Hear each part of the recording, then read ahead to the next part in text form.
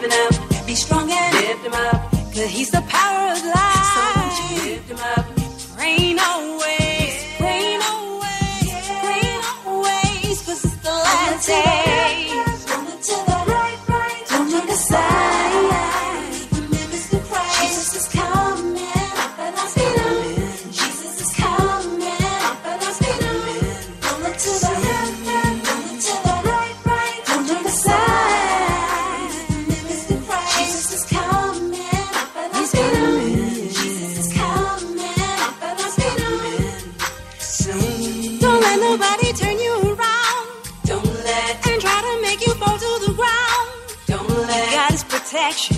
guides with direction.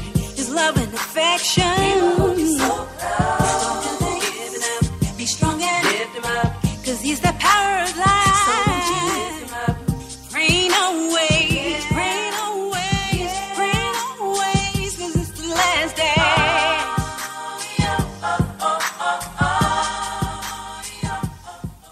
Hi, this is Angel Sessions, and when I'm in town, I listen to Jerry Royce live, PositivePower21.org, where they play my favorite music.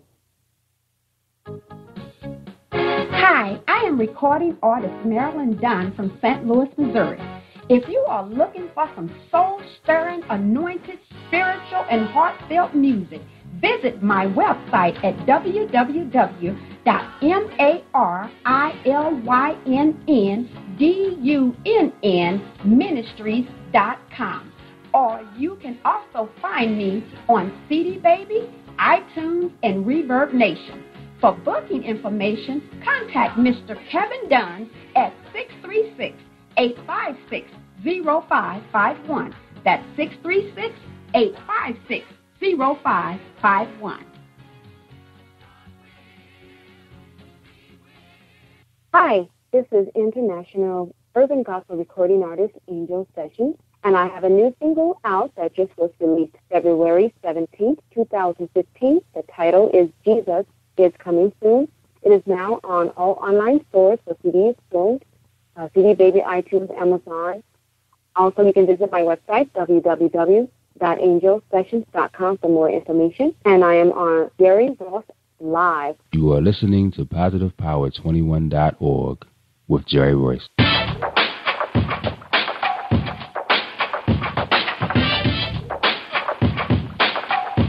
What up? It's your boy Kano Kingston. Hi, this is Angel Sessions. Hey, this is Pat. Hi, I'm Teresa Powell. Hi, Jerry. This is Ira Sandro Carter. Hi, this is Phil Powers. Hello, this is Teresa Bobby with Jerry Royce Live. Hi, I'm Philip Byrne. I'm live on the Jerry Royce Show. Hey, what it do? It's your boy Houston Saint. Peace, this is Dahlia the poet, spoken word artist. Hello, this is Lamar Marquise with Jerry Royce Live. All right, all right, everyone. You got Robin Lynn, and I'm keeping it live right now on Jerry Royce Live. Hey, what's going on, everybody? What's up? This is a award-winning podcast with the greatest podcast on earth. Thank you for stopping by. I'm your host, Jerry Royce Live Worldwide on Internet Radio, where you get your positive on. So when it's all positive, it's all power. That's positive power. This is a worldwide podcast for growth, wealth, and success. Thank you.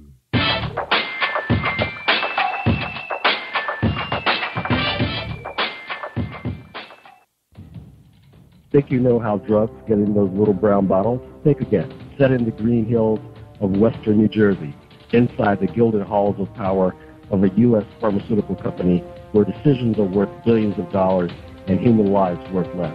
Nicholas Harding, a young executive at Marshall Pharmaceutical, finds his career, family, and life in jeopardy. The Farmhouse, It's a suspense thriller novel by Bill Powers, published by Donna Inc. Publications, available at Amazon.com or DonnaInc.org. Go to Bill's webpage at www.authorBillPowers.com. Are you looking for the next great read? A book filled with love, passion, betrayal, and intrigue.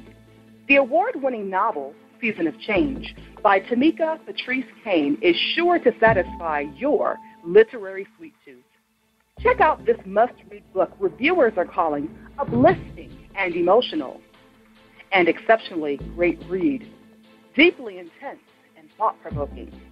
Order your copy today, available in paperback and ebook on Amazon.com or at www.tamikapatrice.com. Are you an author looking for promotional services or a reader looking for a great read at low prices? In this competitive world of books, Writing Royalty Promotions is dedicated to bringing authors and readers together to build a greater respect for literature through our various promotional services and online bookstore. So head over to writingroyaltypromotions.com and check us out.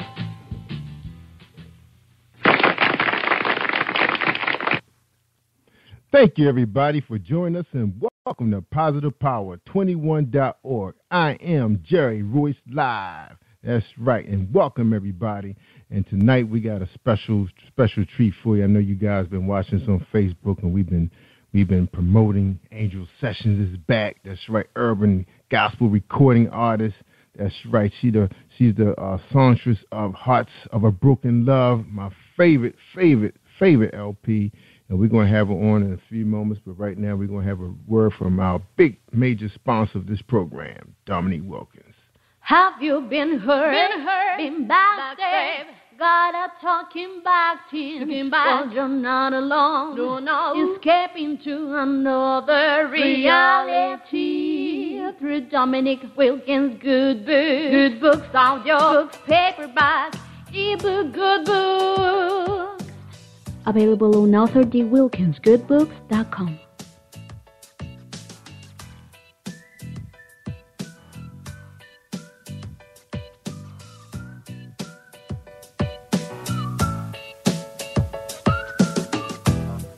Thank you for joining us. This is the Jerry Royce Live Worldwide presentation for Positive Power 21.org and Spreaker.com forward slash Positive Power 21. Tonight's guest is Angel Sessions.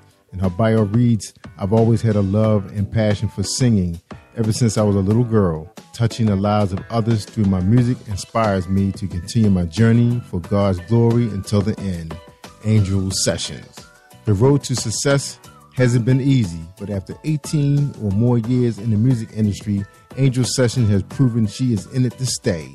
Angel started out early on as an R&B recording artist before her first deal with Pit Mobile, Ichiban Records, and Volt Records.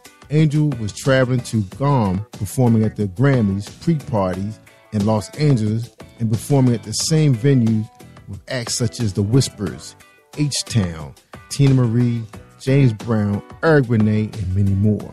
She performed also on many local television stations in the Bay Area and was interviewed on local radio program show Angel Sessions writes all of her own lyrics Ever since I can remember, I always wrote songs of love to my Heavenly Father. It was a gift God has given me along with the ability to sing. Angels began singing in church. She was one of the lead singers that would perform a special song when called on. After years of local performances in the Bay Area and the Los Angeles area, Angel was introduced to a producer and songwriter that would take her career to the next level. In 1998, she signed a deal with Pit Mobile Records she released her first album entitled Introducing Angel. Her first single release was Never Her. Got radio airplay on 80 BDS stations and was received well. The buzz about Angel was beginning to spread, and many people in the industry was hearing the name Angel Sessions. Ichiban sold the company in 1999. Angel was introduced to the vice president of Fantasy Records, Phil Jones. She had already recorded her second album, Love Ride, and at the time was shopping for her deal for her new project. Phil Jones loved the album and it was soon released on a December 1999 on Volt Records. The single Get It Right from the album was also released to all of the radio stations around the country. A video was also shot for the song. Actor director Fred Williamson played Angel's father in the video. The album was received well and had a small write up review in Rolling Stones magazine and mentioned in Billboard magazine. Volt Records also signed Lenny Williams, Brenda Holloway, Freda Payne, the Delfonics, and the Dramatics. Each of them did one album deal. Angel had the opportunity to record backup vocals on the album and also duets. She was also introduced to Maurice White, lead singer of Earth, Wind, and Fire. Angel sang on two on Maurice albums that later placed on the Stylistics album in 2010, entitled Painted in the Sky.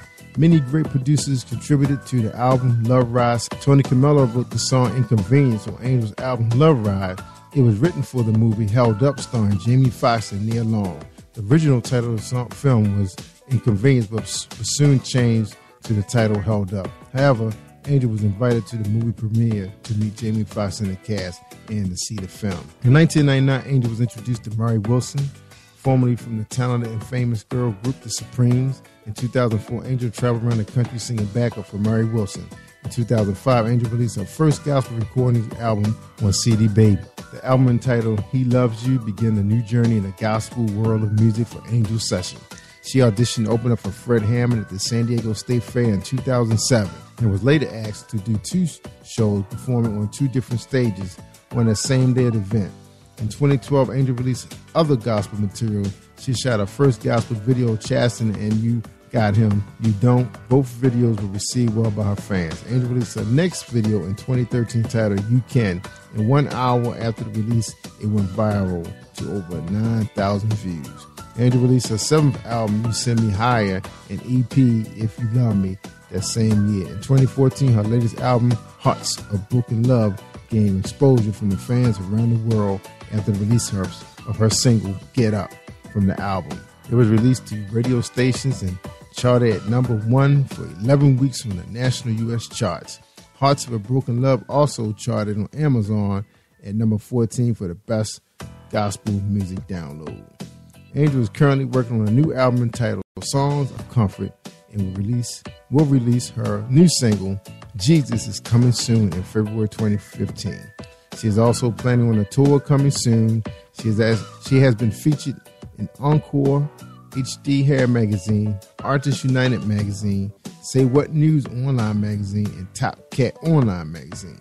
Angel has also had her songs featured on Coast to Coast mixtape and was nominated for the Underground Music Awards for the Most Promising Female Artist and nominated for the ATL Music Entertainment Award for the Best Female Artist. Angel continued her success of sharing her talent for all of her fans, and she is so grateful for the support many of her fans have shown her. Ladies and gentlemen, we present to you Angel Sessions. Enjoy this presentation on Jerry Royce Live worldwide. Welcome to the show, Angel. How you doing? Hey, I'm great, Jerry. Thank you so much for having me. All right, now you got your brand new single coming out. Well, it should be out now, right? February. Jesus coming it's, soon. Yeah, February 17th. It was out uh, about a few days ago. So it's on Amazon, all online stores where music is sold. CD Baby, Amazon, Google Play, iTunes, you name it. Yeah. Oh man, beautiful song too. Now before we get started with the interview, you know, I told you my audience in DC and Maryland, you know, mostly my family, they love to know who they're listening to on this show. And this is for you, Eastern Shore, Maryland, DC. The question is, who is Angel Sessions? I Angel Sessions. I myself, I am an urban national or an international urban gospel recording artist, and I've been in the business for quite some time, uh, over 18 years. Um, been a long journey and a wonderful one. Thanks again to my Heavenly Father for keeping me uh, through His strength strong and to go on. And just a lot of great things in store this year. Um, just working hard on continuing to uh, put out good music, mainly for God's glory and to for all of my fans. I'm just grateful for all the emails I receive, uh, for all the support I get uh, through um, my um, awesome team, um, Kelly Lee, Artists United, uh, Demetrius Guidry, and and um, all the wonderful hosts radio shows such as Bronze Eight, um, Jerry North Live, and just many others if I haven't uh, named. But God has been good, and I just can't thank Him enough. Amen. God is awesome. That's right. All right, Angel. You know I'm always listening to your songs. I tell you all the time how I just love your album, your LP, and I can't wait for the new one to come out. And you're dropping that in March, right? The Songs of a Comfort. Songs of Comfort. Oh, Jesus coming soon, February. March, you got Songs of Comfort coming out. how anxious is, is your team and your uh, and your fans? How anxious are they? Uh, from what I'm hearing, you know, uh, and all the great, wonderful emails and um, response that I get, I'm sure they're very excited about it as much as I am. So uh, I think they'll really enjoy this new album. I'm very excited about it. Uh, I love the latest album I have, Hearts of Broken Love, but I think this is more, far more, a little more deeper because each of the songs really does have a song of, song of comforting a person's soul, uh, heart. Um, as far as whatever they might be going through. I mean, God is the only one that can save. Um, so the song is not uh, as though it can save someone. God can, but God can use the song for that purpose. So um, that they can use, hear the song and God can really minister to their hearts through it, and this is what I'm praying for. It. That's right. Now, your your, your music is so relaxing, and, and we when we talked before, you know, you told us, you know, you write all your own lyrics, and the same for this album. You wrote all your own own lyrics? Correct. Correct. All right. Yeah. Uh, awesome. Your, your music is so relaxed, like it talks to your heart. You know, "Hearts of a Broken Love." I just found every every one of those songs to be so soothing, and relaxing. You know, man, if it was slower or was an up tempo, it just was so relaxing. You know, you just like you could almost feel the angels, you know, singing to you. Now, are we gonna get that same or we gonna get way more from song, songs of comfort? I mean, how you feel about this one over? I mean, could you compare the two if you had to? Yeah, songs of comfort is different. It, I mean, you know, my writing ability is is who I am. So I think when people hear my vocal arrangement, it's still Angel Sessions, but songs of comfort is definitely more um, um, more powerful, more you know, heartfelt, simply because um, each song I write, I try to be as um, different. I, mm-hmm. I try not to be, you know, similarly the same. So um, it, it definitely does have that great feel of songs of comforting someone's soul. So, it's, you know, some great. The Heart to Broken Love is a great album, and I'm definitely still uh, currently uh, uh, pushing that one. But this yeah. new album that I will be releasing, I'm I'm really believing that um, hopefully, you know, Lord willing, is going to do well, um, mm. and that people will see why the title is called Songs of Comfort. Yeah, I can't wait. I mean, Jesus coming soon is a is an exciting, exciting single itself. Now let's listen to it a little bit. All right, and we'll be right back. So hold tight. We're talking to Angel Sessions on Jerry Royce Live worldwide. All right, we're gonna take a quick break. we come back, we're gonna listen to Jesus is coming soon. All right, hold tight, everybody, for this presentation with James Deshay. Are you looking for a great book of poetry that is romantic? heartfelt, and full of male emotion? Then get Thoughts, Love, and Reflections by James K. Deshay. That's D E S H A Y. Go to www.jamesdeshay.com. You will enjoy Thoughts, Love, and Reflections. Don't delay, up, be strong and lift him up, cause he's the power of life. Him up, train away. last day.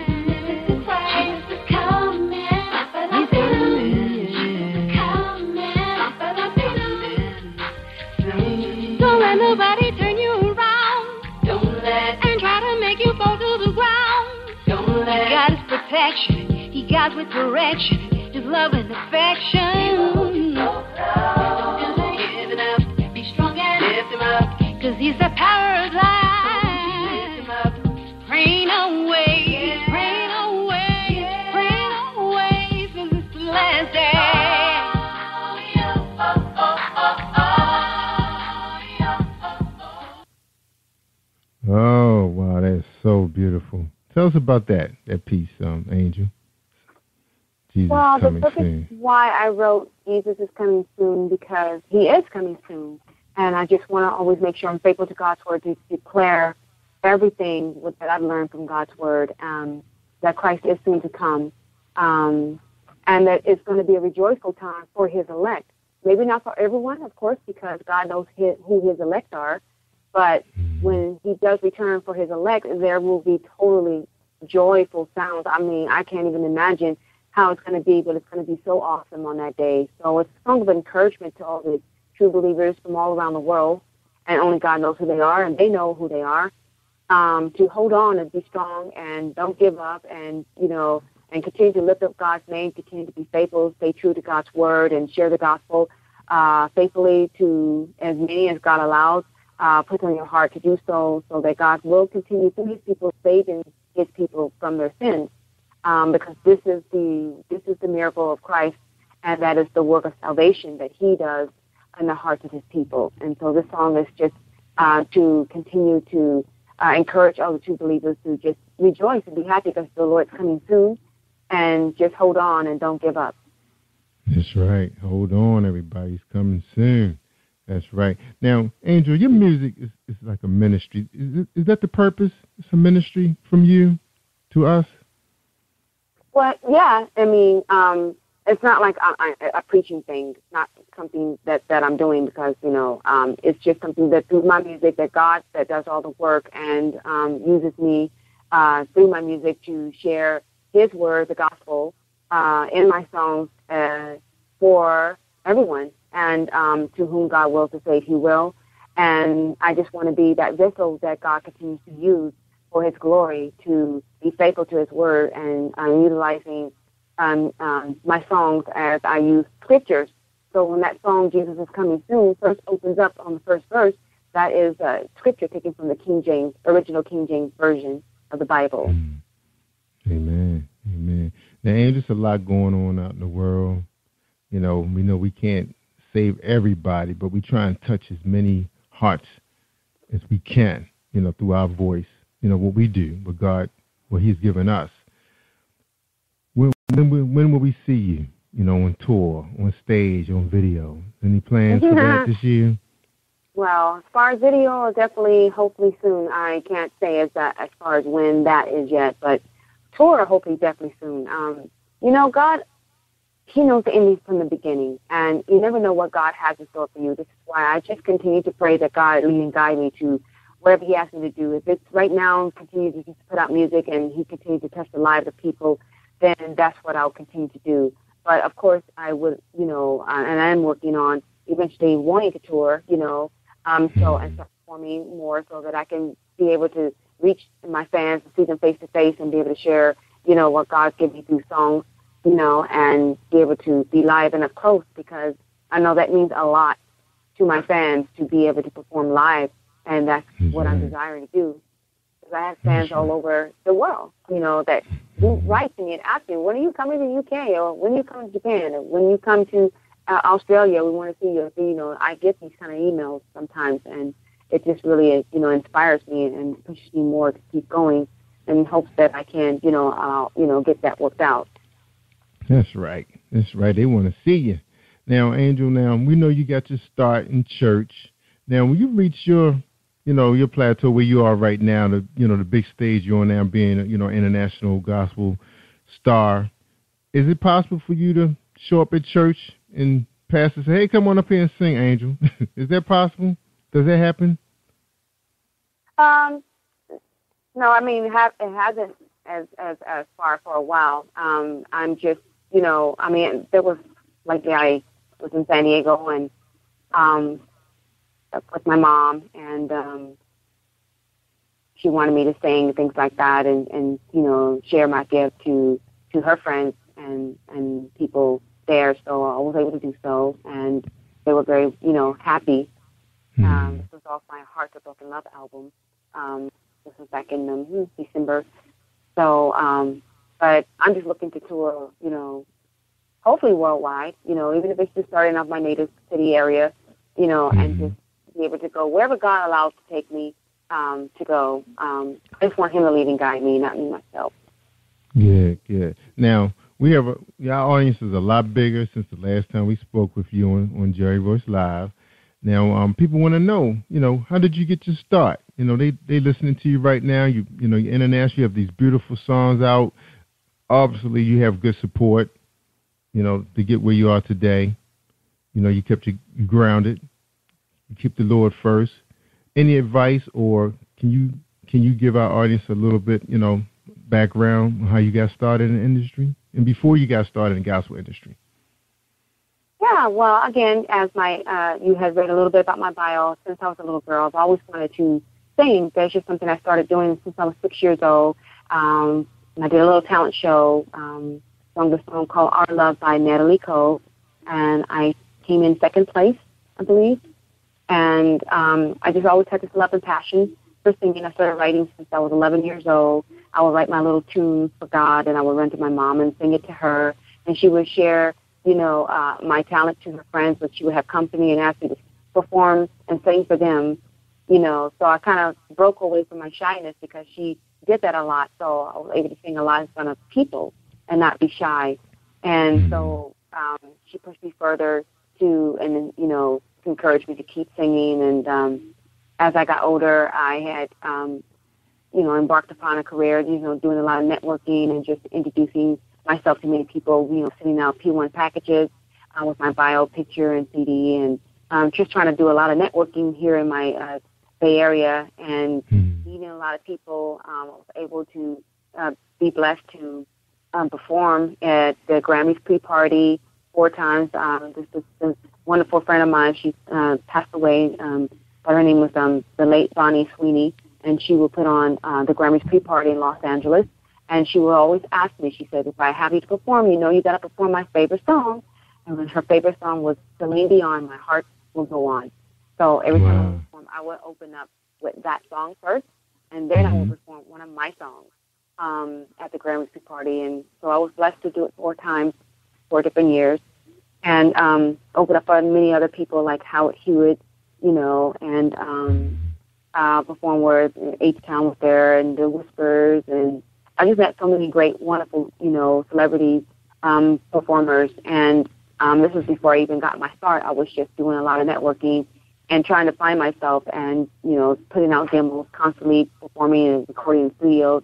And it wasn't until around 1997 when I um, met uh, someone who was a producer, songwriter uh, himself, and he's the one that kind of started me and gave me gave me my big break and uh, started his own label, Pitmobile Records, and um, um, we went to Atlanta, Georgia. At the time, Itchy Ichiban Records was around in, in Atlanta, and they um, fell in love with my um, my music, and he wanted to put out a single on me, which was called "She Was Never Her," um, but Ichiban wanted an album, so um, I had already had a lot of songs I've never published, but you know, fresh new songs I just recorded. So we put it together and recorded a few more songs to put the album called Introducing Angel which was released in 1998 from um, Pitmobile slash Ichiban Records.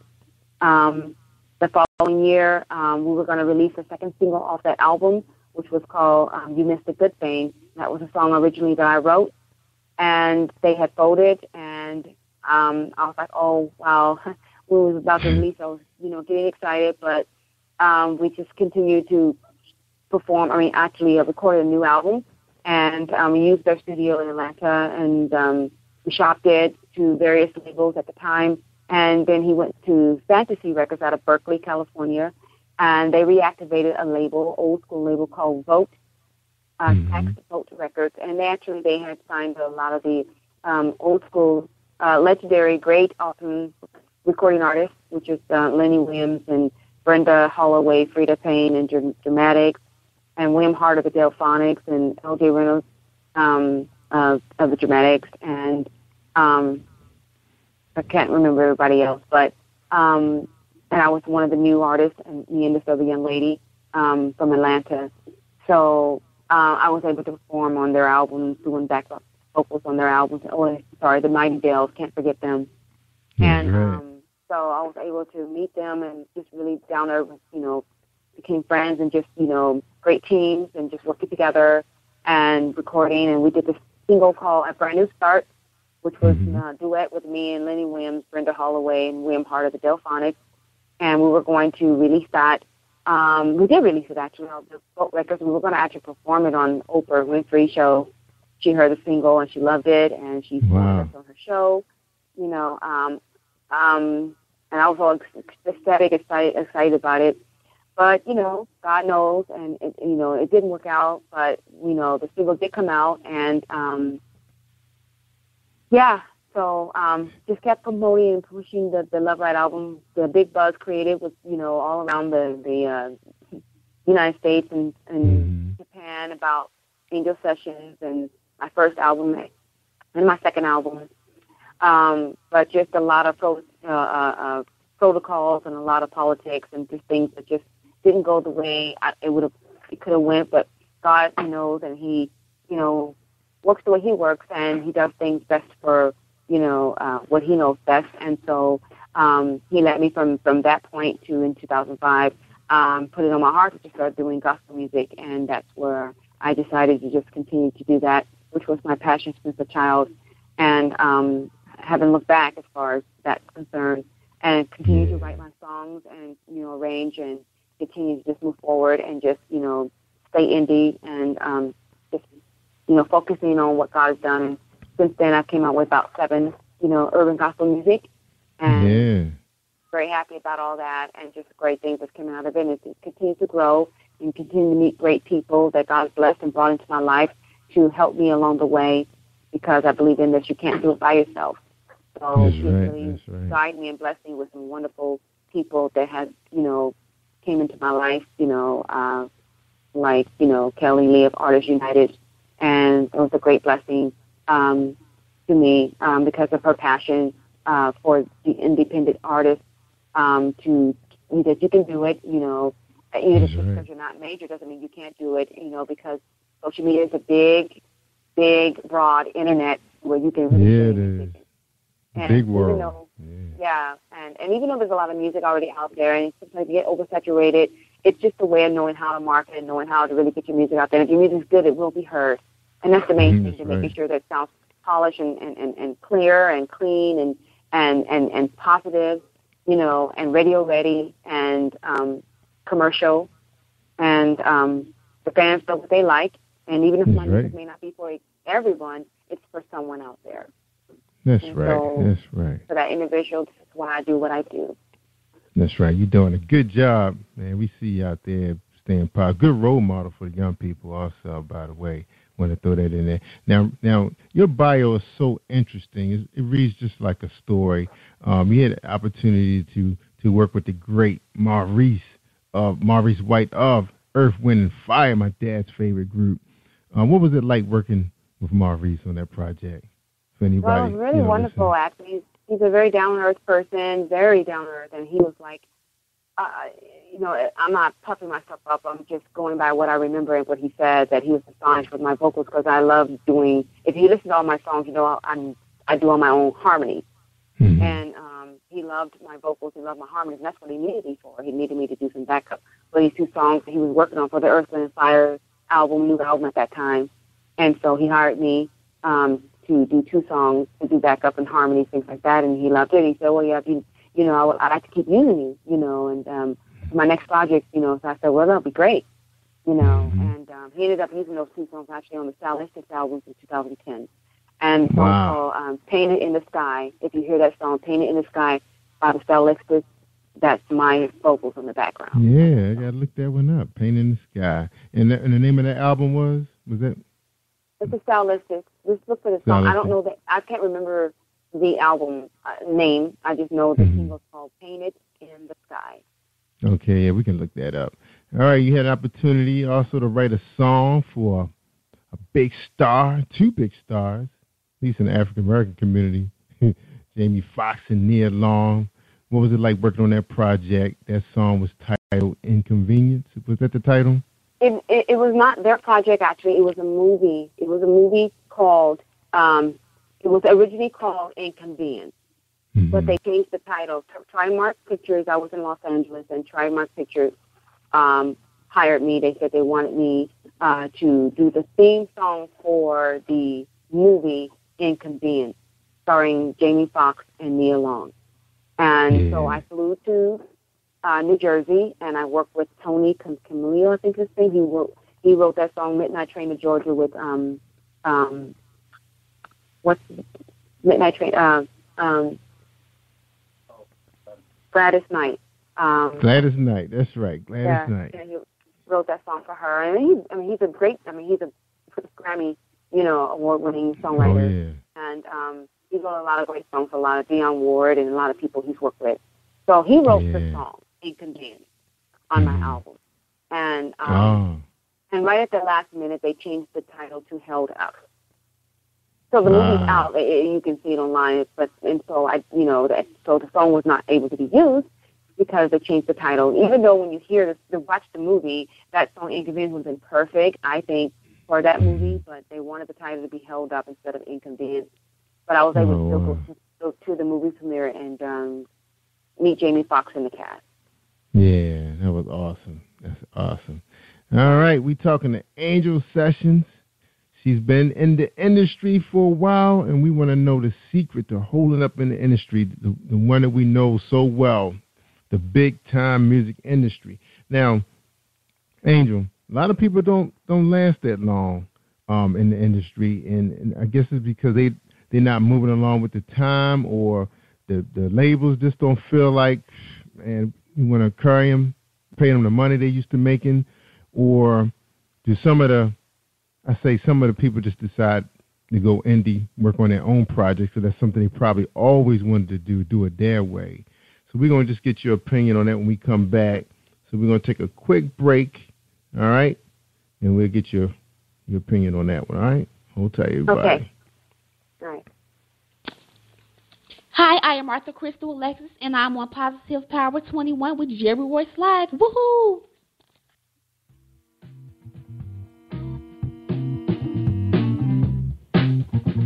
Are you an avid reader of urban fiction, looking for drama, suspense, and more? Reach World Publishing is dedicated to bringing the world's best literature to our readers. Urban fiction, erotica, sci-fi, mainstream fiction, and children's literature are just some of the genres produced by our diversified family of authors. You can reach us on Facebook, Twitter, Instagram, and at our website, www.reachworldpublishing.com.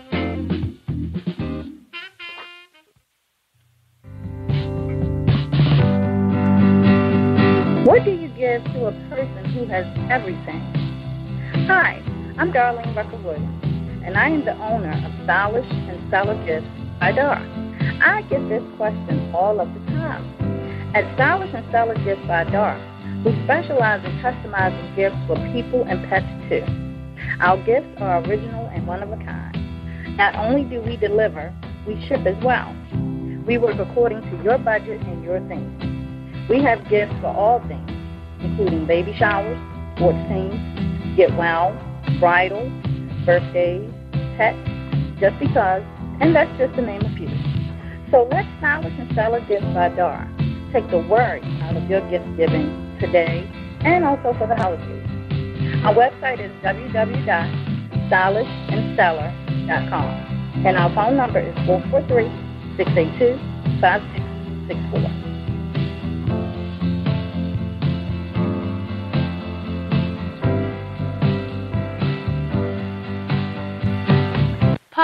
Positive Power 21.org Internet Radio. You are listening All to. PositivePower21.org with Jerry Royce. All right, thank you, family. That's right.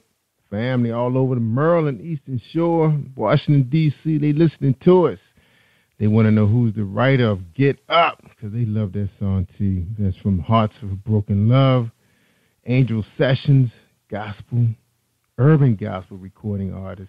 Brand new single out, Jesus Coming Soon. Songs of a Comfort is on its way. I can't wait. Woo! Angel, so how have you been able to hold up? You have 18 years in the industry. A lot of them don't make it that long. You, you know, you hear about the greats. They just falling by the wayside. Mm. Tell us the secret, Angel. How you doing?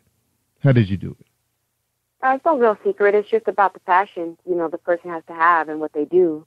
Um, if it's just about something, some people don't do it always for their passion and love of music. They do it maybe because it's just a money thing, or you know, at, at the time it's just what they thought they wanted. It just depends on the individual. But I think that it's all up to the individual. If you're in it for the right reasons, if you're in it for the love of music, for the love of the people that you share your music with, um, you can continue to do it because if you give up, you never know how it's going to end. It won't. It won't go anywhere because you've given up, so you will never know. That's right.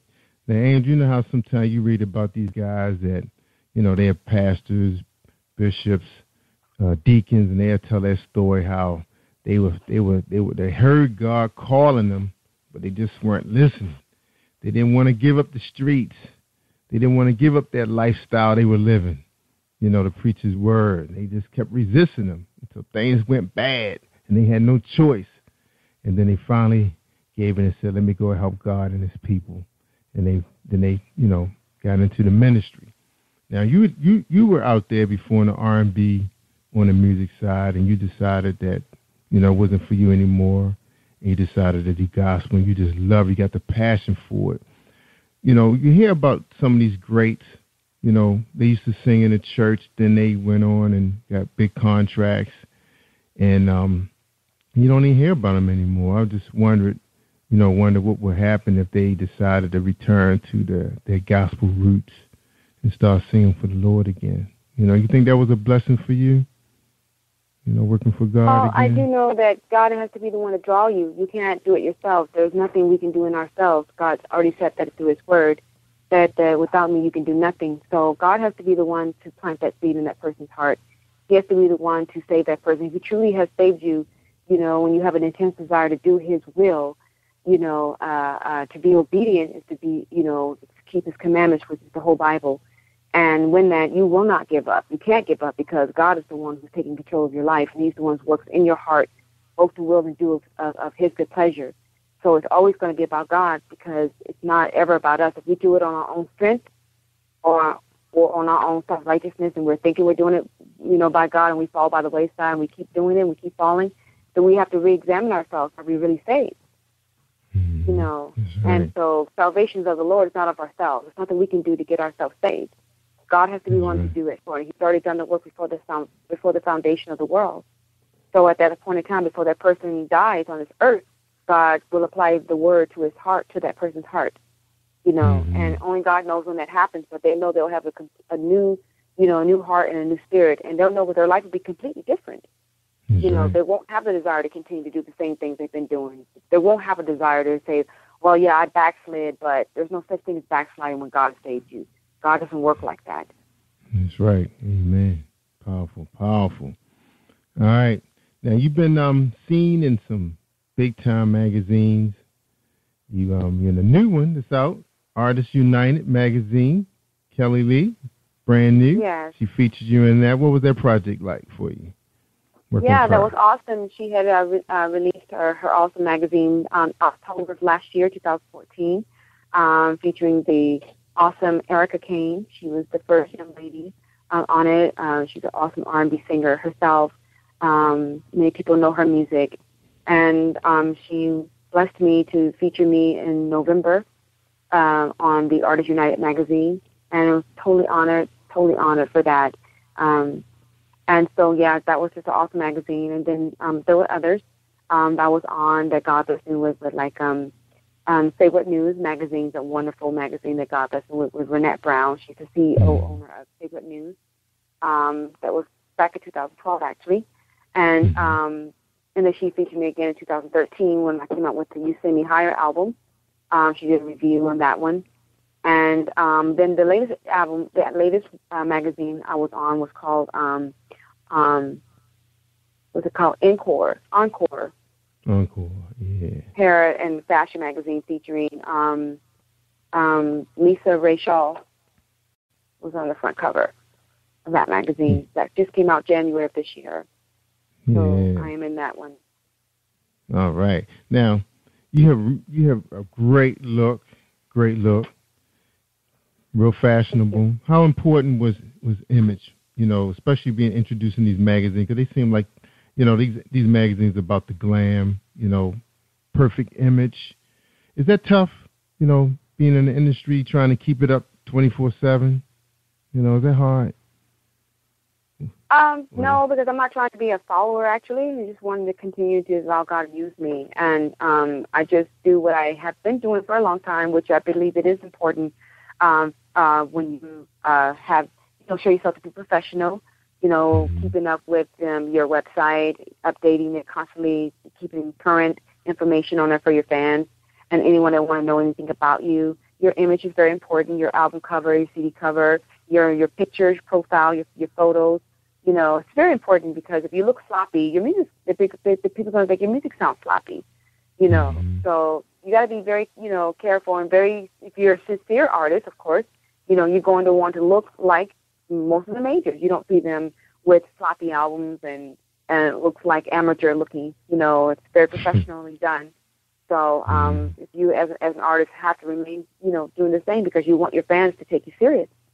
That's right. That's right. So, so Angel, where did, where did you learn all your business savvy? You know, in the beginning. I mean, how did? I mean, where where were you in the beginning, where are you now when it comes to making business decisions? And who's helping you out with that? Uh, so the grace of God helps me out with that with that a lot, of course. You know, and then of course with with the help of uh, Kelly Lee, Artists United, and then of course my husband. Um, but I, I make a lot of decisions also of my own because I've been doing it for so long, and I had to learn, you know, a lot of the business side in order to take care of my business when it comes to making sure, you know, with my BMI account, you know, uh, publishing or royalties, and making sure I register my music and things like that. So when I'm coming out with a new album, everything is is all taken care of. It's not just throwing your music out on iTunes expecting it to just sit there and, and people are going to go buy. You really have to market that. You really have to continue to push and market and promote so that people can know that you're out there and that you know and make yourself visible on a regular basis. You know, um, if you can do, you know, uh, be on blogs and have other people to talk about you. You know, and share your, your your news with other people be excited for you as well as you're excited for yourself. Um, so I learned a lot of these things as I'm out there doing a lot, um, uh, and along with uh, my team that's working with me. And um, I think that's you know very important. You should you know always learn the business and not just sit back and do nothing but be the artist. Um, I don't think it's cool to you know to be lazy. You have to learn to say no. You know it's going to take hard work. You know nothing happens overnight.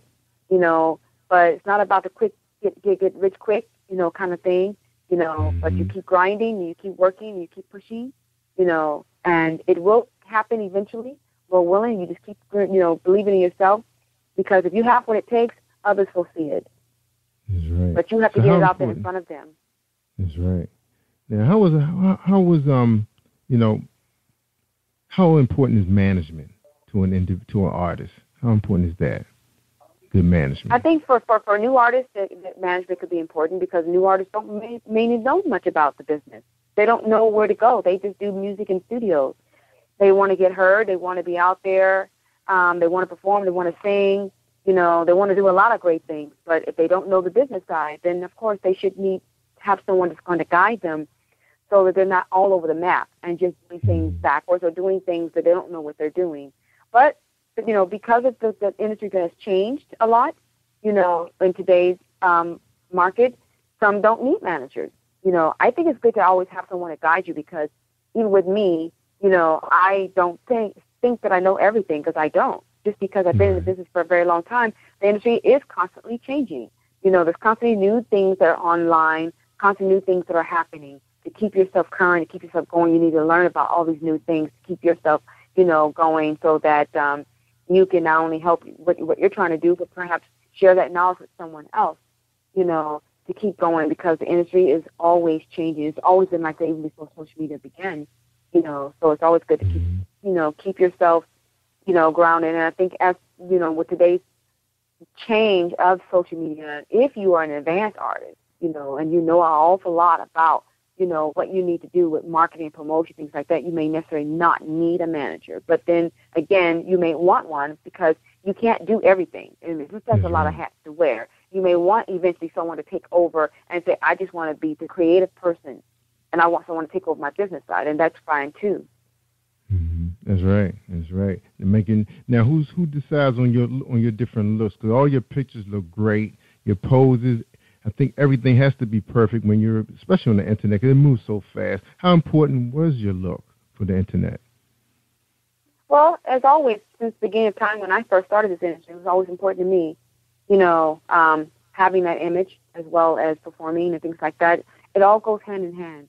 You know, um, you want to take care of yourself. You want, you know, you want to look the part. You know, again, it's not like that's the the image and then that's it. But image is everything. You just look like you don't care about yourself and you look sloppy and toe up and, and you just wear anything and and you just take a picture like a selfie picture and you stick it on an album cover and call it a, a CD, you know, that that's mm-hmm. not going to look right for someone you want to buy your music.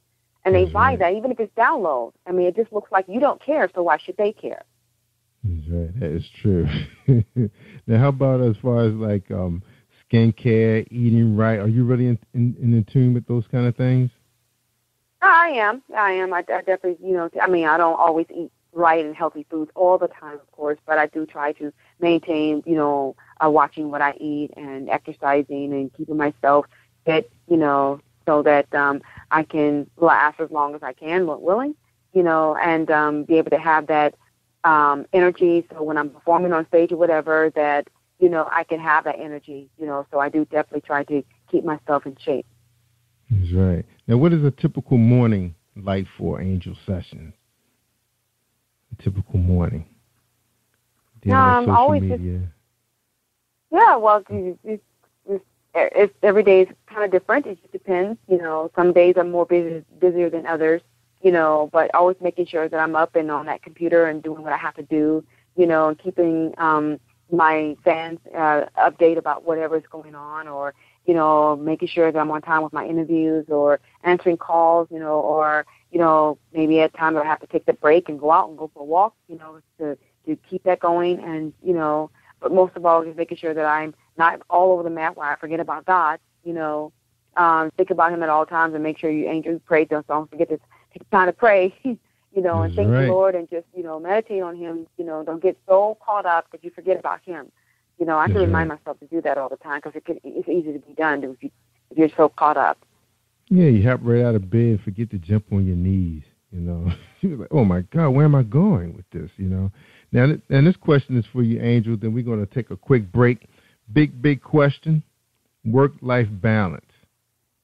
Is it balance? Balance. Is it balance? Yes. Is your work and life balance? Yes, always with the help of God. Because I, I, again, I say I can't do anything without Him. I depend on God for every single thing. Everything. I can't do not one thing without Him is an impossibility. You know, I, I, I lean on Him. He's, he's my Father, and and and and as you can say, I'm a needy person. I need Him. I need Him mm-hmm. every hour. I need Him every second. You know, to guide me, to guide me to think right, to guide me to do right, to guide me to make the right decisions. You know, to guide me to say the right thing, to guide me to say the right thing at the, at, you know, uh, with someone who may be tweeting me, and and and and and what how how should I respond? You know, uh, a word of encouragement. You know, to say something because you never know what that person might be going through. Yeah, and, you know, right. and and you want to say the right thing. You don't want to say the wrong thing. You don't want to get so caught up about yourself that you forget about others out there. You know, it's mm-hmm. not about me. So um, just remaining balanced. You know, there's just thinking about that um, this is not for me and I'm not here for me. It's just for God's glory. So, you know, if I keep that in mind, that it's not me, it's Him, you know, that's where the joy comes in. That's where the joy comes from. It keeps me going. That's right.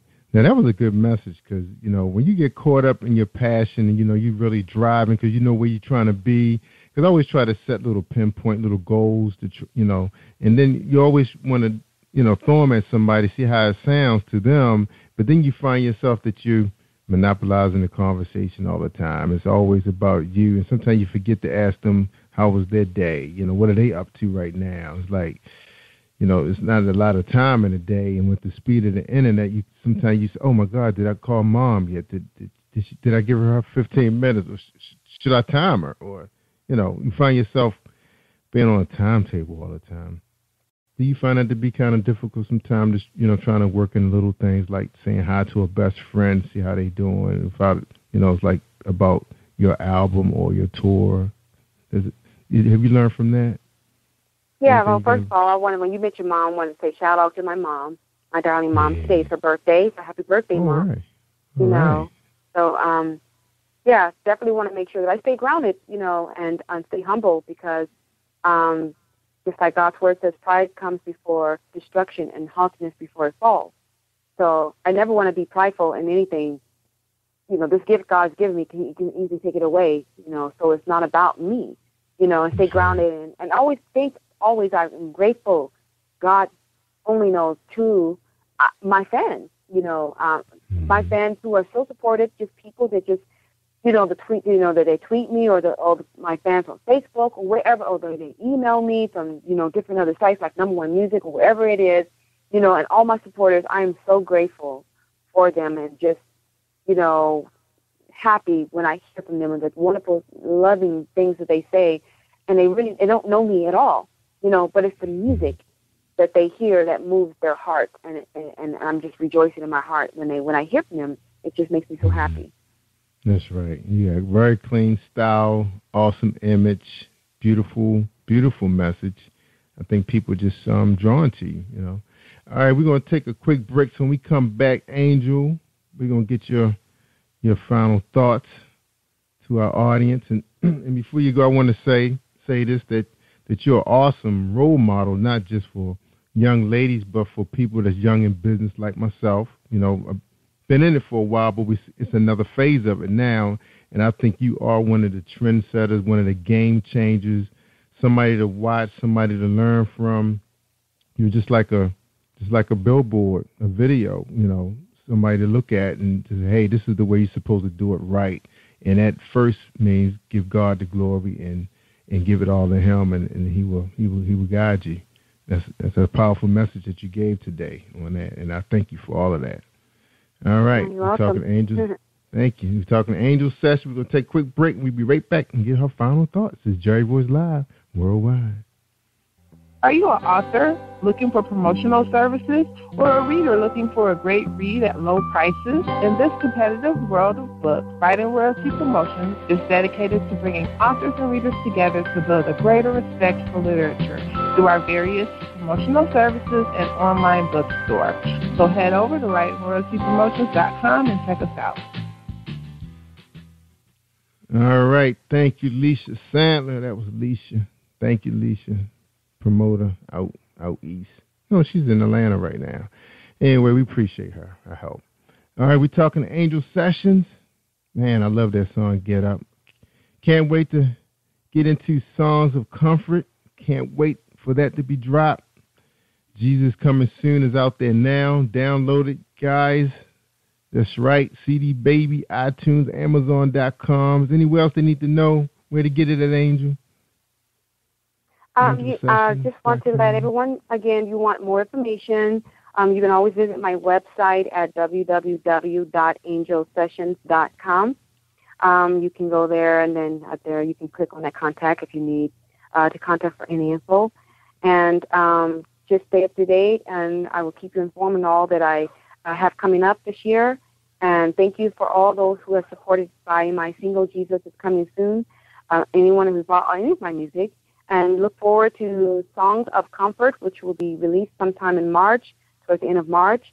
And I'm just looking forward to that. And definitely again, for Lord willing, touring soon, because I, you know, I just feel in my heart that Lord willing, that's going to happen, you know. But I'm just working at it and with my team, and I'm just grateful for that. So um, I just want to say thank you and shout out uh, to um, always my loving husband, Demetrius. Shout out to Kelly Lee of Artists United. Um, shout out to um, all the producers of Songs of Comfort, which I would like to name, which would be Franz Eight, um, Freddie White, Patrick Joseph, aka Beat Abuza, uh, Antonia Tizon Street. He's actually a platinum producer. He's worked with so many major great artists. Um, and Andre Rivers, he is the one who actually um, mastered my album. And um, to um, Jerry Royce Live, uh, to Yeah, yeah. Lady T and her husband, and to um, uh, Faces of Success Radio, um, and to D- Daoud, um, my PR, and to um, all of my fans from all Yes, around the world. I love you. And anyone I left out, please forgive me. Um, but I am grateful to everyone, and God is awesome. And most of all, forgive me, Lord, my Heavenly Father, because He should have been first. I should have said that. um, without Him, I'm, I couldn't even be here doing this. So always glorify my Heavenly Father, my awesome, loving Lord and Savior Jesus Christ, because He is an awesome God. That's right. Amen. Amen. And don't forget about the great state of Maryland. that's been supporting Angel Sessions. They're here all the time. That's right. We supporting you. All right, Angel. One thing I want to know: Can we still get some of your previous albums? You know, like you send me higher. You know, your EP Absolutely. if you love me. Okay. Uh, oh, yes, definitely. They're all on Amazon, iTunes, CD Baby, and Google Play, and all online stores where music is sold on All Music. And um, so, um, yeah, and then of course I have an Amazon store when you when you type up Angel Sessions uh, Amazon, you'll have all that on um, in my store on Amazon. So definitely, you can still get all of my previous albums out there, including the very first Introducing Angel and um, Love Right. Yeah, that's awesome. I'm glad I, I said something about that because I was just wondering because I know you release a whole bunch of albums, and I'm wondering, you know, are they still available for download? Which they are. They in your store. Yeah. Yeah, you never Mhm. told us you had a store. Angel Session has a store, y'all. She never told us that. All right, now we know. Now we know. All right, so I'm not stuck with just waiting for songs of comfort. So if I want some new stuff, I go out there to her store. And don't forget about her website, angelsessions.com. .Com all right, and she has videos, songs, photos, news and events, bookings, all those good things out there. Her bio, you can read her bio, magazine reviews, and that's something I always love doing is reading um, magazine reviews and um, in the articles. So she is available. Um, look up Encore HD, Hair Magazine, Artists United Magazine, Say What News Online Magazine, and Top Cat Online. So those are some of the magazines you can catch up and really get a chance to get to know Andrew because I know I didn't ask her all the questions you probably want to hear, but you can check out those publications online and find out more and more and more about Angel Sessions. All right, our Angel. We appreciate you, Angel. Thank you so much for coming on my show. Well, thank you so much, Jerry, for having me. Um, It's always a pleasure. Absolutely, absolutely. And again, thank you so much for your patience today. You're simply awesome, and um, we wish Songs of Comfort the best, and we hope you come to the to the Maryland, D.C. area to perform. I hope we. Oh, wow, that would be awesome. Yeah, it will that would be awesome. Yeah, they know you out here, so you you know see if your management team can make that happen. All right. Uh, All right, ladies and gentlemen, like I always say, if you want to hear the good stuff, I mean the real good stuff, you got to listen to Jerry Royce Live on PositivePower21.org because I just finished revising the website. The team was working on it. looks good. We agreed to something. We got it going. Also, you'll see Angel Sessions on there. That's right. So you won't forget that she was just on this interview. So it's out there on demand. Also on Spreaker.com forward slash Positive Power 21. You can listen to her 24 7 anytime, anywhere on your smartphone, PC, laptop, and tablets. All right, ladies and gentlemen, I'm Jerry Woods Live Worldwide. Have an awesome week all week long. Bye bye. Thank you for tuning in to Jerry Royce Live on PositivePower21.org and Spreaker.com forward slash Positive Power 21. This is a Royce Enterprises production. And don't forget about replay on Facebook.com forward slash Jerry Royce Live.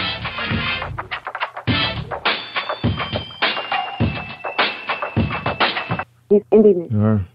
All right. Oh, everybody.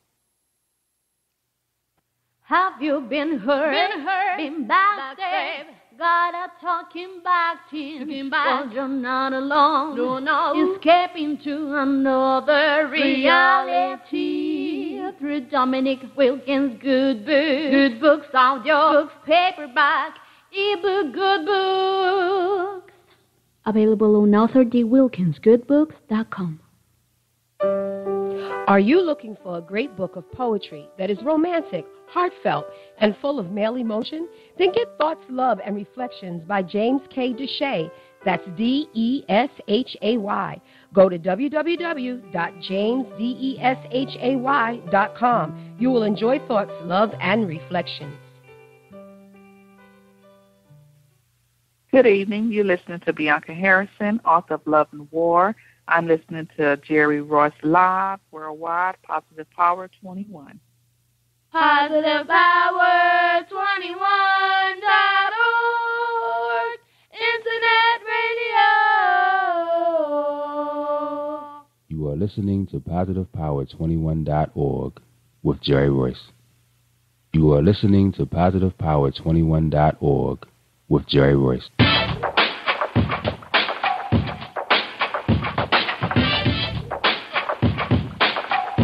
What up? It's your boy Kano Kingston. Hi, this is Angel Sessions. Hey, this is Pat. Hi, I'm Teresa Powell. Hi, Jerry. This is Ira Sandro Carter. Hi, this is Bill Powers. Hello, this is Teresa Bobby with Jerry Royce Live. Hi, I'm Philip Barron. I'm live on the Jerry Royce Show. Hey, what it do? It's your boy Houston Saint. Peace, this is Dahlia the poet, spoken word artist. Hello, this is Lamar Marquis with Jerry Royce Live. All right, all right, everyone. You got Robin Lynn, and I'm keeping it live right now on Jerry Royce Live. Hey, what's going on, everybody? What's up? This is a award winning podcast with the greatest podcast on earth. Thank you for stopping by. I'm your host, Jerry Royce Live Worldwide on Internet Radio, where you get your positive on. So when it's all positive, it's all power. That's positive power. This is a worldwide podcast for growth, wealth, and success. Thank you.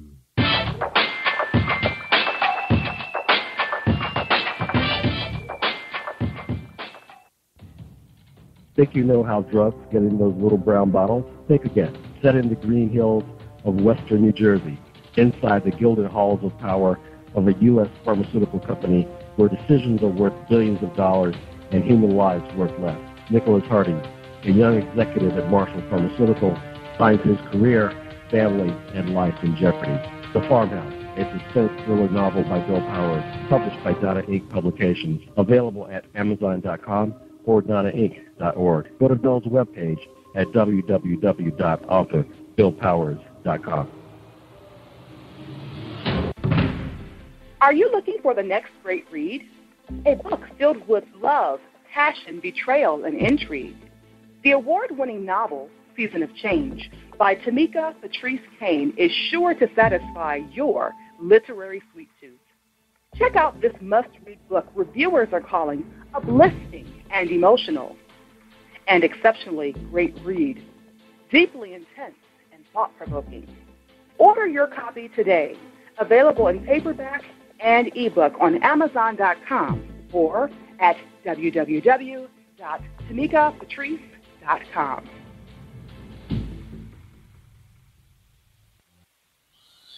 Hi, this is Angel Sessions. On February 23rd, 8 o'clock Eastern Standard Time, 5 o'clock Pacific Standard Time, I will be live on Jerry Royce Live Radio. I will be discussing my new album and my new single coming in February. Stay tuned and we'll see you there.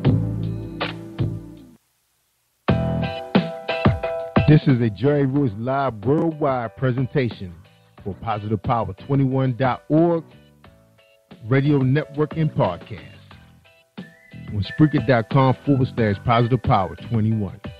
The anticipated new interracial novel by Bianca Harrison. Starting out writing short stories, Bianca decided to write her first novel two years ago.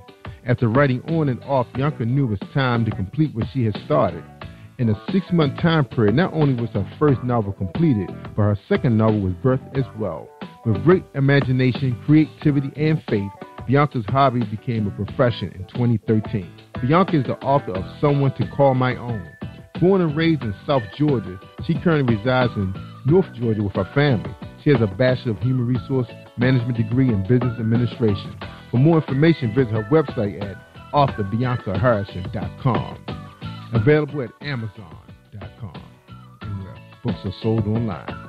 Love and War is a provocative interracial story of deceit, love, hope, and commitment, and heartache as a love affair threatens a marriage and silence hides a secret as a life hangs in the balance. Ava and Ryan are the ideal couple. They share two children together and seem like a perfect family. Ava is a successful best-selling author who lives her life putting her family first. She's a diva with expensive taste.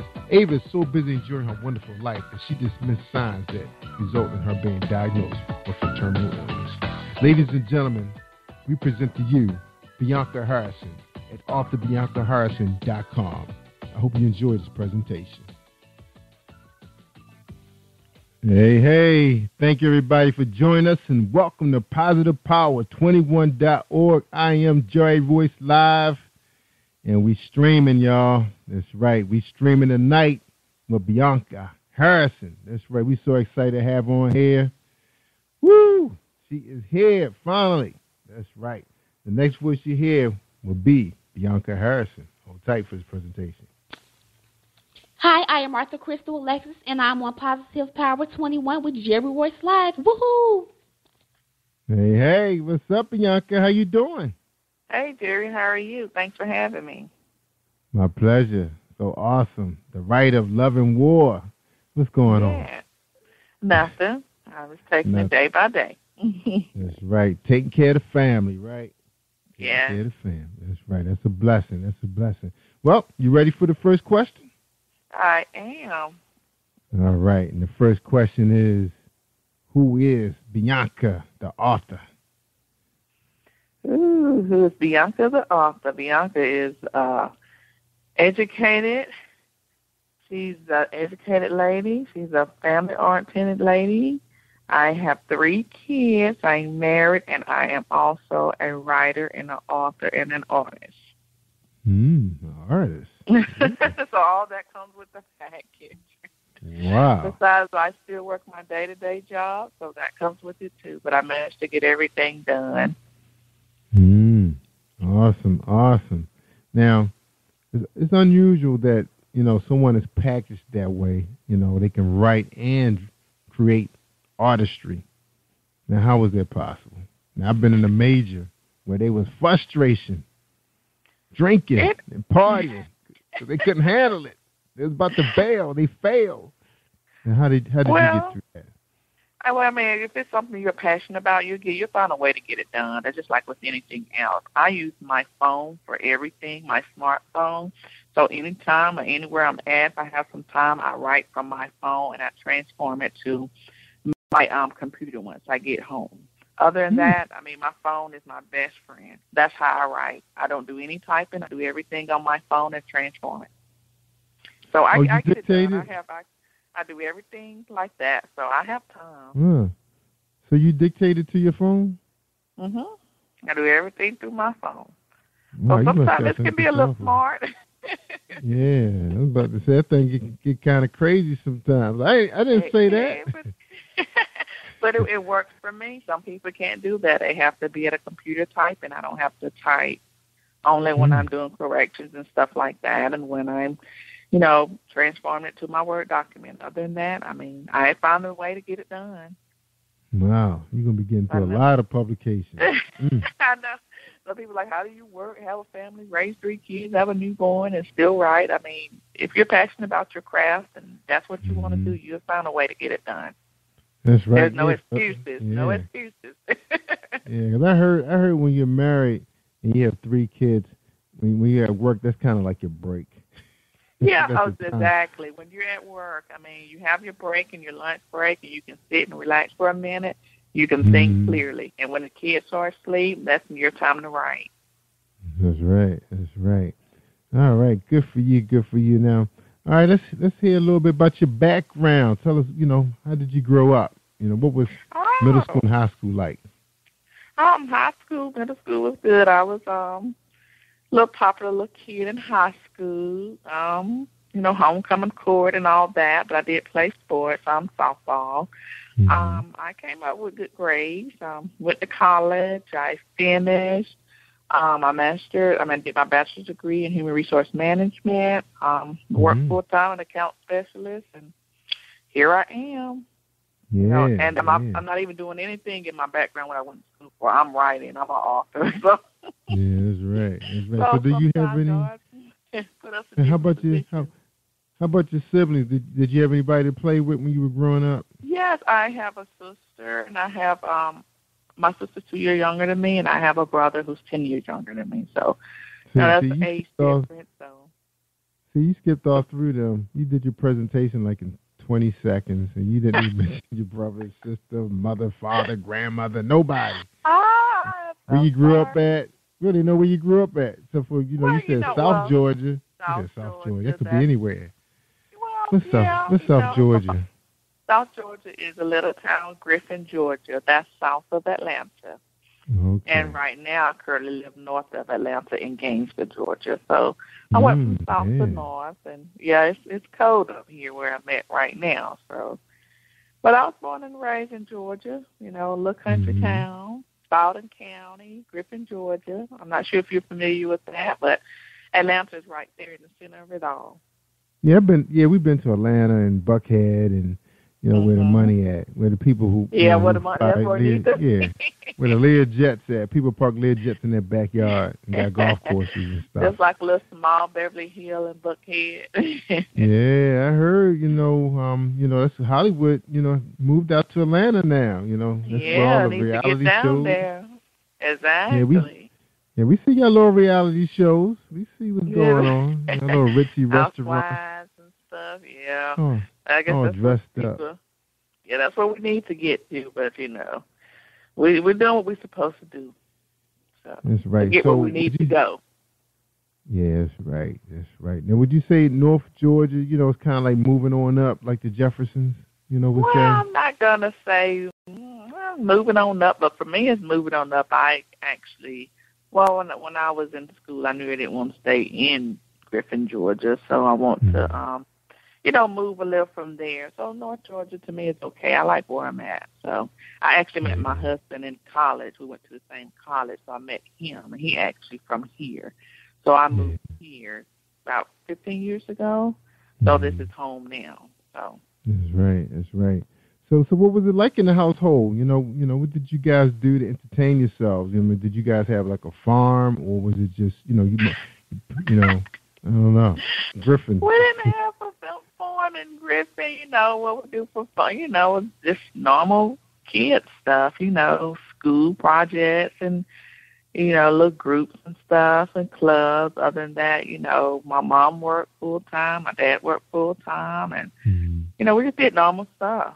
Other than that, you know, I did work while I was in school, so I worked when I mm-hmm. was fifteen and still kept my grades up. So other than that, I was trying to make money at an early age. I didn't have to, but that's what I wanted to do.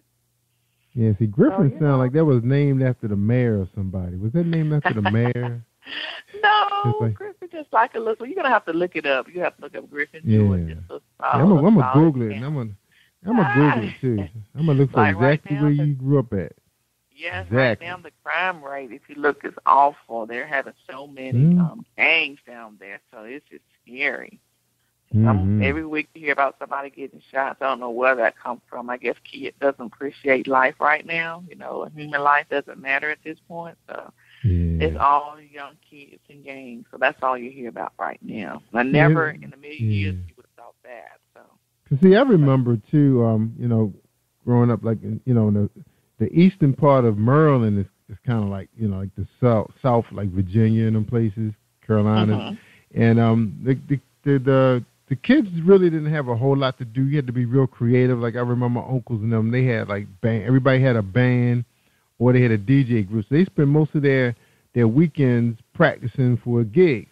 So, but during the Oh, week, wow. they all had, had jobs like you know farming, cleaning, you Mhm. know, janitorial work. Like, cause my grandfather had a janitorial business.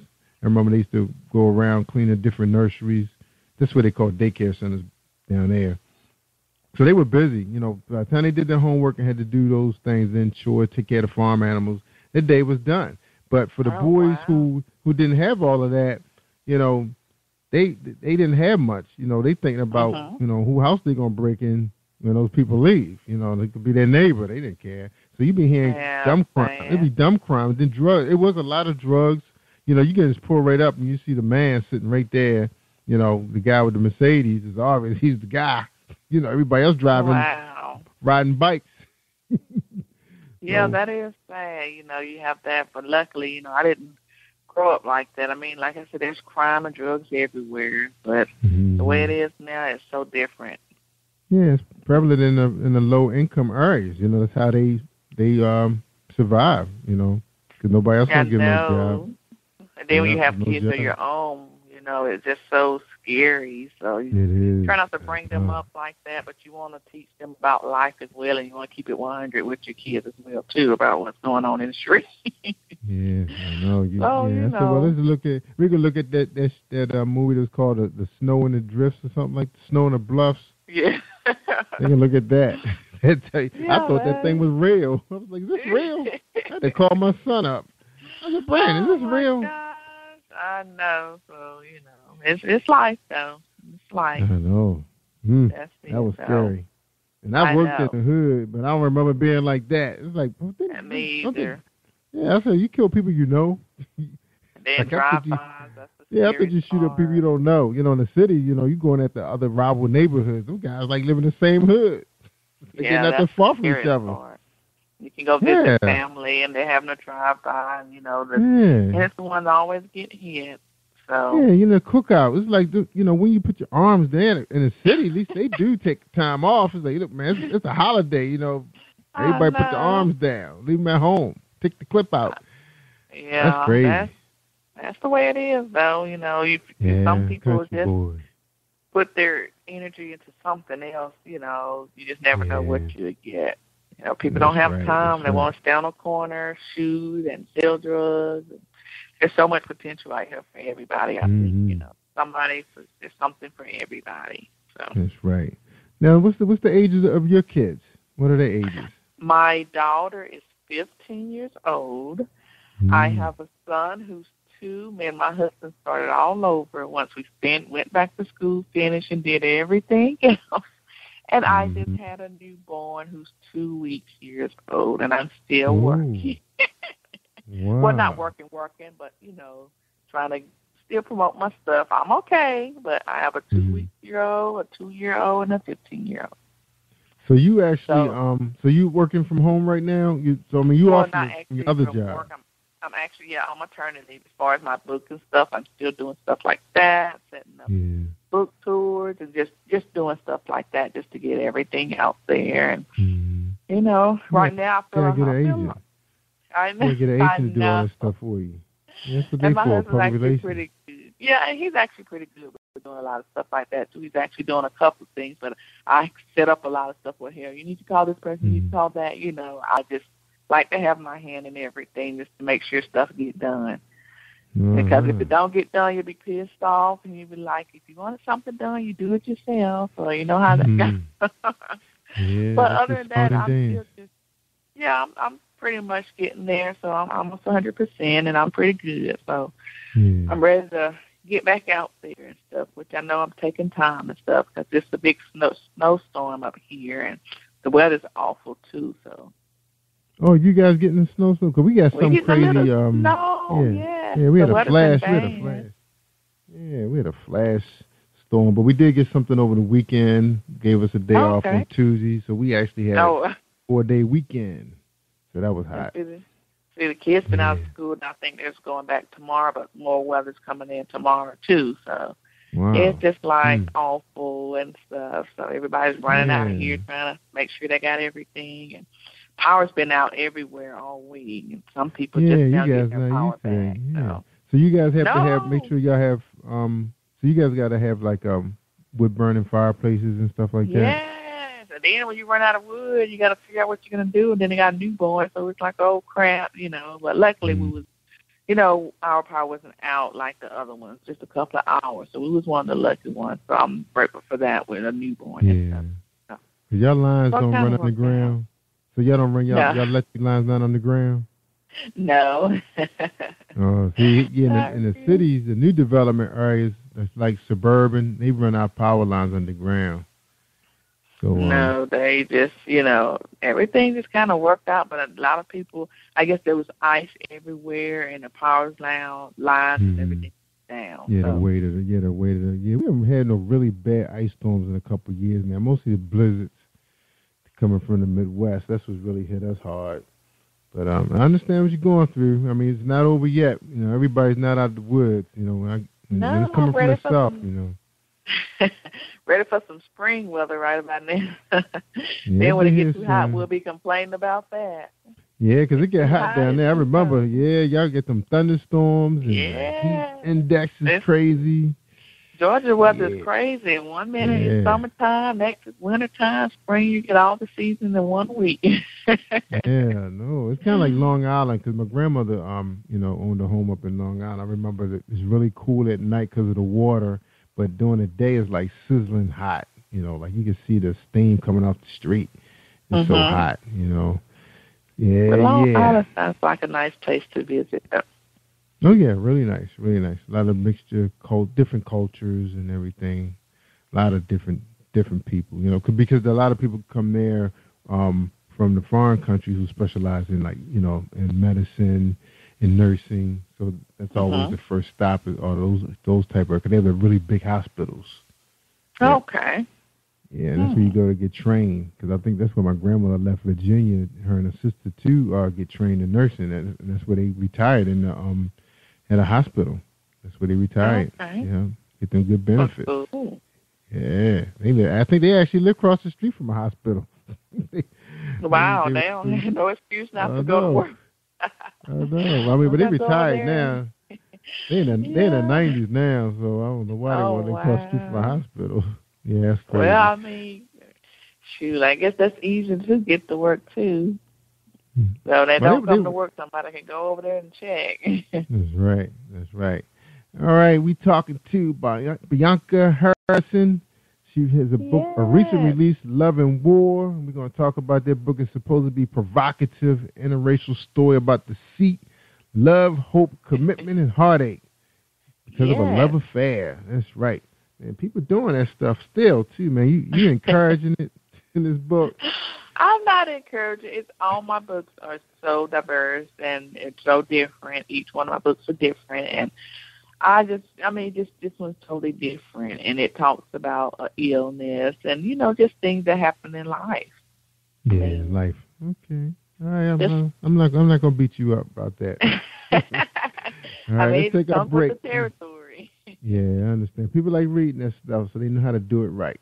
All right, let's take a break. When we come back, we're going to talk about love and war. So we're talking to Bianca Harrison. Hold tight, everybody, for a 60 second break. Hi, I am recording artist Marilyn Dunn from St. Louis, Missouri.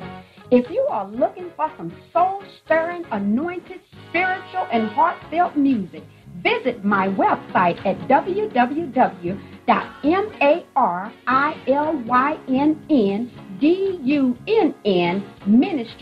www.marilyndunnministries.com.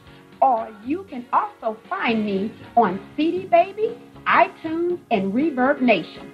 For booking information, contact Mr. Kevin Dunn at 636 856 0551. That's 636 856 0551. Are you looking for a great book of poetry that is romantic, heartfelt, and full of male emotion? Then get Thoughts, Love, and Reflections by James K. Deshay. That's D E S H A Y. Go to www.jamesdeshay.com. You will enjoy Thoughts, Love, and Reflections.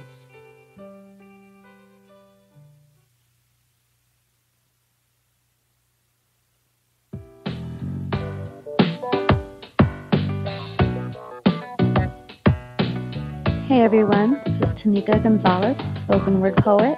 Whenever I'm online, I'm always listening to Jerry Royce Live. You can find Jerry on www.spreaker.com.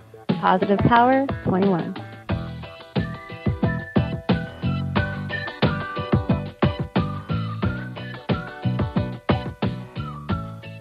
Positive Power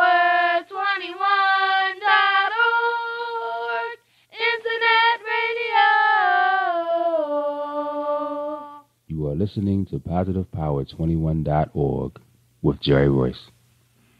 All right, thank you, family. We appreciate the intro. Love and war. Love and war. Mm, what's the deal with that? Love and war. What's the deal with that? Oh, Love Love and and War hate. is no, Love and it's hate. I mean, Love and War is totally an interracial book for me. is interracial romance novel, women fiction. Um, so much diversity in this book as far as the other books that I've written. Um, this one just goes with a woman whose heart's been broken, you know, found out her husband's cheating on her just to see her and you know, the only thing about it she does not ask for a divorce. She doesn't believe in divorce. But he does. And the same mm-hmm. day that he's asking her for a divorce is the same day she comes with him about her illness. But she has to make a choice. Should she tell him about her illness or should she keep it to herself? So, you know, you have to play it, you know, how it goes. Yes, that's Ava and Ryan, the couple. Yeah. Just having Ava the problems. Ryan. Yeah. All right. And Ryan, he has a, You know- another woman. Yeah, another Yeah, when you always think the grass is green on the other side, and you finally come to your senses and you find out it's not, but you got to figure out is it too late though? You know, you get all this dirt, and you know you got your idea, you're so perfect. You know, you picked your perfect family, and then you come here, and then you come with this side chick, and you know, it's not what it is, and your wife is sick, but you don't know that she's sick. So there's a lot of, you know, with their characters and her Ava's friends, there's a lot of um to me it's a lot of it's showing you that you can laugh, you can cry, you can have heartache and pain. All this is in one book. You may laugh, you're gonna cry, you know. I've heard it all. Wow, really? Oh man, so I need to go out there and check that out. So All right. yeah, I mean you're gonna get it all. If you um think about um the Best Man Holiday too, it was Mhm. something something totally that I've heard is something totally different from that from other people's reviews and stuff. So you're gonna get all that. You're gonna laugh and cry, but it's you know I want to do an interracial book because it's a variety of things out there, but I don't want to just think just one couple goes through things. Everybody goes through everything. I mean, love has no color. So I mean, you can't help who you fall in love with. So you know, So you have it's a- experience. So you have a little bit of. You had some experience to write this book, or just research? No, I didn't. I had an idea, and you know, it just came with that, the characters, and you know, and when I write, I just write. So whatever comes to mind, I try to do an outline, but sometimes I don't go with the outline. When I write, I just write, and everything just comes together. You know, Yeah. you know, like oh, why did I let her do that? Why did I let her do that? I can't believe she did that. You know, you just write, and as author, you just write. Yeah, I was going to ask you. Um, you know, what's your style? You know, how you know what happens? Do you develop your characters first, or you just let them just? Well, yeah, I do. I do develop my I do develop my characters, and I Mm-hmm. do try to do an outline. And I sometimes I stick with and sometimes I go off course and just like I say, just write. And that's Mm. just, I mean, this comes with the territory because you put everything else in there. And you're like, oh gosh, I can't believe I let that character do that. But you know, like I say, this book was totally it. It was easy to write because everything just came together. It was so easy to write. I just finished my third book, so it was just like, oh gosh, it took me. I feel like it took me the longest. I don't know if it's because I was pregnant, but my sister was reading and everything. She's like, oh my god, I think this is my best book. So you just never know. Whatever Yeah. takes you the longest versus what's easy. so you just write because normally I can write a book so quickly, but with me being pregnant the last couple of months, it took me the longest to write that. I guess I was tired too, but Yeah. but I did get it done.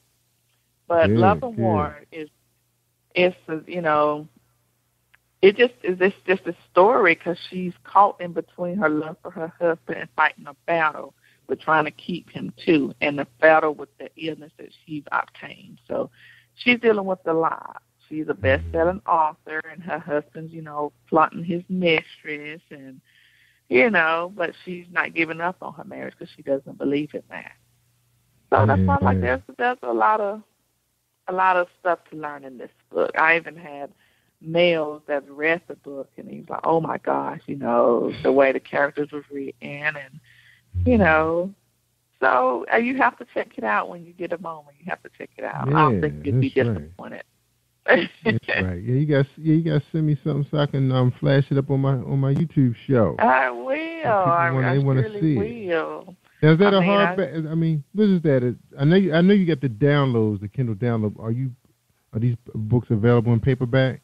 Yes, they are. And I do a lot of um, book tours and do a lot of book events. And I do, you know, sell them there and stuff too, so they are in paperback as well. And I like to do that because a lot, a lot have a lot of people that read and like, and they prefer Mhm. the book than an ebook. That's right. Have a lot of they're people old that still prefer the book. Yes, and for me, I prefer a book as well. It just seems like it takes me forever to read it on my Kindle. I I don't know get why. through them quicker. I get through them quicker. I, I just I be reading several.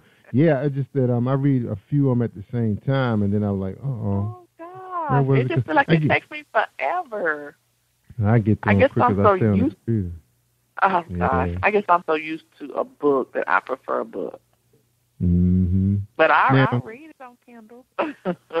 Yeah, I love it on the, on my tablet, my phone. I can w- read while I'm walking. Now, Bianca, now how long you been writing? You know, been a I fictional author? read in a oh, couple of years. I think I started writing in 2008, and for Mm-hmm. some reason I first wrote my first book, someone to call my own. I think I picked it back up. I wrote it in 2008, put it down. Mm-hmm. You know how you get that, oh, who's going to read this book? And, you know, not having faith in myself enough to finish it. So 2012, I think I finished the book in 2013. I'm like, no, not me and my husband talk. Okay, you know, you never know who's going to read it, or until you put it out there. You gotta have faith in That's right. yourself. So that's what I did, and then after that, you know, I just had so many good response from people. So it just keeps me, you know, motivated and keep pushing because I'm like, okay, I got my craft. I know what I like to do. You know, Mm-hmm. building characters. It was just up to me to get it out there. That's So I thought I read a lot too. So after being an avid reader, I came up with characters like I can write my own book, and that's how I started writing. Yeah, that's So how I get started. That's right. Hobby. Yeah, it was like a just- hobby, and then you made it your own. Yeah, Yeah. so like 2013, it just became my profession. Like, okay, I've written two books and a couple of months after that. So just writing, it just became my profession. So, you know, I'm still working, still trying to get myself out there. You know, you just That's never right. know. So, you So know, your, um, hopefully- I'm sorry, go ahead. I was gonna say, so how's your your fan base? You know, how your fans love Actually, it? so far so so far so good. Um, I'm actually still building that. I do have a lot of people actually promoting and um, advertising for me as well. So so far so good. I'm still building it as well though. Yeah, because I'm, I'm looking at your reviews. Um, now your old old school fans, they're gonna they're gonna be there for you no matter what. It's like just like Prince. You know, Prince fans. Prince can rap. He can spin on his head. We still gonna be happy. But, Exactly. You know, but, his bandwagon fans will be like, "What the heck was that?" now, and what are your now your old school fans? They're gonna protect you. They're gonna look out for you. What are the new people saying about Bianca Harrison, the author? Well, I'm actually get re- good reviews, but you would think it. You know, everybody don't write a review, so that's Mm-hmm. the only thing. Because you would want them to. Um, but I've gotten good reviews and vibes from it. You know, Yeah, I I haven't. you. I just wish everybody would write a review though. You gotta ask them. Now, now I you do that. you should I, post you should post them on your Facebook and then encourage other people to do it. Look, like you got this good one right here. Say it say grabs you by the throat. This is an emotional charged story about a marriage. That, that's a good start. If I saw some, if I saw that on on a post, I was like, oh my god, I gotta get that book. And they said you can be yeah, and I do that occasionally on my um. I do have a um Facebook page, you know, for my authors page. Mm-hmm. That's my author page, so I do put that on there occasionally. Just you know, just put stuff out there, Twitter, and Mm-hmm. everything like that. So I do try to get it out there as well. Yeah, but you ain't But I've got had bait so 'em, many right? people- Exactly. but I've had so many people read the book. That's the thing. Like, okay, you know, you're a woman writer. You, you know, I even put it out there. You know, but I guess you just can't make them, they just don't know how. So yeah, it's a way you could do it. I mean, some people be having like hundreds of them. I'm like, how the heck? But they said they they really engage their people. You know, I, I mean, some Yeah. people just got a lot of time. They can just, I don't. know, I guess they just fast. I don't know. Eh, But let me ask you this. Um, now, I know Facebook is you know like the the biggest phenomenon when it you know for authors. I mean, a lot of people becoming really successful really really fast. I mean, I'm hearing Mhm. four or five thousand downloads a week from you know from some of those that are I consider to be social media gurus. They use Twitter to to, feel, to, to reel them in, and they and they hook them so they get to their page. What are some of your secrets, trade secrets you like to share with someone who's like you know kind of like struggling right now, you know, with posting and not really understanding the good and the bad of it? You Well, have any advice? Well, I just says first um, learn the craft, and then you know you try to build your your fan base and audience out there, and then try to connect with other authors. I've connected with a lot of people on Goodreads. Um, mm-hmm. Had a lot of experience with other authors that give you um, good advice. Um, not all of them are nice, but you're gonna, you know, you're gonna get that because I mean, some right. people don't want you to do better than them. But the thing is, there's not a lot of success out here for everybody. It's not like mm-hmm. you're trying to take their fan base, but you're all working together to get their book out there, to get your book out there. You help me promote, I help you promote. I mean, just just promoting and advertising and getting yourself out there and just connecting with other authors. I mean, mm-hmm. you just never know. But learn the craft as well too. Advertising That's and right. promoting is the main thing. Advertising. That's right. And speaking of advertising, you got to come on Jerry Royce Live Worldwide now, yes. was it hard getting you? Was it hard getting you on this show? Did Brandon have to pull your no, teeth? No, I'm not even sure who emailed me he That's just said the third week, and I was like, I'm like, he just said third week or whatever. I'm like, okay, you yeah. know, I just make sure I put in my phone or whatever. I try to do that. Um, that way, I stay on tack too, or what I got coming up, or because I'm easy to forget with life and everything else. But I make sure that I program everything in my smartphone. yeah, you really use that smartphone, man. You use that. Oh my God! I mean, it's it's like not always secretary. smart, but yeah, it's it's good to me as far as yeah. you know what I have to do. So it really is. But no, it was not hard at all. No, it's not hard at all. Anything I can do to help your business and you can help me as well, that's good. Mm-hmm. Yeah, because I remember I had to make a couple phone calls. People said, "Can he they want you to call them. I'm like, what? Oh no, oh no, no, no, I'm okay. And it wasn't you know, you. You're helping me, I'm helping you, so no. Yeah, so I couldn't figure it out. I said, what? I said, we asking them to come on our show, you know. I mean, but you know, our hand helping them, you know. yeah, yeah, you you helping us, we helping you. Exactly. Yeah. So, so no, no, no. You didn't have to. Yeah, we didn't have hand. to. We didn't have to talk to your manager, husband. Oh no, no, no, no, no. I'm good. If I know it's something that could benefit me, benefit you, you know, right. I'm good. Mr. Harrison. Mr. Harrison You want know. to speak to you first. oh no, I'm not going through all that, you know. So. but yeah, we kind of me and my husband actually works as a team. He's actually a graphic artist as well too, so he's mm-hmm. actually to you know do a lot of stuff behind the scene on my book and website and all that stuff. So you know we have to work together when you're trying to build something. So. That's right. So he did your book covers for you? Mhm. Book covers and um, you know, website, have to update that, you know, but Yeah, I like that. That's a nice just- level. just yeah, have to and Yeah, nice. yeah, Very he does other stuff too, like music on the side too. So I have to get you to talk to him too. They actually have artists, music artists and stuff too, and they're having a big um, show um in April. So I think Corrupt and some other rappers are coming in. So he does all that on the side. So I try to stay out of it and just go when I need to Yeah. be supported and stuff. But yeah, they got artists and uh, you know entertainment stuff too. So that's his side of the gig with the beats and stuff, and mine with the author. So he's a promoter? So he's Yeah, a so promoter he or does all manager? that. He's actually So he the manager manages? So he produces Oh. all the other the music. So Yeah, I have yeah. to um so you hit the Yeah, you information out. Yeah, so you know, we kind of work together and doing everything too. So That's right. Tell him we love that because I mean I love to talk to him about that because we definitely trying to do um you know weekend um, radio casting on the weekends with um okay, you know performers ind- independents mostly you know that's what we like. Yeah. okay. Yeah, well, I've um, look us up. actually sent Brenda an email. You know, I sent him an email Yeah. that way, you know, connect and stuff, and That's you know, can go from on there. That's right. As I love that. Exactly. Mhm. Appreciate that. Appreciate Oh, that. no problem. You know, we trying to right. do it all. You know, you just hey, you have to get yourself out there too, because nobody else is gonna do it if you don't. That's right. So, You got to. All right. We're gonna take a quick break, Bianca. When we come back, we're gonna we're gonna get your your uh, final thoughts and um you know talk you know give people some advice on um you know hanging in there with the game because the game can get rough like you mentioned you know it's you a know, it it can get rough. All right. So hold tight. We're gonna listen to Bill Powers. Powers publication. All right. All righty. Think you know how drugs get in those little brown bottles? Think again. Set in the green hills of western New Jersey, inside the gilded halls of power of a U.S. pharmaceutical company where decisions are worth billions of dollars and human lives worth less. Nicholas Harding, a young executive at Marshall Pharmaceutical, finds his career, family, and life in jeopardy. The Farmhouse, a suspense thriller novel by Bill Powers, published by Donna Inc. Publications, available at Amazon.com or DonnaInc.org. Go to Bill's webpage at www.author.billpowers.com.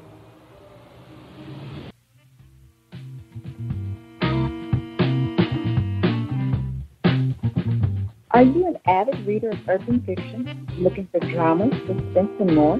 Reach World Publishing is dedicated to bringing the world's best literature to our readers. Urban fiction, erotica, sci-fi, mainstream fiction, and children's literature are just some of the genres produced by our diversified family of authors. You can reach us on Facebook, Twitter, Instagram, and at our website, www.reachworldpublishing.com.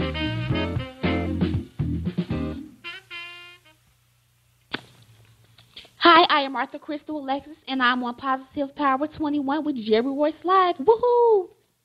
All right. Thank you, Crystal.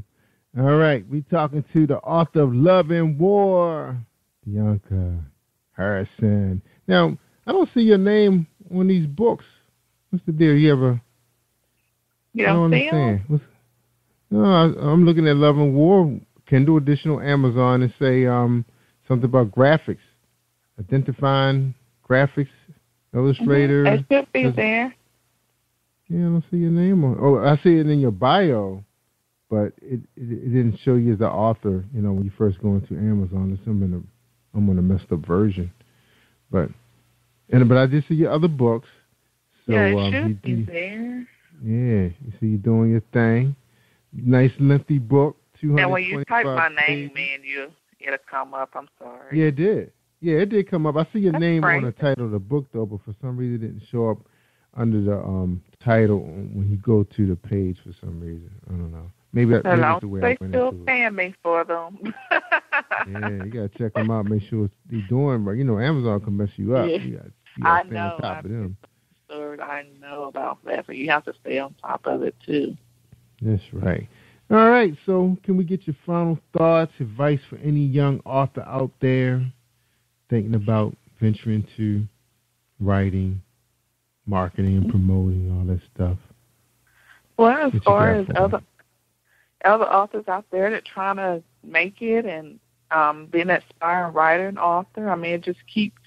I mean, your it's got to be your passion. So keep writing. I don't say don't give up. You have to believe and have faith. That's the only reason. I mean, only way you're going to make it. You have to believe in your craft.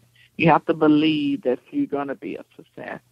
Um, as far as writing, just keep doing what you're doing, and hey, it's going to show up. People are going to buy your stuff. You have to promote, advertise, and get your work out there, but you have to do the work, and you can't give up. I mean, you just have to. You got to have faith. Nothing's going to be easy. That's just like you know something major happening overnight. It's not going to be easy. Sometimes you may stumble, but you got to stand up and keep walking. So. That's right. All right. Now, another question would be: now, when you say invest in yourself, you know, advertising, what, what type of venues would you recommend? You know, you know, so they don't be all over the place. What would you recommend? How how to advertise? Will be your I mean, there's first of all, always use social media. It's free advertisement, so use social media. Back in the days, we didn't have social media, so it was kind of hard to advertise. As far as advertising, um, you're going to meet other people. You're going to meet um, different sites to promote. There's Goodreads out there. There's sponsors. I mean, there's there's so much out there. And once you use those avenues, you'll find ways to um, dabble in other sites to promote. I mean, use your friends, your network. I mean, have friends to promote and from uh, advertise for you. Change your profile pictures to your book. You know, you just have to find ways out there. there. And it's free promotion out there as well too. You don't always it don't have to always be expensive. I'm looking at me. I'm talking to you, so you know it's free promotion. So You'll be I free today. You'll be high tomorrow. exactly, you just exactly you just never know what you're going to get. That's right. When But they just say you you want to, Find let me ask you this though. But Bianca, like when you know, people, a lot of people say they getting, you know, they getting kind of worn down. They have family they want to see and take care of, and they want to start working smarter if if they had to work smarter in promotion, because because I mean social media is tough work. You know, I know people say they It, post two hundred something a, a day. It is, unless you It's can like, pay somebody to do it for you. It's Right, not a lot of them do. easy. And then sometimes you may see a significant number of sales, and sometimes you may not. So you have to just find other streamers for it, just using Facebook and postings and stuff. I mean, there's other people. There's people that can blog for you that would be Mm-hmm. happy to blog your books and do reviews for you. So I found a lot of people that does that as well, blogging, reviews, and that's when you start seeing sales when people start um, blogging your stuff, and people is like, oh, okay, I like that. So I mean, you it can get oh draining. Sometimes I don't even post every day because it can get draining, and you can pay somebody to do the same thing to post for you. But why would you want to pay somebody to post for you when you can just post to your group yourself? So I mean, there's it, it can get draining, but right. you got to find out man what works for you. I know. Right. Hit the tweet man up, and then you know a lot of people got video blogs out there now too that they have huge followings on their YouTube channels. And that's I was, true, um, and that's what I'm trying to yeah. build up now. I haven't had time to um do a um chat, not a check, but a um blog and stuff. That's my next avenue. I just haven't had time with the way my life is going, but I plan to do the same thing as well. So That's right. I was cause I was just reading on this guy who's supposed to be a um, marketing guru, um, and he had this woman come on and she said, "Yeah, I built up a huge following video blog." That's because she said she doesn't like to write, so she, all she does is video blog, and people um, uh, follow along in her little, you know, leave their comments. Yep, and she works for and people. She worked for other people. She just mentioned them on her show, and charged them a whole lot of money. Yep, and charged them a whole lot of money. Ooh. Yeah, oh wow. I'm sure you can make money doing. but that was my next thing was to do a video, you know, start doing videos, and I Mm-hmm. hopefully I can do that this weekend. I've been planning on doing it, but I just haven't had time with the cold weather and stuff. It's just been time has been off, so That's right. Yeah, you got to get to it, and that's one of the the big things that we saw that that really helped out our traffic, especially to our website, was when we started putting our our audio players with the show on our website. That's when we really started seeing traffic. Then we started putting out YouTube because the kids like making music videos featuring me, and the people like that stuff. They start showing it to their friends. Next thing you know, they follow you. You know, you start seeing I see, twenty, that's thirty, forty good. people following you at night. You know, you start saying, "Hey, I must be doing something right." This is not going to Exactly. always be like that, you know, but you got to keep the momentum going. You know. exactly keep putting stuff out there too. So Yep. Gotta just like everything going. else, you got to keep Mhm. yourself relevant. Yeah, there's a lot of people doing the same thing we doing, so you got to keep It being innovative. And innovation is the key. exactly. So You know. you're absolutely right about that. So That's right. But I, I don't. Everybody who, I mean, somebody who's doing something, who's trying to come up in the game. I mean, just hey, just stick to your craft. I just say don't give up. I mean, I had to learn everything on my own when I just first got out here in the business. Like, oh gosh, and where do I start? You know, then I have a mm-hmm. whole bunch of people asking me, oh, you know, questions about how do they get started, how do they do this and stuff, and like I should do a class on how to get started. You know, you just That's right. I mean, Do don't get video research. blog. That's exactly. right. So Do a Google it. Google Hangout. See, look, you do a Google Hangout, and that's how you. People like to engage people. You know, they want to talk to you through their computers. Yeah, that's, awesome, true. man. So, but yeah, That's I mean, I started on my own. Didn't have any help, nobody to ask questions to. I was a newbie, so I just kind of learned everything as I went. And I, like I said, I'm still learning. So, Yeah, Still learning. are. so it's. I mean, right. it's, I like what I do. I like creating characters, putting stuff out there people are gonna enjoy. You know, so and meeting Mm-hmm. other authors and people like you guys. So I appreciate it. I appreciate everything. Yeah, yeah, we Somebody asked appreciate me you if I can be on on their show. Anybody can ask me, I can help. You know, Mhm. I'm there. So That's right. And you and you and you, and you mentioned earlier earlier that you do book signings and everything, so you love I doing do. this kind of thing. So I do have a couple of um, things coming up this year. Actually, it's going to start next month. So that's why I'm, I'm healing pretty good. I'm doing everything. So Well, tell us, tell us where you're gonna be. You still got a couple minutes left. Remember, you the last Yeah, show. This is the last show for the week. Where you gonna be at, Bianca? Where you gonna be? just let me see what I have here at. Yeah, check your smartphone. I know I have a couple things. I'm going to be at a couple of um, signings um, later this year, Decatur um, book show, and I'm trying to There's one in Atlanta as well in November. I'm going to be at, but next month, I'm on March the 28th. I'm going to be at Griffin High School actually for a book signing. That's going to be from four to six. At April the 11th, I'm going to be at Nubian Bookstore, and that's in um, South Lake Mall. That's in Lovejoy. Oh, that's still around. four. And then April 25th, I'm going to be at Urban Grind Coffee House, and that's from 2 to 4. I'm going to be doing a book signing. So I do have a couple of more available this year that will be on my website so everybody can see, and it's going to be on my Facebook page. Well, you got a lot. And that's, yeah, so I'm going to have a lot of things this year, you know, that I'm working on. So, You gonna take the baby mine- with you? Who's oh, gonna be oh, watching no. the baby? no, I have people watching the baby. No, Oh, I have my little helper with me, Yeah. which is Oh, actually my daughter. And I, yes, I do have a um assistant actually, which is just like you know a family member that helps me at all times with book signing Mm-hmm. and stuff. So I'm grateful for the help that I have when I'm doing stuff like that, and I actually enjoy it because that's when I do meet a lot of readers too, and that's when Yeah. you know they put my book out there, they like the book, and you know tell other people about it. So That's right. That's how you keep it moving. That's right. Momentum. So, Momentum. yeah, get your name out there and everything. That's right.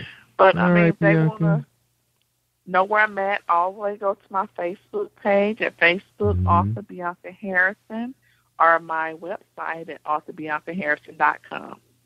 That's right. And you said you're on Book Baby and Amazon. Yeah, and Twitter, um, Miss Janielle. That's M R S J A N I E L L E. Instagram is Miss Janielle as well. All right. Very good. We appreciate having you on the show and sharing all your, appreciate you know, your secrets of how you moving these books and everything and encouraging others following your path. Yeah. I appreciate it as well too. I mean, when they follow me, they can always check out my first release, "Someone to Call My Own," and other Mm-hmm. releases that'll be available for this year as well. So, thank you for having me, Jerry. I appreciate it a lot. You're welcome. So I know you're going to share our show and tell people I about us, surely right?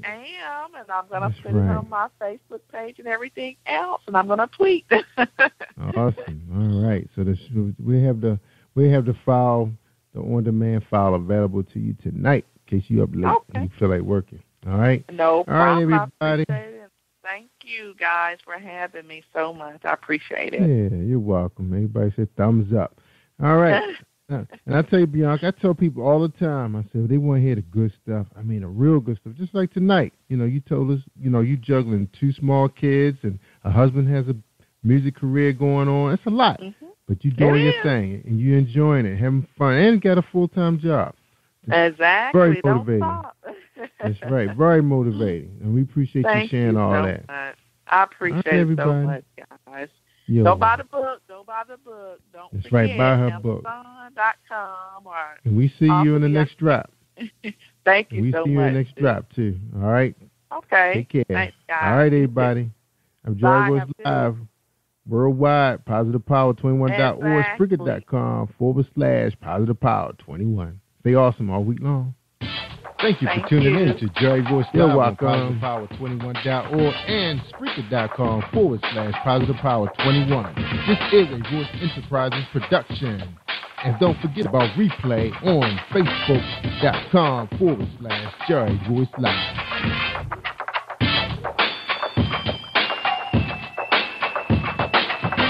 All right, everybody, don't forget to share. Good night. Hi, I am recording artist Marilyn Dunn from St. Louis, Missouri. If you are looking for some soul stirring, anointed, spiritual, and heartfelt music, visit my website at www.marilynDunn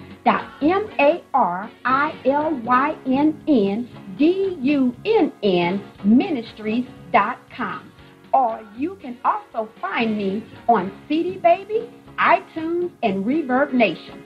For booking information, contact Mr. Kevin Dunn at 636-856-0551. That's 636-856-0551. Hi, this is Angel Sessions. On February 23rd, 8 o'clock Eastern Standard Time, 5 o'clock Pacific Standard Time, I will be live on Jerry Royce Live Radio. I will be discussing my new album and my new single coming in February. Stay tuned and I'll see you there. Hey, what's going on, family? This is Eric A. Terry Sr., author of Real Talk, The Making of a Man, and I'm on Jerry Royce Live worldwide. You are listening to PositivePower21.org with Jerry Royce.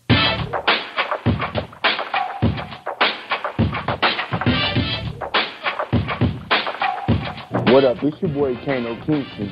Hi, this is Angel Sessions. Hey, this is Pat. Hi, I'm Teresa Powell. Hi, Jerry. This is Ira Sandra Carter. Hi, this is Bill Powers. Hello, this is Teresa Bobby with Jerry Royce Live. Hi, I'm Philip Barron. I'm live on the Jerry Royce Show. Hi, what it do? It's your boy Houston Saint. Peace, this is Dahlia the poet, spoken word artist. Hello, this is Lamar Marquise with Jerry Royce Live. All right, all right, everyone. You got Robin Lynn, and I'm keeping it live right now on Jerry Royce Live. Hey, what's going on, everybody? What's up? This is a award-winning podcast with the greatest podcast on earth. Thank you for stopping by. I'm your host, Jerry Royce Live Worldwide on Internet Radio, where you get your positive on. So when it's all positive, it's all power. That's positive power. This is a worldwide podcast for growth, wealth, and success. Thank you.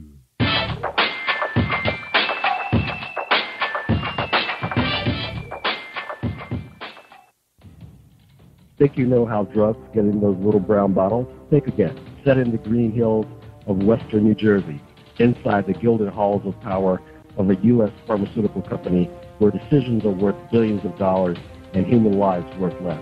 Nicholas Harding, a young executive at Marshall Pharmaceutical, finds his career, family, and life in jeopardy. The Farmhouse, a suspense thriller novel by Bill Powers, published by Donna Inc. Publications, available at Amazon.com or DonnaInc.org. Go to Bill's webpage at www.author.billpowers.com. Are you looking for the next great read? A book filled with love, passion, betrayal, and intrigue. The award winning novel, Season of Change, by Tamika Patrice Kane, is sure to satisfy your literary sweet tooth. Check out this must read book reviewers are calling uplifting and emotional, and exceptionally great read, deeply intense and thought provoking. Order your copy today, available in paperback and ebook on Amazon.com or at www.tamikapatrice.com. Are you an author looking for promotional services or a reader looking for a great read at low prices? In this competitive world of books, Writing Royalty Promotions is dedicated to bringing authors and readers together to build a greater respect for literature through our various promotional services and online bookstore. So head over to writingroyaltypromotions.com and check us out.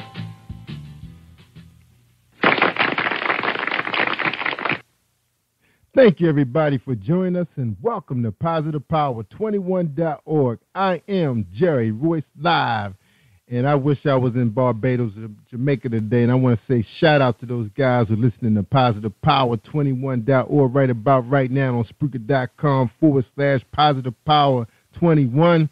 Man, we, we got an Arctic freeze going on up around here. Man, I don't know what we're going to do. School's closed two hours late tomorrow, so you know it's cold when they close school two hours late. But that's all good. But we just glad we got heat. All right, everybody, stay tuned for an episode of Book Buzz. And our book sponsor for tonight's show is my man, James Deshay, the poet, the romance poet. Check him out. Are you looking for a great book of poetry that is romantic, heartfelt, and full of male emotion? Then get Thoughts, Love, and Reflections by James K. Deshay. That's D E S H A Y. Go to www.jamesdeshay.com. You will enjoy Thoughts, Love, and Reflections. Yeah, yeah. Appreciate that, James Deshay. Anytime you guys want to sponsor, get some exposure, Remember, we are streaming live in Barbados, Jamaica, Canada, Spain, Germany, UK, you name it. 12 countries going strong every day. We broadcasting 15 hours on the stream, on demand 24 7. So you want to get exposure for your product, your book, or your MP3, come to us. That's right. We do it right here. All right, y'all. I want y'all to hold tight for this this presentation. Today being featured on our show is Eric A. Terry, Senior, author of real, a book called Real Talk, Making of a Man. Stay tuned for his presentation. In a moment. This is a presentation for Eric A. Terry Sr. and Jerry Royce Live Worldwide. A native of Chattanooga, Tennessee, Eric A. Terry Sr. is an author, certified marriage coach, and relationship specialist while he is also known throughout the Southeast as a dynamic singer and a worship leader, Eric is also an, an ordained minister of over 20 years. He was licensed in Nashville, Tennessee under Dr. H. Bruce Maxwell at the Lake Providence Baptist Church in 1995. Eric and his beautiful bride, Lady Deborah, are the owners of Real Talk Consulting, a multi service firm that focuses on building and maintaining healthy relationships Real Talk was developed in early 2012 when Eric began posting relationship advice on his personal Facebook page. After attracting a strong following over 5,000 people, Eric began to receive requests for speaking engagements, seminars, and marriage retreats, as well as singles empowerment sessions to share his views on relationships. In this time, they have impacted the lives of hundreds of couples and individuals seeking God's original design for their relationship. Eric and Deborah truly have a heart for marriage, and it's through the transparency of their own lives that they provide individuals, couples, and teens with the tools necessary to build and maintain a healthy relationship. Ladies and gentlemen, I hope you enjoyed this presentation. I present to you Eric A. Terry Sr. on Jerry Royce Live worldwide on PositivePower21.org, the radio network. Thank you. All right. Mr. Terry, welcome to Positive Power. How you doing, sir? I'm doing well, sir. Thanks so much for having me. We appreciate it. Hey, man, my pleasure, man. Glad to have you. And the first question is, who is Eric A. Terry Sr., the author? Oh man, you know, uh, I'm I'm a born and raised in Chattanooga, Tennessee. As the bio said, uh, my father, uh, Jerry Terry, is a pastor here, and uh, I have been uh, in ministry and in involved in church most of my life.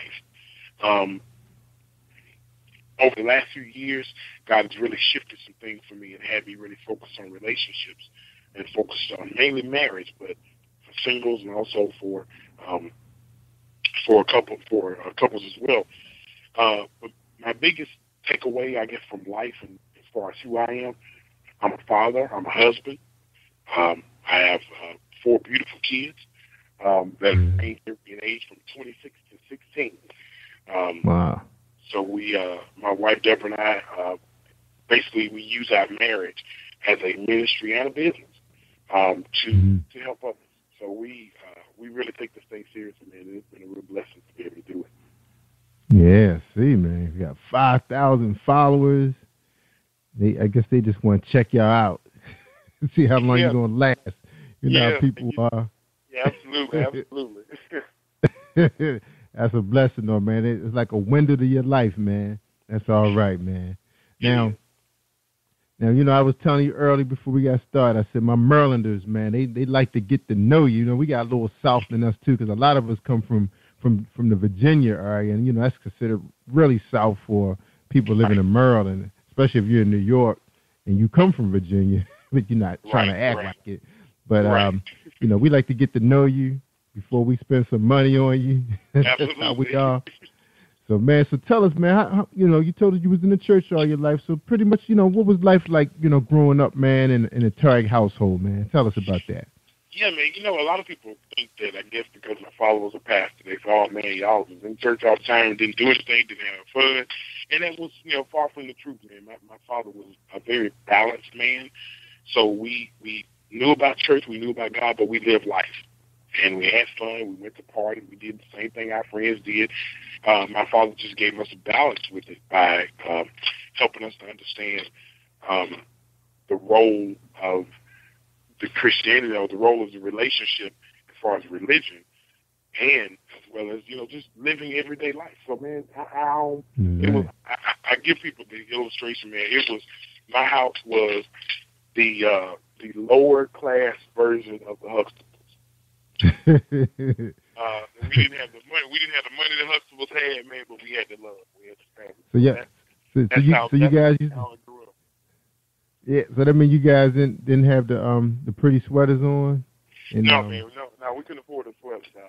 Uh, now, now I know I know y'all gave mom and pops a, a good show now and then though during the holidays though because I knew you had, you had a couple brothers and sisters.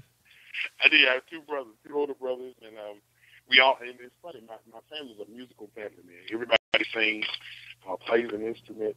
Everybody except my oldest brother. My oldest brother, kid, I love him dearly, but that brother had no if he glued it to his back. Um, so yeah, man. So we we did. We had a lot of fun growing up. We had a great, great childhood. My parents always talk about how they wish they had done could have done more for us, and Yeah. I always look at them and we're like, man, we had a ball. You know, our childhood Mhm. was, was amazing. So, you know, uh, and all of that, man, it, it was it was one of those things where I was growing up as the as the younger kid. I was the youngest of three boys, and and my brothers to, to just kind of give you some dynamic. My brothers were both um, very ac- athletic. Uh, these dudes, I mean, my oldest brother played um, ran cross country. I mean, he ran track. My middle brother played baseball, basketball, football, you name it, and they were good at all of them. And here I came along being a little fat kid, uh, uh, not not really into sports, you know, not really into other things that they were, man, being totally different. But um, Mm-hmm. but we, we we found our way. We and that's one of part of the things that I talk about in the book is how I how I got out from under their shadows.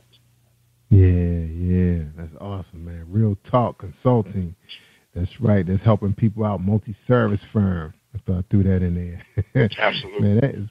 Yeah, and, and it's and it's funny, man, because um, I, I love to hear you know people uh you know reminisce about their childhood because sometimes you don't you don't get a chance to talk about it because you don't really know what to strike up at work. Sometimes when you're sitting at the lunch table, you know you you sit there and try to talk about you know back in the day. You know somebody may not had a good back in the day, so it may not be good lunchtime talk. You know, so you got to Right, know who you're right. dealing with. You know, but it's Right. it's good to hear these stories. I, and I always like to ask people, you know, good or bad, you know, what it was like, and and that's the reason why some people write the books they're writing because it's based on, on you know the way they grew up, their background.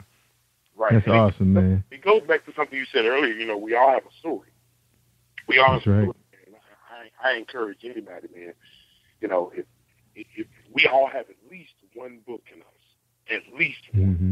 hmm And if it's nothing but your story, because nobody can tell your story like you, man.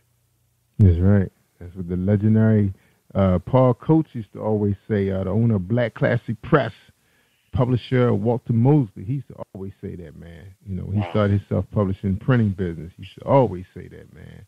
All right, now how did you meet Lady Deborah? That's what everybody want to know. yeah, man. Lady Deborah, that is that's that's my my baby, my heart. Uh, Deborah and I actually grew up in church together. We grew up in the same church. Um, it, it's kind of funny. Uh, one of the you know how when you're a little kid and you're in church, you have those little those little uh, puppy love relationships. Yeah. My my first church girlfriend was actually her sister. well, that's funny because my I remember my brother um was dating my my my son's mother. You know, yeah, when we were in elementary school. Yeah, I was like, man, how he get her? right, right, right. So you know, it was one of those things, man, where we grew up together. We we've known each other. Our families grew up together. Uh, so we've known each other most of our life, all of our life, really. And um, Mm-hmm. just after several years, she'd gone through uh, a really bad, uh, really long, uh, painful marriage, and had gone through a divorce. And I had gone through mine right before that, and we just, you know, our friendship just kind of went to another level, just kind of talking and Wow. kind of being there, supporting one another. And then when we got together, and we just decided on some things that we weren't going to deal with. You know what I'm saying? We just we said, hey, we don't want to. Here's what I put up with before. I don't want to deal with that again. Right, right. And, now, it, and it made all the difference. so your first marriage was was your wife involved with heavy heavily involved with the church? Not at all.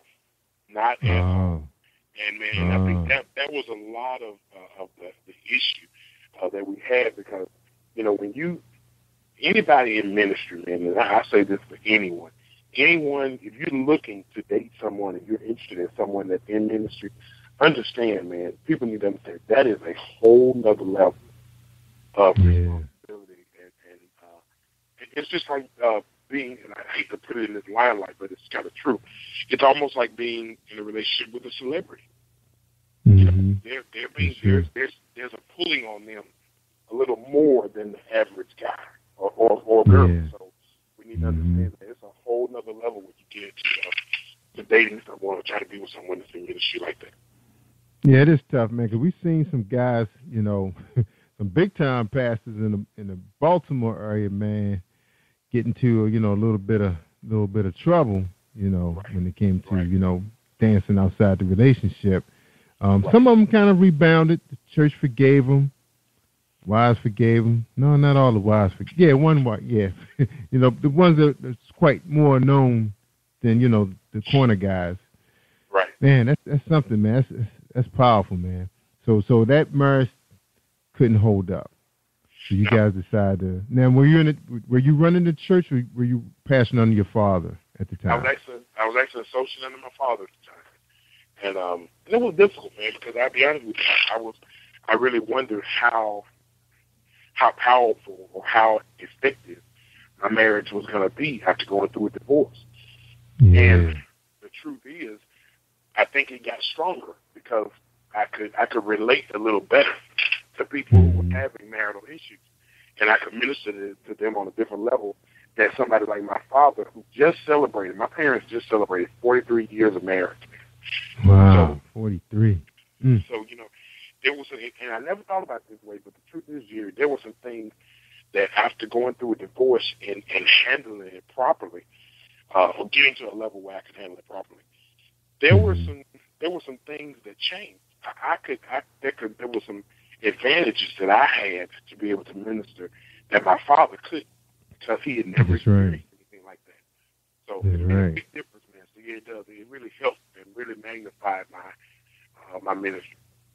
Yeah, that is powerful because your dad was only on one side of the fence, just like me. I'm only on one side of the fence. You know, I, I don't really know what it's like on the other side. You know, it, you know, the grass don't look green to me. You know, where Right, I'm standing. You know, wow, that is powerful, man. So, so that makes you way more qualified than the Yeah, average it- guy.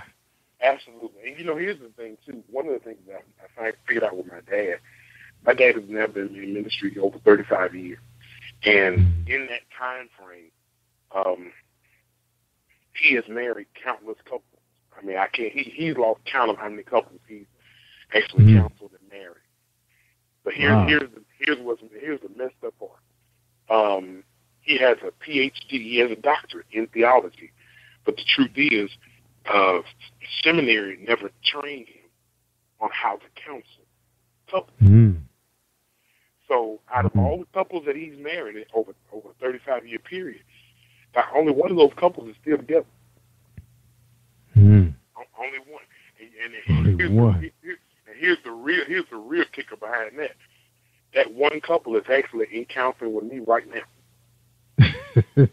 wow, I hate to laugh about that, but goodness Yeah, gracious. yeah, I mean, you know, yeah, it, it- it's weird, man. But yeah, 20 years later, they are. They're they're actually in session with me, and it's Yeah, so you gonna keep them together. You gonna keep that glue. They- And, and, you know, and, they, and they're doing great. They're doing great. But I think it was just some principles that I'm able to give them to to manage the arguments and the issues and all that stuff, where my father had never really experienced that, so he couldn't give them the tools to help. Yeah, yeah, you're right. You're right. You you really can't really fathom what they're going through because you you know you're not there. But I mean, I'm I'm not sure. But, you know, if your mom if your mom and pop ever had ups and downs during their relationship, because you know a lot of times when when you the first lady they like being the first lady, so they they take whatever they take all the punches you know that's being thrown at them, good or bad. So I don't know how good your mom loved that lifestyle, so that she didn't challenge anything that went on in the marriage. You know, because I know, you know, talking to some pastors, they, you're right, man. It's, it's like being a rock star, man. You know, Yeah. women are out of control. Women are chasing after them just like they chase after rock stars. You Right. know, and I didn't know that at first. I was like, wow, it's like that. Yeah, and the truth is, Yeah. man, see, the reason that happens is there there's an attraction. Women really want a man who is able to lead. and who is able Mhm. to give them that spiritual guidance. And when they can't get it at home, it makes that man, that pastor, a little more attractive. Yeah, yeah. So it's Man, how about this, Eric? This is a good. This is a good question. This is something you could think about. Like, all right, how about the times you remember the times you know you were in school, you know, probably high school most likely, and you had an attractive teacher. You kind of heard her a little clearer than you heard the other teachers for some reason. absolutely, absolutely. Yeah. So that could be it, man. It's like the you know that's the class you don't miss. You know, Right. And them same women lined up on that first and second row, but they have to sit in the second. They have to sit in the second or third pew. First lady in the first pew, right? Or she's sitting somewhere else in your church. Right, You know. right. I know. I know. With, with my mom, she usually sits like on that second pew to the right of my dad. Um, What he what he did was years ago. He stopped women from sitting on the front row. Yeah, I heard about them guys. They're making them wear. They make them wear little uh, blankets or something like that too. right, right, right. And you know, and, and unfortunately, you have to have that type of mindset because you just never know how people are thinking and know, how they're going to react to situations. So, it's it's really a lot of the things that pastors go through and the pastors are are approached with. Man, it's really all in how we handle. Yeah, we put so much pressure on those guys too, man. 'Cause I, I had I had a conversation similar to this with a gentleman on my job who was pastoring the church, and you know, I was telling him what my pastor was going through, you know, because he, you know, got caught, you know, pretty much with his pants down in the, ch- you know, at the church, you know, when a deacon walked in on him, and um, he said, but you know, and he knew him too. He said, but th- he said this guy is, is is is a man just like you and I. They make mistakes. I said, dude. I said, you got, I said, you got some people, man. They they hanging on to his every word. This is their last stop. And he said that one time. He he said, I know a lot of y'all come from those big churches, family churches, and this is probably your last stop. You know, not before you die, but before you call it quits and say, I'm staying home watching football on Sundays now. You know, or hanging out with the fellas. He he said he knew this. He, he said, I, you guys got me on a higher pedestal than probably any other man on earth. And he was right. Someone saying, "Yeah, dude, this is it right here. If you mess up, I study at home." that's, what, that's what some of them guys are saying to themselves. You know, I was thinking that. You know, I was like, "Yeah, you mess up, dude. I'm just gonna stay home and deal with the guys on TV then, because I, you know, I don't know what they doing, but I, I don't, I don't want to hear what's going on bad. I don't even want people to even tell me what they doing. I just want to go get the word, participate, do some community service, take it home. You know." It was getting it was starting to be like that. You know, you get my age, you start to see a lot. You start to hear a lot. And then you start saying, Man, you can't put a lot of trust in no man. You know, he's just a man. You know. Right. But you know, but here's the thing, man. We, you know, the Bible is very clear when it tells them to to not to put that kind of pressure and that kind of trust on a man. But it also tells the men that as pastors, man, we have to be careful that we don't allow that stuff to go to our head. Because a lot of times you have these, these you have these rock star pastors who their mindset has it, it, it they see themselves as rock stars too. Yeah, he do. So you know, Yeah. and if you're not careful with that, man, if you're not careful with that, you can you can we can uh, use that power, use that authority in the wrong way, and ultimately hurt somebody. Um, Yeah. and you know, and and, it, and it's- it's hard, it's difficult, but you're right. You you, you do we do put people on the pedestal because I never forget one of my friends hearing my dad um, cuss for the very first time, and he he Whoa. he freaked out. He was like, "Your father's a preacher," and I'm like, "Okay," but he still know those words, and he still has emotions. He still, you know, there was nothing. Now, now, if he walked around and every other word out of his mouth is a cuss word, Yeah. He like third preacher. yeah, you, yeah, you, you, you the hood preacher. you know, okay, I can, I can kind of see your issue, but, but you know, when you talk about somebody, I mean, man, my dad literally, when he, when he cussed, Jerry was one of these. When he cussed, you knew he was mad. Yeah, he was mad. Doggone Red Sea was about to part, man. People were like, oh, Lord, Jesus coming. right. Yeah, they got him up there, man. He up there, man. Yeah, man. Whoa. But again, he's still a man. He's still a man. That's right. He is a man. He make mistakes, man. That, that's why I, it used to freak me out, man. When I used to hear about pastors were, were on their second marriage, I was like, oh my God, what, what happened to the first one? You know, you the man. You know, she should have been the one, the queen. You can't divorce the queen. Right. But you know, I had to start understanding. You know, it was like, you know, he make just like some of some of those guys run churches in the in the hole because they mismanage money because you know because they steal. Right. And you know, right. there's a lot of mistakes. You know, that's being done in the church that we don't always yeah. see. Right. Yeah. And that, that's mm. why we have to make sure we're putting our trust in God, man. That's one thing I can really say that I can take away from my dad uh, raising us. He said, man, you know, uh, understand that, you know, Matthew six thirty three, seek ye first the kingdom of God. It's, it's about God. It's not about the man in that pulpit. And right. it's about a it's about a personal relationship more than it is about a personality. And unfortunately, we get caught up on the pastor's personality, and we forget about the relationship with God. Mm-hmm. That's true. That is true. Man, that's one thing about religion. They said never talk about religion on the job. Man, everybody got their opinion. oh man, yeah, that was quick. in politics. Yeah, yeah, this is that in politics, man. That's right, man. All right, all right. We talking to Eric A. Terry, Senior, author of Real Talk, Making of a Man, married to Lady Deborah. His dad is the man that we all look up to, and he's he must he's the last man standing. you know, you know, I got 23 years coming up this uh, spring, man. You know, okay. 23 years. Cause I did, but I did a lot of dating. So it was almost like being married. Because I was like, gotcha. I had like six years with like this one and that one. Oh wow, okay. Yeah. Well, I mean, it was only really like really one that was a pretty long stretch. That was like being married, so uh, that was like a long engagement. All right, bro. Hold tight. We're gonna take a quick commercial, a sixty second break. Everybody, you want to get a drink of water? We talking to Terry, Pastor Terry. He's the man. We gonna when we come back, we're gonna talk about his book. Real Talk, Make Him a Man. Stay tuned for Book Buzz, a Book Buzz presentation from Reese Publishing.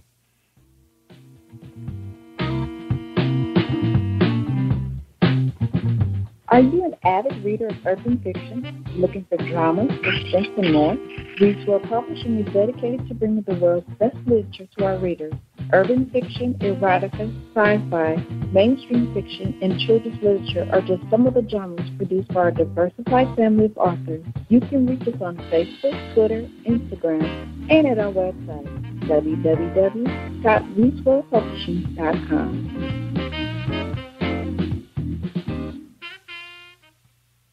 Have you been hurt? Been hurt? Been backstabbed? Got a talking back team. Back. Well, you're not alone. No, no. Escaping to another reality. Through Dominic Wilkins' good books. Good books, audio books, paperback, ebook, good books.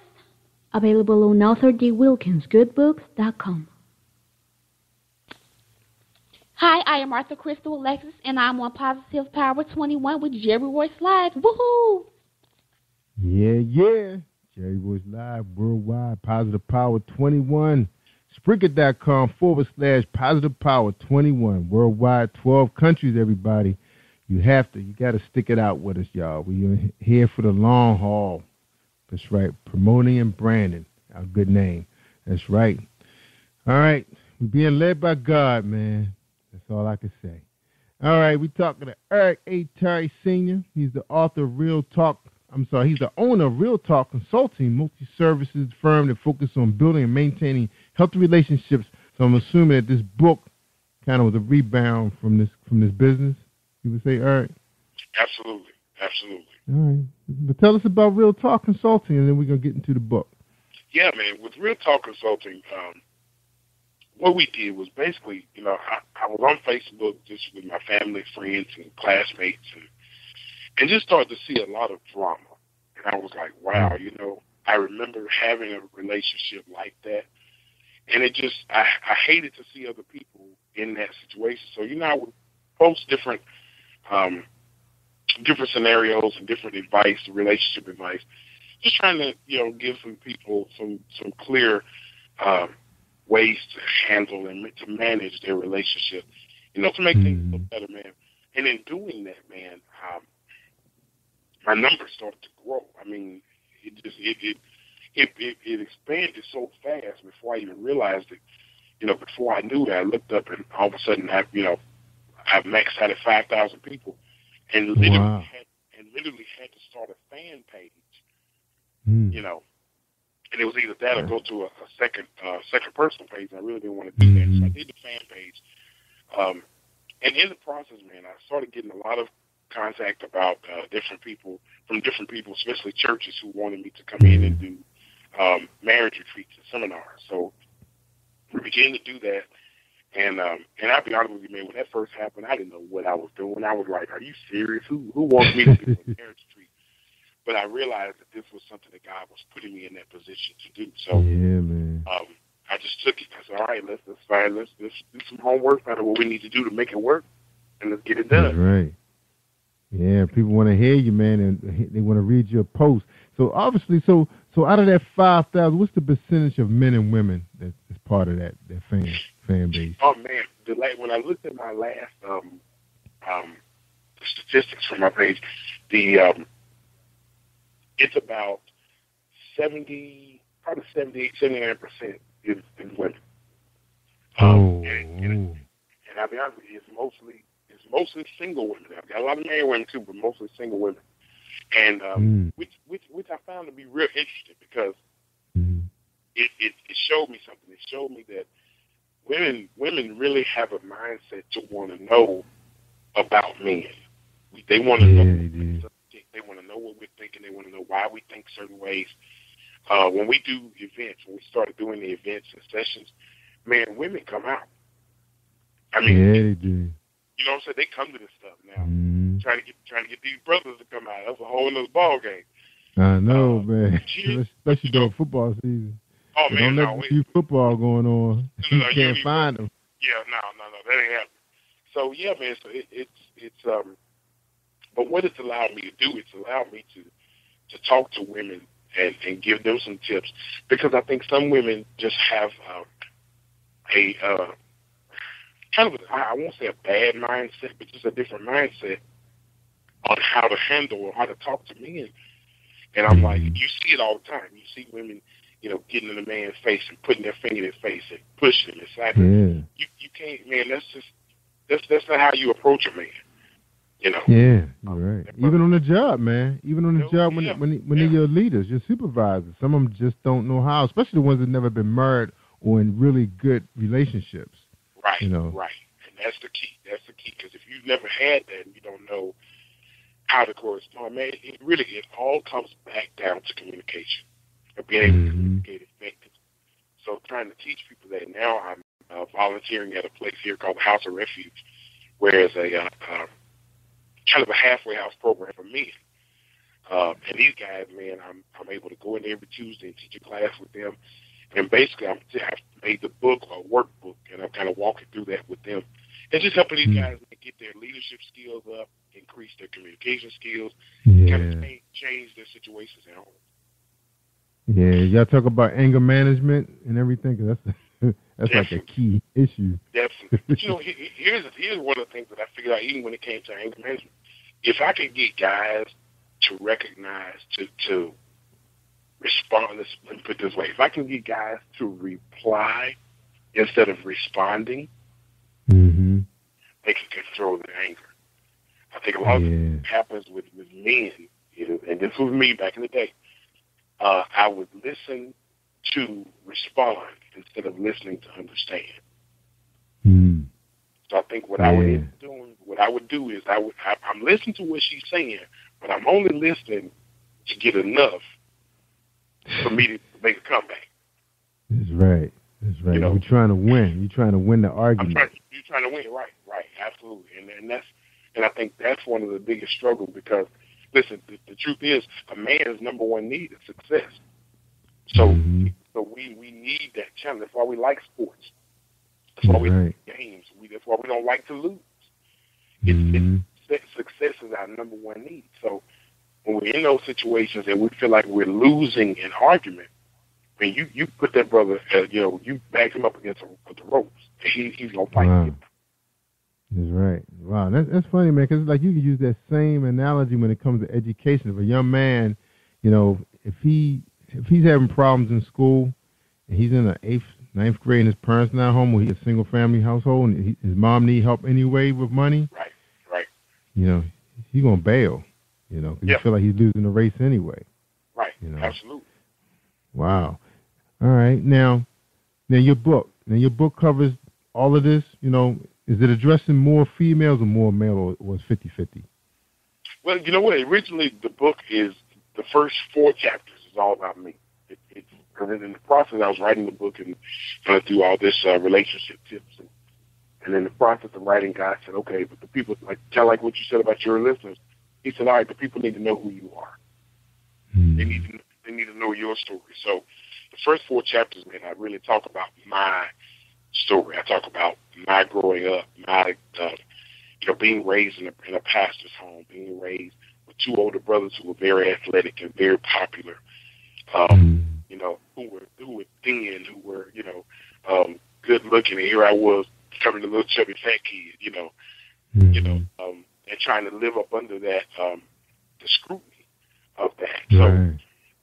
So, um, so a lot of those things, man.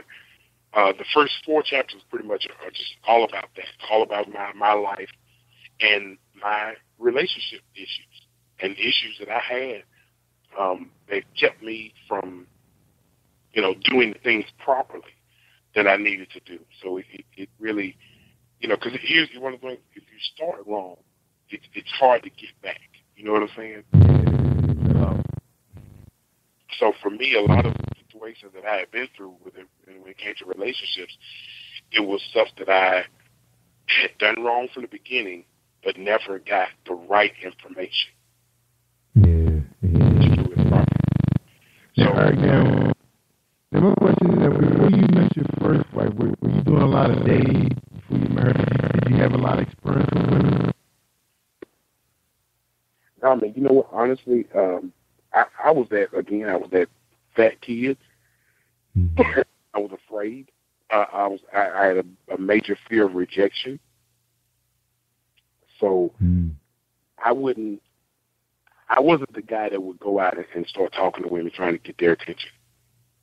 Um, So for me, I didn't date a whole lot. Now, when I did start dating, it was all because either somebody set me up with somebody, or uh, I just told a friend of mine this the other day.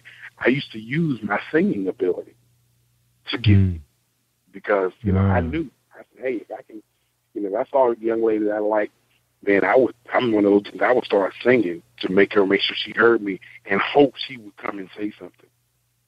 Ah, You know, so I used that. I used that, and um, but the problem was for me is that was cool for a minute, but the problem is you can't continue to hide behind that for too long. You gotta, you know, you gotta, you gotta open your mouth and start talking. You know, you can't just come out like that. So, yeah, you be like Uh, Michael Jackson. right, right, right. so yeah, man. So I really didn't. I didn't date a whole lot now. In high school, probably, probably more than average, but I think it was only because um, once I started singing, it it changed people's perception of me. I was no longer just a oh. little fat kid. You know what I'm saying? Mm-hmm. Right. So it made it a little different, and, and you know, and plus I stood out because there wasn't a lot of guys, you know, running around singing. Yeah, that's right. That's right. Yeah, you like the Leverts. You like like Gerald Levert, his son. Oh, man. Yes, sir. Yes, sir. it was- yeah. Right, right. Man, wow. You had to do. Hey, you had to do what you had to do, man. You know, some guys got the looks, some got the voices, some got the height. You know, and use what God gave you. That's right. So Exactly. women are attracted, but, then, but when when you counseling women, like I find out, I found that like women when they the way they they uh, identify men in high school, they, they they they look at guys the same way when they're in their forties and fifties. They still looking for that same type of guy. Absolutely. You know, and there's not going to be a lot of them out there that's going to be available at 40 and 50. You know, right? So you kind of got to scale down a little bit. Right. I don't know. right. Which, and I think what the problem is, I know, with, I know for me, when I think back to my exes, uh, I had a couple of girls that I talk about in the book that, that didn't want to be with me in high school because they didn't mind being my friend, but they didn't, they couldn't see themselves dating me because of my weight or whatever at that time. And um, then, of course, years later, get out of graduate high school and you know go through divorce and lose a bunch of weight, and it's like, oh, mm-hmm. oh, you know, and everything changes. But right. it, it was sad because to see these same women, like you said, still chasing the athletic dudes that And I'm mm-hmm. I'm sitting there thinking, your history with these dudes ain't that good. I mean, you you know you you had these brothers and they treated you like dirt. Why would you keep looking for that same type of dude? But you know, it, mm-hmm. it, for me, it's all about it. It's all about teaching women now to value themselves, so that when they find somebody who values them, they recognize it. That's right. That's right. I mean, I understand you have to have some type of attraction for somebody, but Sure. but always, I I, I told I told my sister and a couple friends, I said, you guys missed the boat when you didn't marry the guy that was like your really good friend. That was the one that was really for you. I said you should have a relationship where you're like so. I mean, I met couples that they have longevity in their marriage, and then you look at the the secret to their success or their formula of why it's still going strong, and it's because they get along so when they want to be with each other all the time. It's like, are y'all together all? Do you have to drive her everywhere? Do you have to go everywhere he goes? They together all the time. You know? Now, listen, it, it is key. We, we, my wife and I tell people all the time, you got to understand. If you don't understand anything else, people are so busy trying to fall in love, and the truth, Mm-hmm. we need to learn to fall in like. That's right. We Like him, like each like him a lot. You got to be able to like them, man. Because I'm telling you, man, there is, and, and listen, I'm, I'm sure there's several, plenty of your listeners can can attest to this. There is nothing worse than being in love with somebody you don't like. Yeah. That's a bad spot to be here, man. yeah, you sit next to him at the movie. I can't stand this person. Why am I'm at the movies with them? Why I'm laying in this bed with them? I can't stand them. Right. Yeah. Gotta like him. Don't even call him when, when you don't see him all day. like you don't Right. care. They like Right. your roommate. right. And, and, and, you know, man, and, and so many people get married now, man, for the wrong reasons, and they end up being in relationships where they are. They're just roommates, and you know, Mm-hmm. they they can't they can't break up because they got too many bills together. You know, they got too much stuff going on. So it's like you you're just there, but we here we are married, living single. I mean, that is no place. That's that's that's not a good place to be, man. Yeah, especially especially you hook up with them girls that had them supermodel bodies, man. You know they get start getting in their forties and fifties, man. They you know they they not gonna be that much of a supermodel no more. Right, You know? it's the same thing. Same thing with those athletic guys.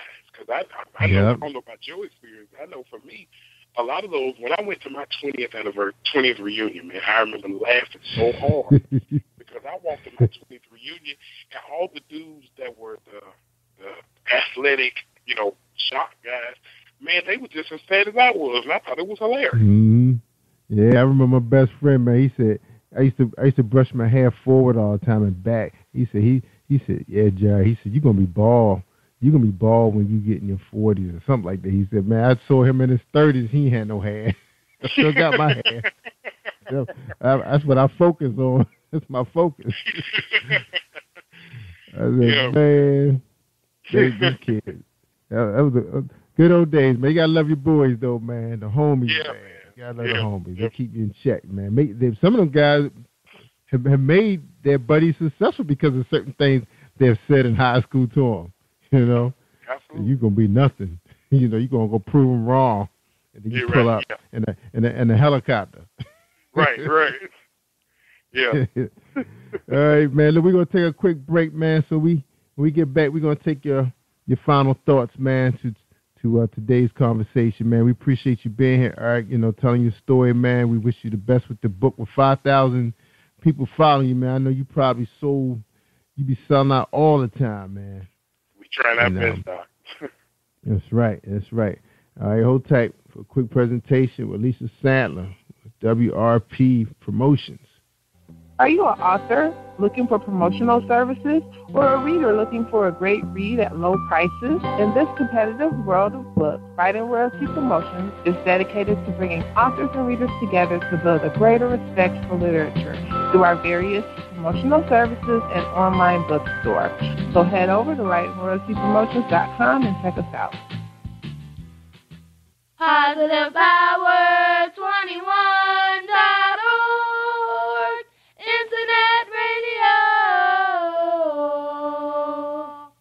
listening to PositivePower21.org with Jerry Royce. All right, thank you, family. We're talking to Eric A. Terry Sr., Real Talk Consulting, Real Talk Making of a Man. All right, tell people where they can get your book at, man. Absolutely, where they can meet man. you. Absolutely, man. I'm on Facebook. Uh, they go to facebook.com slash Real Talk Consulting. Uh, that'll get you to my fan page. Uh, the book is available right now on Amazon, also on CreateSpace, CreateSpace, the ebook store.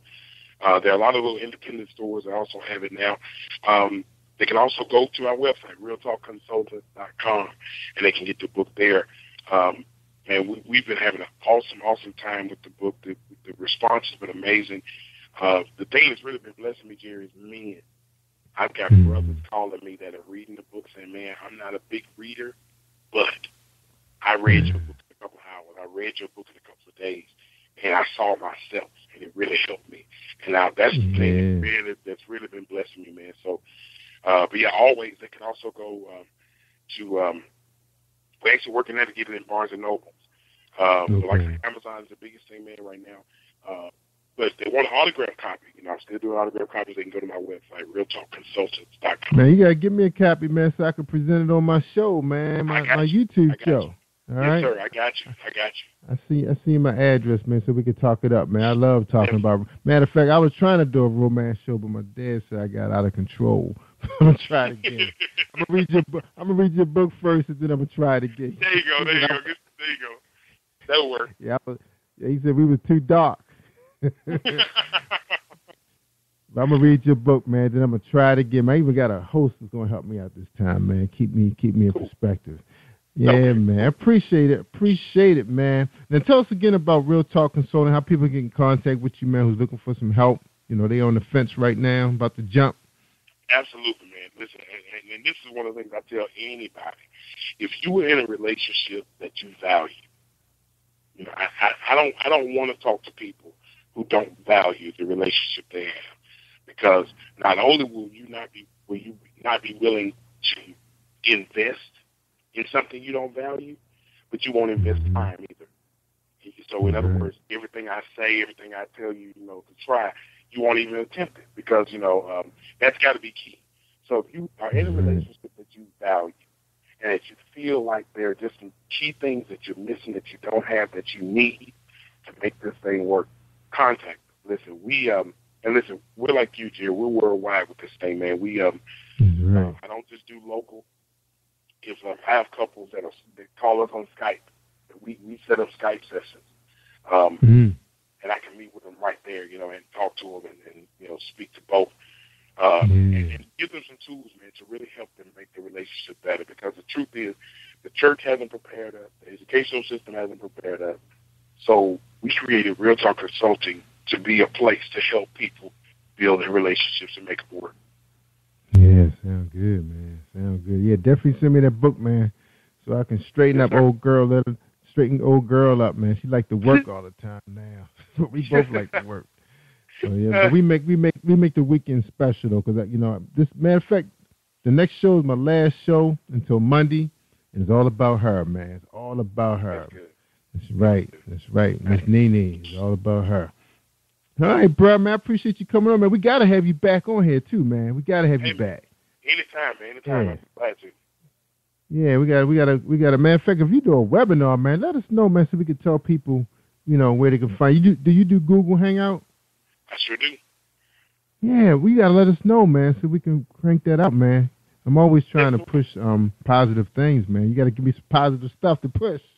I'm getting tired hey, of pushing we, all these urban fiction books all the time, man. Got to hey, push man, some, some nonfiction, right? Doc, I'm gonna tell you, we uh-huh. got plenty because we we're doing classes and schedules all the time, so we got plenty of stuff that we can. Yeah, do. we'll do that. All right, please, yeah, please let us know. Just shoot it right in the inbox, man. We'll make sure we put that on the, the front of our things to do list and promoting. Gotcha. All right, we'll all right, y'all.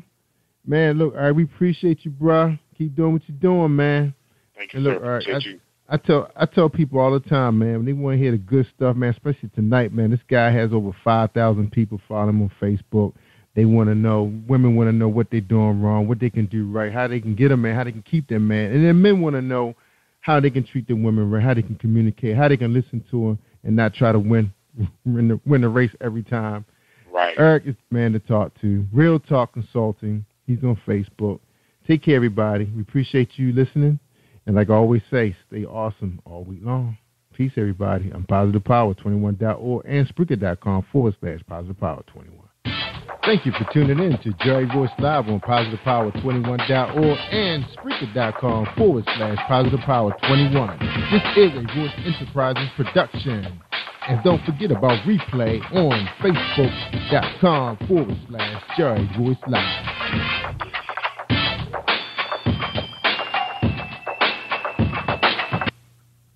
All right, that's Have you been hurt? Been hurt? Been backstabbed? Got a talking back to him. Talking back. Well, you're not alone. No, no. Escaping to another reality. Through Dominic Wilkins' good books. Good books, audio books, paperback, ebook, good books. Available on authordwilkinsgoodbooks.com. Hi, this is Angel Sessions. On February 23rd, 8 o'clock Eastern Standard Time, 5 o'clock Pacific Standard Time, I will be live on Jerry Royce Live Radio. I will be discussing my new album and my new single coming in February. Stay tuned, and I'll see you there. My name is author Alita H. My book is Dangerously in Love, Blame It on the Streets, and I'm on Jerry Royce Live worldwide. You are listening to PositivePower21.org with Jerry Royce.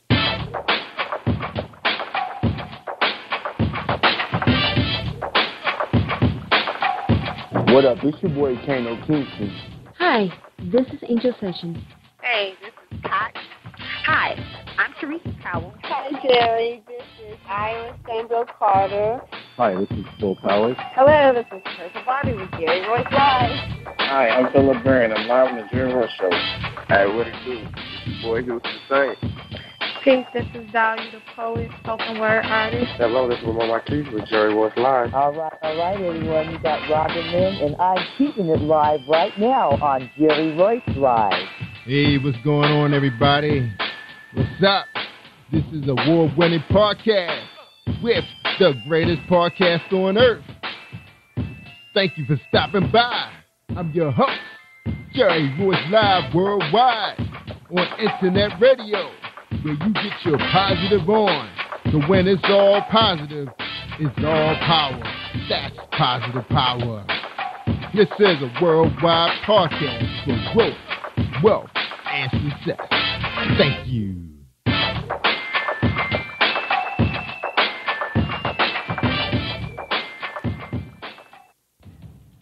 Think you know how drugs get in those little brown bottles? Think again. Set in the green hills of western New Jersey, inside the gilded halls of power of a U.S. pharmaceutical company where decisions are worth billions of dollars and human lives worth less.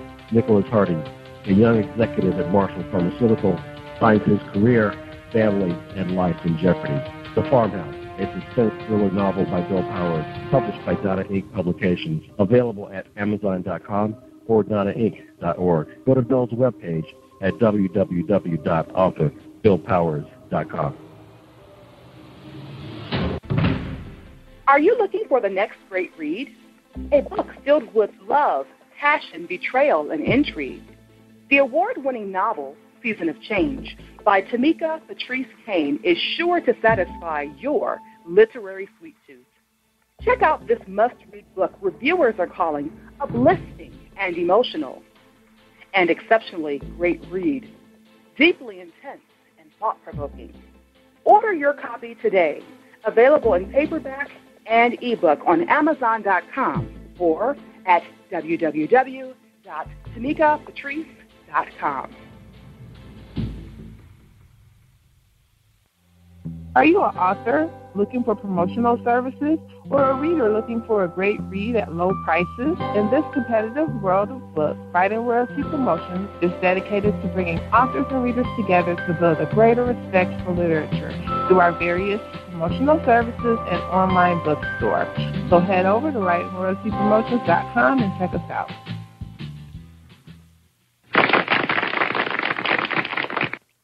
Thank you, everybody, for joining us, and welcome to Positive Power 21.org. I am Jerry Royce Live, and you we have a sponsor for tonight. Tonight's sponsor is James Deshay. That's right. So stay tuned for his 30 second presentation. The poet, James Deshay, Romance Man. Are you looking for a great book of poetry that is romantic, heartfelt, and full of male emotion? Then get Thoughts, Love, and Reflections by James K. Deshay. That's D E S H A Y. Go to www.jamesdeshay.com. You will enjoy Thoughts, Love, and Reflections.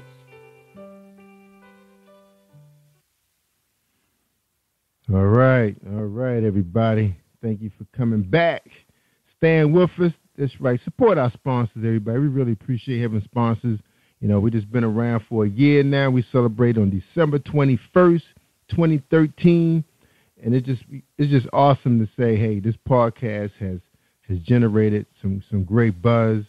Um, we've been having some fantastic guests on the show, including the one we're having tonight. That'll be Miss Alita Hodges. She's here to talk about her new book, Dangerously in Love. So let me unmute her so I can bring her on. I'm, going to read her bio, then we're going to say hi to her and, and get to know her. That's right, because my, my, my, my Maryland family and my D.C. family, we like to know who you are. All right. Dangerously in Love, Blaming on the Street, Volume 1 paperback. It was, uh, it was released October 2014. Author Alita Hodges is poet and writer born and raised in mid-Michigan. Her debut novel, Dangerously in Love, was published in August 2014 on Cinematic Inc., sub- subsidiary of SBR Publications, owned and operated by best-selling author David Weaver. Uh, we still haven't had that brother on yet. Alita currently lives in Lansing, Michigan, where she is a dental assistant. She began writing poetry at the age of 12, has always been an avid reader. Her poems have been sought out by fans and friends alike for years. Her book, Dangerously in Love, is a trilogy series that chronicles a love tale filled with danger, passion, and one woman dream of escape. And I remember that commercial too on my show. We still play that sometime. I'm just sorry we put a date on that thing when you released it in November. I could still be rocking that. So how you doing, Lita? Welcome to Positive Power. Oh, thank you for having me. I am doing great. I am doing so great. Yeah, so awesome to have you back. Second time around. Right, Doing, right. That's right. You must love it here. You know, you can. Yeah, I do. I must have a good do. That's right. We had you featured on our our adult program, and he said, she said, which I really love that show. We're gonna have to we're gonna have to revamp that show, but you know, no, that was fun. Yeah, I had a ball that night. yeah, we did. We we, we cut up. We all cut up. Sometimes you gotta let your hair down sometimes. Right. but the powers of the B, you know, the company, they weren't all that happy with the program too much. I had to I had to steer in another direction. So I'm gonna be working with Ramon. We're gonna come up with some topics and and stick to them because, of course, you know we was reading our questions from some of the popular online publications that's based on you know men and women relationships and and their uh, habits, their sexual habits. Right. So it was kind of funny though, you know, talking to people, find out what they know and what they don't know. It was just so much fun though. But anyway, you know, but you know, I got to think about some of the kids that listen to the program. After all, we are streaming in other countries now, and you know, it, whereas nighttime here is daytime there. You don't know how people, uh, you know, listen to internet radio these days with uh, Exactly. you know, computers being the way it is, and you know, some places actually have free wire, free wireless services in their country. So Oh wow. yeah, I mean, we're not there yet, but we're close though. I heard we're close. Yeah, I get a I get a wireless signal um at my house, so my kids, you know, switch back and forth sometime. All right, so we're here to talk about you. Brand new product. Well, I remember we promoted this for you when you released it. I think it was around November. Um, Uh-huh. Dangerously in Love. Uh, it's out there on Amazon.com for anybody looking to snatch it up real quick. And we're going to talk about your reviews later in the show. But before we get started, we want to know who is author Alita Hodges? Um, I'm just a regular person. I'm just, you know, I'm a dental assistant. I work daily. I got a regular nine to five. You know, my passion is writing, so in my spare time, I write. I like to write. I'm a mother. I'm a grandmother. You know, I'm really close with my sisters, my family. So, you know, I, I stay in a house a lot. I'm not really a um party or you know that type of that type of person, but I just love to write, and I'm just stepping in this you know writing game with everybody else, and I'm just I love it. It's like I'm home. It's like okay, I belong. This is what I should be doing. That's right. That's right. All right. That's so awesome. Now, Lisa, so you know you're a grandmother, and you know I which I forgot that you was a grandmother. You know, 'cause we see you you know posting out there on Facebook. You know, I guess it's just hard to tell people ages these days. You know, people Yes. age so well. You know, people found the you know the fountain of youth. Now you know now we know, you know that you're not a you know you base your homebody, you got a nine to 5 Uh-huh. But tell us a little bit about you know how you how you was brought up and everything. You know, your upbringing. Tell us about I was the youngest of you know I was the youngest of four. Um, my mom and dad was together for forty, um, like forty five years, and he passed a few years ago. Oh, so you know I was we had like a, a really tight knit family. Um, my mom was a teen mom. Her mom was a teen mom. I was a teen mom. It was just like you know, family. You know, this is just a family curse. It's a generational curse, I guess. But you know, everybody made it through it. Just made us stronger women at the end. We didn't let it. We didn't take it, and you know, let it interfere in anything we, we were doing. It just made us stronger women at the end. So that's why I'm. I, I'm not that old. So to be a grandmother, I'm only. You know, I'm just about to hit the 40 mark this year. Oh wow, okay. Yeah. Uh, I know. I'm, sometimes I wish I could be a oh grandpa, pop, pop. You know, 'cause my son, you know, Brandon, you know, he's he's about your age. No, he's Oh, actually younger than you, but he's in his early thirties. But Oh, um, okay. you know, he's still out there looking. You know, he's been dating a little young lady for the past year, so who knows? But uh yeah, you you know, but I got a young son too. I got a son that's only eleven. I think he's eleven. Maybe he's twelve. He's twelve now. So I'm still running the little league event Okay. school events, and my daughter, she's just uh 14. I think she's 14. I don't, you know, they grow up so fast. You kind of lose Yeah. track of their age. You know, you don't want Well, them to youngest- grow up. My youngest is a boy. He's 17, and then I have um three three girls. That's my youngest, and my girls are 24, 22, and 19. Oh, go ahead. Yeah. Ah, Grown wow. women. They're grown women. Yeah. Yeah, that's right. So y'all, so if you do hang out, you can take them with you. You know. Nah. so, nah, mom gonna let mom wanna let her head down. I can't go. That's I'm still right. mom. All right. So when you, so when you're not writing, you know what's going on? What, what are you doing when you're not writing? I spend a lot. You know, I try to spend a lot of my spare time with my grandkids. I love them to death, and you know, I just write like I've been really on like focused. Like, um, so my first book came out in October. I'm done with the second book, and I'm working on a new series.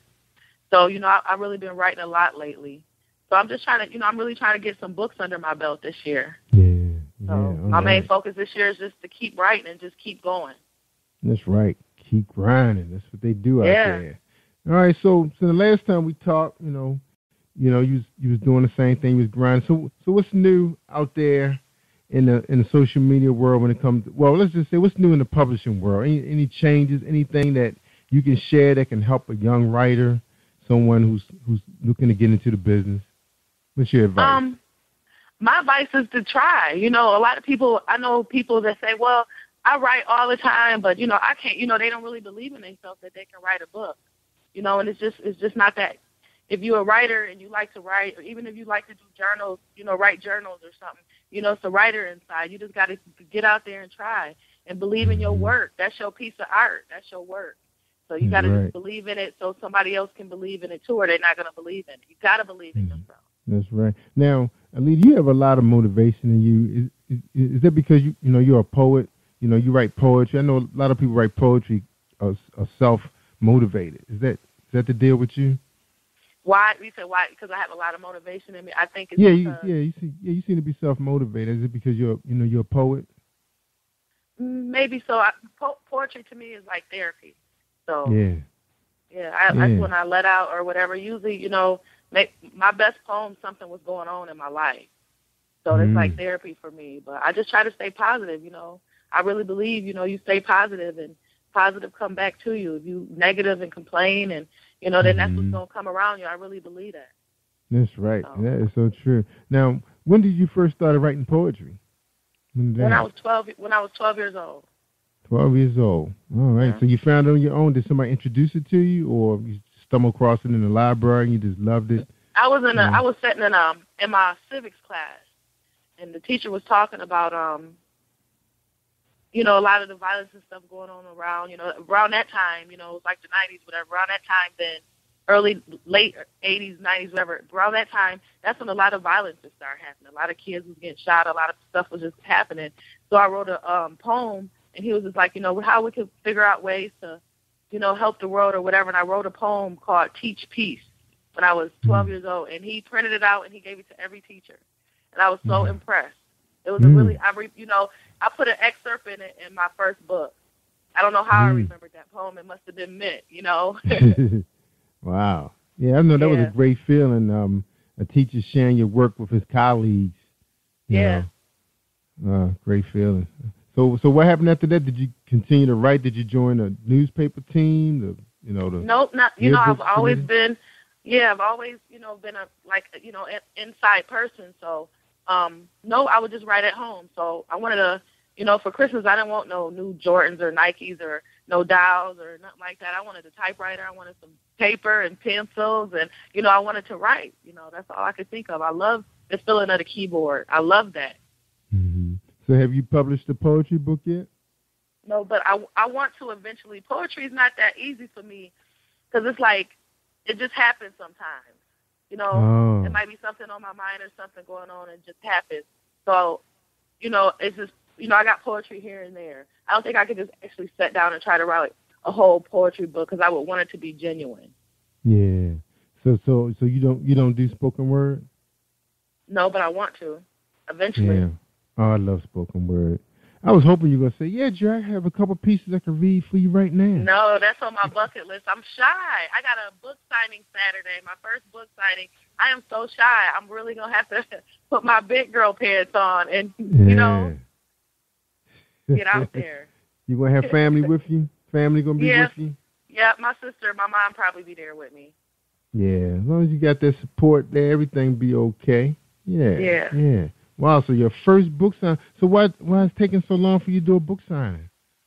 You know, I work. It's just been a lot going on, and then I've been writing. You know, I just like I said, I've been writing and all that, and I really didn't even think about a book signing. You know, and then a lot of people from my hometown, which is like 40 minutes away from where I live now, it's like we want a book, we want a book. You know, and I'm like, order it. You know, don't nobody like ordering, I guess, paperback. So I Mhm. then that's when I was like, well, let me do a book signing. I ordered book books and I just started making arrangements, and I'm like, wow, I planned a book signing. I'm having a book signing. Oh, so you okay? So you did went ahead and ordered a couple books yourself. So would you order them through Amazon? yeah, well, my publisher do that that part for me. Oh, you publisher. That's right. I forgot Yeah. you got a publisher. So how's the publishing relationship going on? How's that going Oh, for it's, you? it's you know what uh, TBRS that group. That's like the um, that's like a blessing. I'm blessed to be in that group. You know, it's just they they they inspire each other. You know, every time I wake up, I you know if I'm on Facebook and I'm going on a um feed, you know, and it's the group, you know, like our private group that we talk in. Everybody Mhm. got so much inspirational stuff to say. It just keeps you going. It keeps me going. You know, and I really Yeah. appreciate that. I can get advice from other authors that's well established. That's you know number one, number two. Every book they touch, they you know their numbers are just you know phenomenal, and they they talk to me you know just like you know to me they're not normal. I'm like oh my gosh, you know I read your books, you know. So for them to talk to me and I can communicate with them and they can help me, that's like everything to me. I love that group. That's the best thing that could have ever happened to me to be a part of TBRS. That's right. Amen. That's a blessing. So they really working it out there. So where are they based at? Um, um, C, would you say CB, SBR, Um, right? oh, uh, T- TBRS, that's a group of publishing companies and people, but I'm with Cin- Cinematic Ink Publications, which is a part of the TBRS group. Okay. Oh, you said T because I thought we downloaded it said SBR. So you said TBR. Yeah, uh, it's Like S- Tom. it was SBR. Yeah, I got to do some updating to that. Oh, they call it T now. Okay. All right. it's TBR. Yep. All right. Good. Good. All right. Well, hold tight. When we come back, we're gonna talk about what they're saying about Dangerously in Love, and you know how you feel about the trilogy series, and how's it coming along when the next one going to drop. So we're gonna stay tuned for Book Buzz presentation. Like I tell everybody, you know, if you want to get your your name out there and you want people to know who you are, so when you start dropping your second and third book, they already know who you are on Positive Power 21 because we're in Washington, the Maryland area where we buy books. That's right, everybody. Check us out. Think you know how drugs get in those little brown bottles? Think again. Set in the green hills of western New Jersey, inside the gilded halls of power of a U.S. pharmaceutical company where decisions are worth billions of dollars and human lives worth less. Nicholas Hardy, a young executive at Marshall Pharmaceutical, finds his career, family, and life in jeopardy. The Farmhouse, a suspense thriller novel by Bill Powers, published by Donna Inc. Publications, available at Amazon.com or DonnaInc.org. Go to Bill's webpage at www.author.billpowers.com.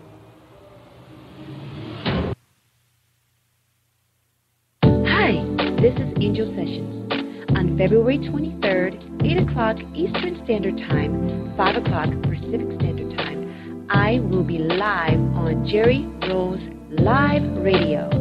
I will be discussing my new album and my new single coming in February. Stay tuned, and I'll see you there. Hi, I am Martha Crystal Alexis, and I'm on Positive Power 21 with Jerry Royce Live. Woohoo! That's right. Crystal, she was here. Crystal Alexis. And don't forget Angel Sessions coming soon. The big superstar, urban gospel star. That's right. She coming back to Positive Power. I think she was one of my first musical um, artists to come on the show. You know, that was my first time interviewing them after talking to book authors so long. I'm ready to ask them, you know, where did they get that fictional story from? you can't ask them that. But anyway, she's coming back. Give Jerry Royce a second chance. That's right, talking to a superstar. All right, right now we're talking to superstar author Lita Hodges. She got to be a superstar because she came back, gave me a second chance. What's going on, Lita? You ready to talk about this book? Oh, don't tell me Lita call dropped again. All right, hold tight. Let me see. Yep. She here. Lady, you still here? I see her call. All right, y'all. So we, we Can you hear? I'm here. Can you hear me? Oh, you hear? Yeah, I hear you Yeah. now. Okay. All right, no problem. All right, Lita. So we ready to talk about this book of yours. Now, what, what are the people saying out there? You happy about what's going on with the with the book? Is it selling the way you want? Do you need more marketing? What's did. going on? I can't I can't complain. You know, this is my first book. I, you know, I put myself out there with that book and getting it published, and you know, I didn't know. You know, I didn't. You know, but I I got you know some really good reviews. Of course, I got a couple bad reviews. You know, but you got to have tough skin. You got to keep going. Everybody ain't gonna like you, and that's fine. But I got some really good reviews. You know, some really good reviews, and I got you know fans, people who like the book, can't wait to book two, who follow me, who you know that feels good to know that people read my book and they know the characters, and you know that really feels good. Yeah. Now, you know, it's, it's it's pretty competitive out there in the urban fiction world. Do you, do you see Mm-hmm. yourself, you know, writing some other genre? You know, once you get yourself finished established here, you know, with this company. Maybe, I mean, um, maybe a poetry book or self help. I want to write um, some self help. Yeah, I can see you doing that. You know, you seem like the type. Now let's see what they're saying out there. I just finished reading Dangerously in Love, five stars. Um, Alita H. I couldn't put it down. Once I started, this book is amazing. I can't wait for the next book. That's right. She said she ready to pre-order. she said very talented. So you got so much talent. Why you're not you're not just going to limit yourself, you know, just with urban fiction, are you? You know, you see yourself Um, doing romance. You know, romance is pretty hot. I remember, Yeah. You know, talking about that. So what's up with that? Um, you know, I you never know. I never know. You know that like the the new book, the third book I'm ri- writing right now is um I you know drifted from dangerously in love. Um, this is a whole new series. You know, and I always like in my dangerously in love. You know, it was a street literature book, urban fiction, but you know, it was a message in there as far as domestic violence. You know, women women lifting themselves up.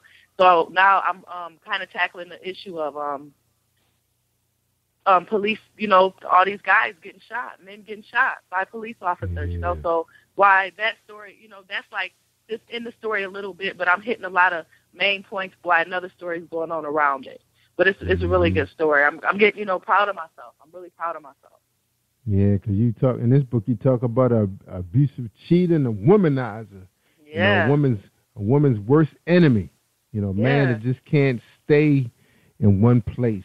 You know. Now, Lee, this is you know, I guess we're gonna go off the subject a little bit, but you know, it's pretty much the character in your book. I, I think we're talking about Jimmy. Mm-hmm. Um, now, you know, black men. you know, do you know your experience with us? You know, the character in your book. I'm sure you had to do some research. What was what was some of the, the known facts, you know, that was coming out when you was researching your character Jimmy? Because you wanted to be truthful with him. You didn't want to just make them all up, but you know, Right. were you, what, what did you find out about black men when you was researching this book? Um, um, as far as um abusers or black men in general. Yeah, you on your research, black men period. What did you learn? You know, that was a Um, surprise to you. Um, that was a surprise to me. I I, I don't think I can be surprised. You were surprised. yeah, you've been around a while. Okay, but just but tell us what were some of the things that you know you like to share that you know that you know about black men that you think you like to talk about that was part you know, like as far as um black men period, as far as people period, you know, hurt people hurt people, so you never know what that went on in somebody else's life, you know. And Mm-hmm. then as a woman, we got you know, women just gotta just really love themselves and you know try to to do what's best for them. At the end of the day, we you know, as a woman, we get we so emotional. We always trying to take care of somebody and love, and no matter what, it, mm-hmm. you know, no matter what should come to do, it should be only with yourself. You know, you should love mm-hmm. yourself like that. So, you know, just as you know, people in general, you know, with the book. So you're saying that you know when you was researching this character, it was nothing really surprised you that what men had to say. You know when you because you did have to do some research about Jimmy, right? You ain't just write him from your mind, right? So it was nothing that guys said to kind of like, whoa, y'all think like that? Nothing, you know? A lot of men don't. A lot of men don't think it's. Um, I know that a lot of men think it's okay to cheat and that everybody do it, and I think that's because of the media and how it's just out there like that. Like that's that's the new thing to have a you know more than one girlfriend or cheat, and a woman that that shouldn't even be a problem no more. You know, a lot of men think that's okay, and I, I think that I don't think that's okay. Now these were single guys, or these guys were married or engaged? Both, both. Both. Yeah. Well, I, I remember I met a guy from Africa, and I remember, you know, when I was just, you know, out there myself, you know, just not sure who I want to, you know, make the main lady, you know, because you, you just keep thinking you're gonna miss the, you know, you're gonna miss the opportunity for the ultimate. And I remember this guy said, um, his name was Joe. I'll never forget him. He was from Saigon. Saigon. He said, um, he said it's okay to have more than one wife, but you gotta be able to afford all of them. Can't buy mm. a house for one and not the other. Wow. Really? Yes. You, you know, Wow. You got really, you really got to be a king. you know, everybody live in a townhouse. You know, Right. but, but I said, wow. You know, she said it's okay, but you got to be able to, you know, afford both of them. You know, so I guess guys do have it inside them. You know that, you know, you see it on TV when you watch those those those movies on those African kings and queens. You know how they, you know, the guys bathed by many women and sometimes that might be enough for that'd be enough for a guy right there to keep him happy. You know, he's "All right, babe, we're gonna go take a bath." He got twelve girls Yeah. washing you down. He'd be, you know, he'd be okay. He's not going nowhere. I don't know. That's, I, I guess the world we in, man. You know, pe- people Yeah. gotta, you gotta, you gotta, you gotta understand, um, you know, the principles of the Bible, what the Bible say. But Exactly. you know, sin, we sin. All right, let's move on. Yeah, All right, yeah, now- the book, you know, it's just strengthen people. But far as I didn't want to be with book one, you know, it's all about reminisce. This girl, oh, poor reminisce. So, like I say, Mm-hmm. hurt people, hurt people. So my book two, it's Jimmy's telling his story from when he grew up, how he got where Ah. he got. Yeah, so Jimmy. you know, I, I had Jimmy to, I had to give him a say. Yeah, I had to let everybody know where how he thinks, where his mind come from, and for me to turn myself into that character was amazing. I was so Mm. surprised, you know, and I was, it, and so book two is a little more street. It's a little more urban, but you know, Mm-hmm. I let urban. Jimmy speak, so of course it's gonna be. Yeah, it's his turn. Jimmy's turn. It's his turn. All right, yeah. So, so this is gonna be a three book series then, huh? Yep. Three book trilogy, trilogy, Yep. the Chronicles of Love. So is it a lot of love in it, or was this a lot of danger It's and a, one it's, woman? I think I think it's turning it. It's, it's you know danger and love, but it's a lot of dangers. You know, a lot of stuff don't keep you on, on suspense on book two. It's just like a page turner. Like oh my gosh, you know, I really I Mm. just took the took my gloves off and just took you know just wrote. I didn't you know I wasn't trying to worry about what people would think about this or what some you know maybe I shouldn't say this. I just let myself go and just wrote. So yeah. I'm really surprised to see what everybody got to say about that book. All and there's right, some so you took poetry in the book. Oh, yeah, really? and it's some. Oh, reminisce, yeah, some po- reminisce. Yep, Jimmy. Oh, Jimmy writing poetry this time. Yeah, it's Jimmy. Okay. Yeah, it's some it's some poetry in the book, but I never forced my poetry, so it's not as much as in book one. Yeah, reminisce was to write it in. Right. Yeah. Yeah, yeah. All right. Now, a lot of people said the book did make them cry. So, what was it about it that was sad? You know, what was going on? Re- reminisce you know, made her made father, her father, her the, the whole scene of her father passing.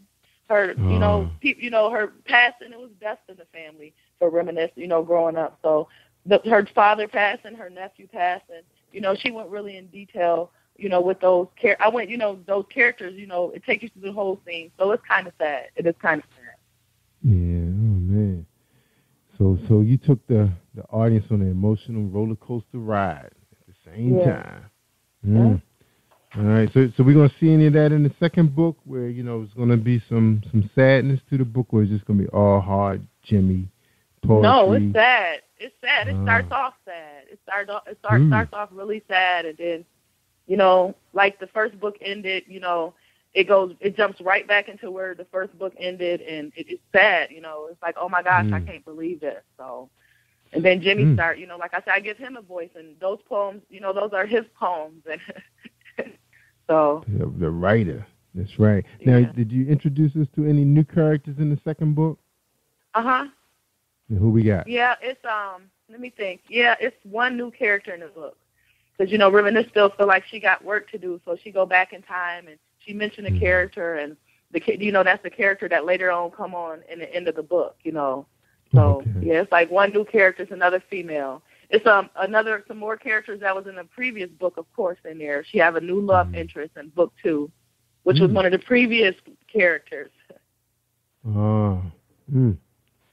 I see. I see. Uh oh, dangerously in love. Oh, you- so you ready? You ready to get everybody on this one, then, huh?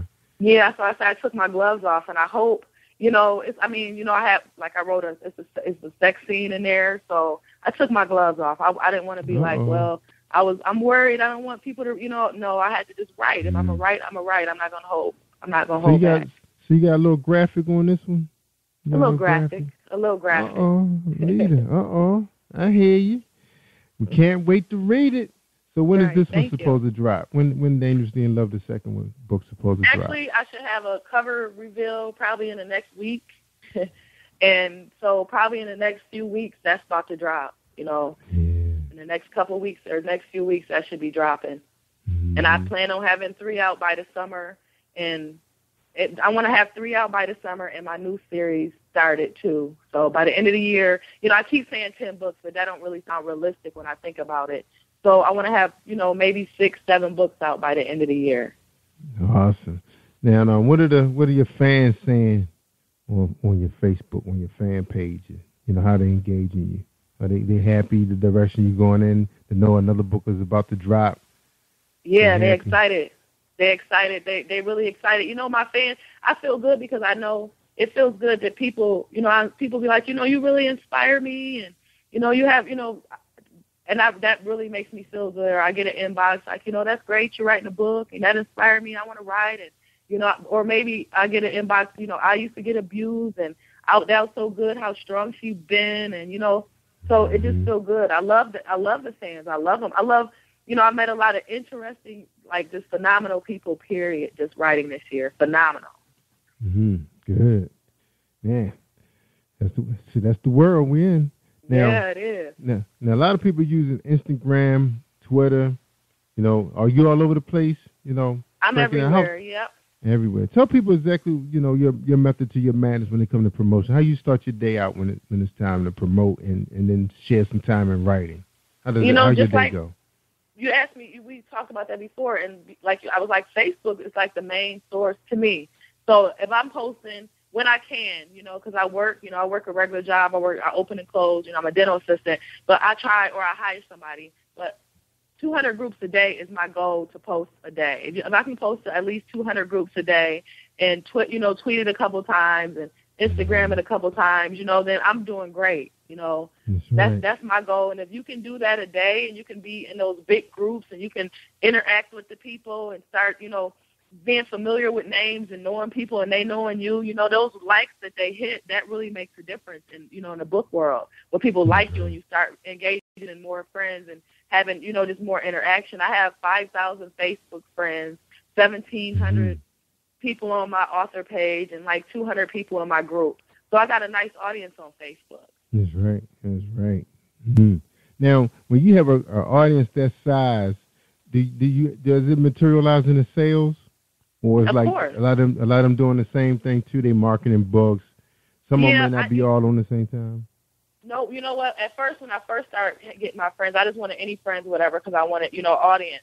But then I start filtering through my friends. So if all the people that's marketing books and all that, you know, if we doing the same thing and you know we really don't communicate, no, that you know, then I don't keep them in my feed, or maybe I don't keep them at, at all if I need some to add some new friends that's interested in my book.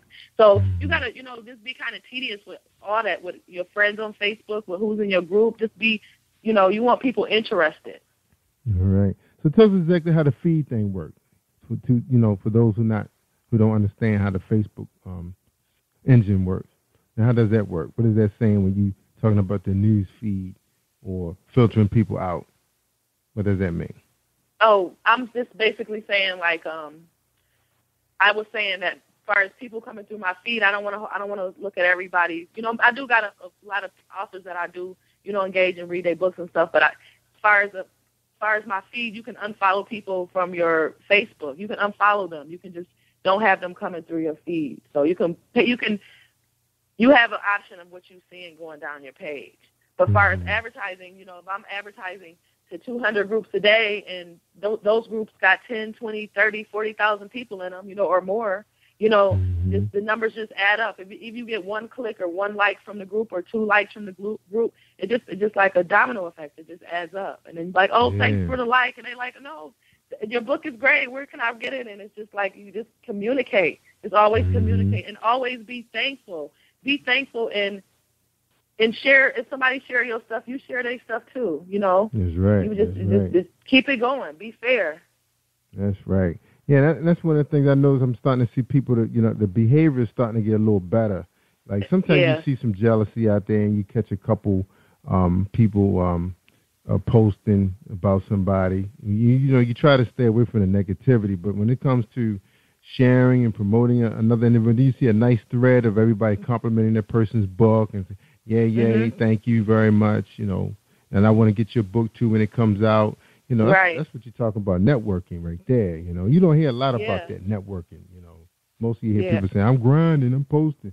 Yeah, but you know, are you networking? It's different when you have a relationship with people. relationship Yeah. with people. Yeah, that's what I'm saying. I'm developing some. I mean, some great people out there. I'm, I'm not coming with you know no harm. I just want to you know I just if I'm I'm asked questions like I say with my group, they just so it's like the best place to be. I swear. Even with my mm-hmm. book signing, I tell them I'm nervous. I got support. Alita, you're gonna do fine. Alita, you're gonna be great. You know, they don't know me in real life, but they, you know, I'm a part of this group, and I'm like family. It's like my family now. That's right. And I like sometimes I sometimes I do find myself going to some of the groups and just scrolling there for maybe like a half hour. You, you find some interesting people in the groups, you know, that's not Yeah. on your normal fan, you know, your normal page that you see all the time. Because sometimes you can get some people that can give you the blues. But like I love the business side of Facebook, so I'll go inside the groups where people are promoting radio shows or book signings or poetry sessions. Love checking those out. Sometimes I don't have the opportunity to always listen to those shows because they go live, and it's hard to find that you know that Yeah, on demand that you know show. But um, you know, it's good to see people trying to do some positive things. You know, It's that a lot of promotion. It's a lot of great promotion groups out there too, like you. You know, I I think you was one of the first ones I worked with. You know, you really helped me out, and you know, I was I was so thankful to be on your show. You know, it's like really um Kasha Jordan, Miss Jetson. I think she's MissJetson.com. Mhm. Great. Yeah. I mean, I love her. Yeah. People, and then people. She she. You know, I like the promoters that want to help. Not okay. You're gonna pay for this service and then it's over. Like you. Mm-hmm. You know, you keep it going for weeks, and that's beautiful because advertising it doesn't stop. That's not nothing That's that right. stops. Yeah, you're so very really welcome. we appreciate that. you. Yeah, we appreciate you coming on board, giving us the opportunity to work with you too, and showing people, you know, what we can do here at Positive Right. Power 21. That's right, helping people. That's right about growth, wealth, and success. And there's so many things that I know people want to do, but you know, when you got your family, like you got grandchildren and family, Mm-hmm. sometimes you know you find yourself being consumed with this business because you, you know, you can almost have an obsession with it, you know, It if you let it. Yeah. Yeah. it, It is is. exciting. You know, it's like just think when we didn't have this type of community. I, mean, I remember Yahoo Groups was pretty neat too. I used to love Yahoo Groups. It wasn't as pretty as this. You know, graphically you couldn't, you know, post a whole bunch of stuff. You just basically put your comment or your poem, and I, I guess everything else was through MySpace back then. Right. You know, Right. But MySpace had like viruses and stuff all in it, so you had to be careful. But people Yeah. would, would send you to their to their website back then, so you had to have like a really expensive website back in the day. But now Facebook said, "Well, I'll give you a page, a fan page." Mhm. You know. Yep. So that is awesome. All right, we're gonna take a we're gonna take a quick break, and we come back. We're gonna get your final thoughts and let people know where they can find you. Tell, tell them about your book signing if they out there in the area. Remember, y'all, we are we are we are streaming, so you don't know who's gonna be listening to the show. and I already know we're in 12 countries. We got our report. We're doing really well in the Chicago area, New York, Texas, out west California, and we appreciate all the support in my hometown, Maryland, Eastern Shore, Maryland. That's right, and Baltimore and Washington D.C., my stomping ground. All right, so hold tight, everybody. That's right. Hold tight, D.C. Hold tight, Baltimore. Hold tight, Eastern. This is Jerry Royce Live Worldwide. and I'm talking to Alita Hodges. She's the author of Dangerously in Love. Here we go. An episode of Book Buzz with Reese Publishing.com.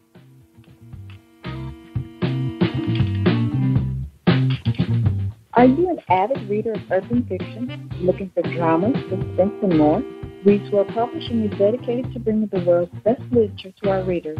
Urban fiction, erotica, sci-fi, mainstream fiction, and children's literature are just some of the genres produced by our diversified family of authors. You can reach us on Facebook, Twitter, Instagram, and at our website, www.reachworldpublishing.com.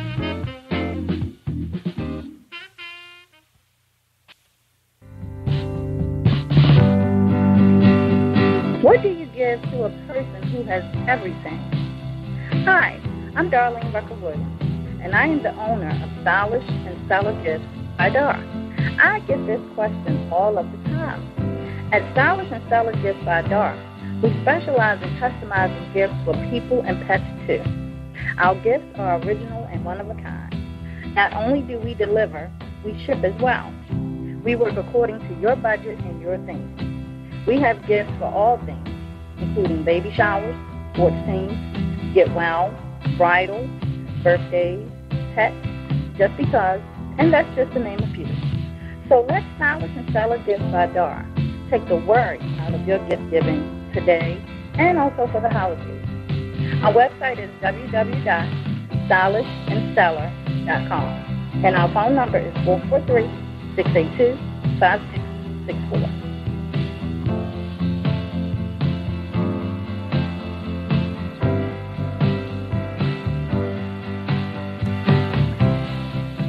Positive Power 21.org Internet Radio.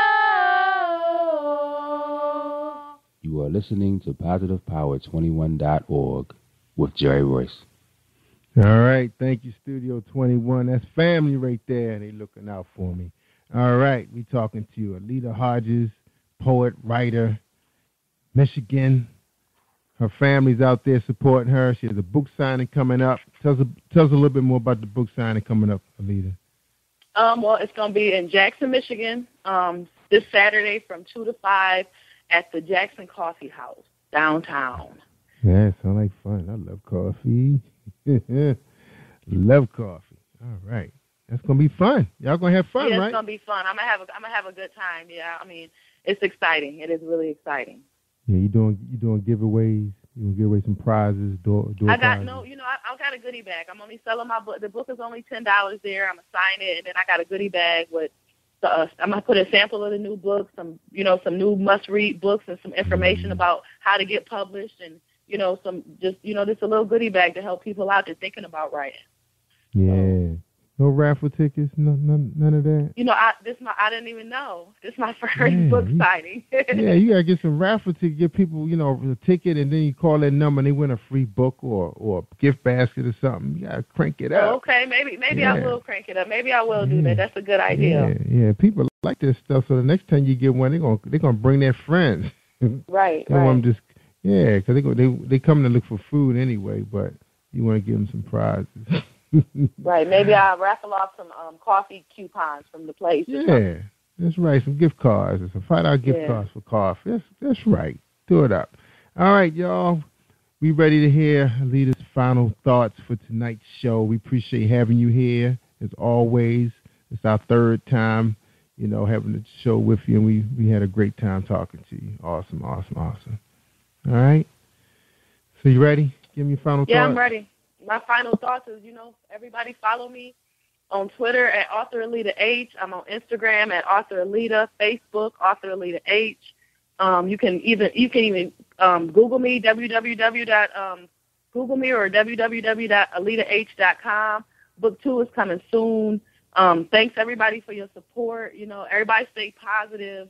Just stay positive. Keep going. You know, keep smiling, keep laughing, and just you know, just keep it moving. Just keep it moving. That's right. Keep it moving forward. Momentum. Yes. That's right. Yes. That's right. Did you see it? you see my my kid's music video? You know, Oh no, I didn't. I'm gonna have to look. Your Yeah. your son is a rapper. No, they they was on their drums and guitar. They played, but we you know we did everything from uh track. But they you know we was having fun. You know trying Oh, to yeah, that crank sounds like everything up. Yeah, I send it to you. All right, everybody. Oh, yeah. One more one more Oh. thing. I'm sorry, I forgot. Um, Sure. I'm on the cover of um, issue 11 of Black Rain magazine, and it'll be a link on my page. Yeah. All right. Yeah. Good for you. Good for you. All right, ladies and gentlemen, it's the end of our broadcast, our podcast, but it's going to be available for replay, rewind, on demand. It's going to be streaming with a whole bunch of other awesome authors. That's right. They talking about growth, wealth, and success, fiction, nonfiction, survivors of domestic abuse, child molestation, all that stuff, homelessness, all that written, in, all that stories being told right here on PositivePower21.org. And I always tell people all the time, Alita, if they want to hear the good stuff, I mean the real good stuff, you better listen to Jerry Royce Live worldwide Yes. on PositivePower21.org and Spreaker right here on Spreaker.com forward slash Positive Power 21 and share this with your with your Facebook page, y'all. It's gonna help somebody. Believe me. We got some serious stories on here. All right, I'm Jerry Royce Live. We out. Howdy five. Bye. Thank you for tuning in to Jerry Royce Live on PositivePower21.org and Spreaker.com forward slash Positive Power 21. This is a Royce Enterprises production. And don't forget about replay on Facebook.com forward slash Jerry Royce Live.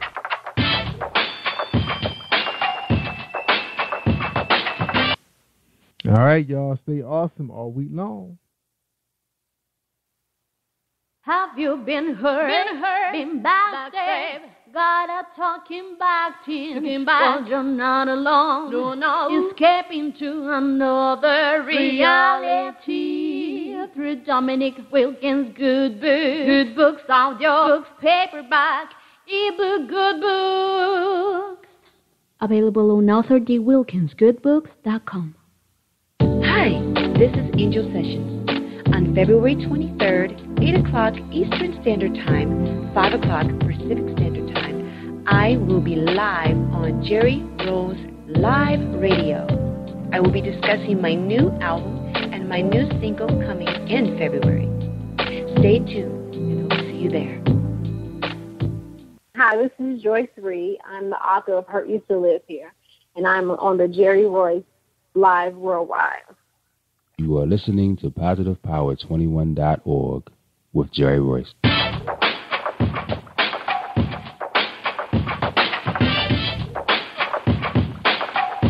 What up? It's your boy Kano Kingston. Hi, this is Angel Sessions.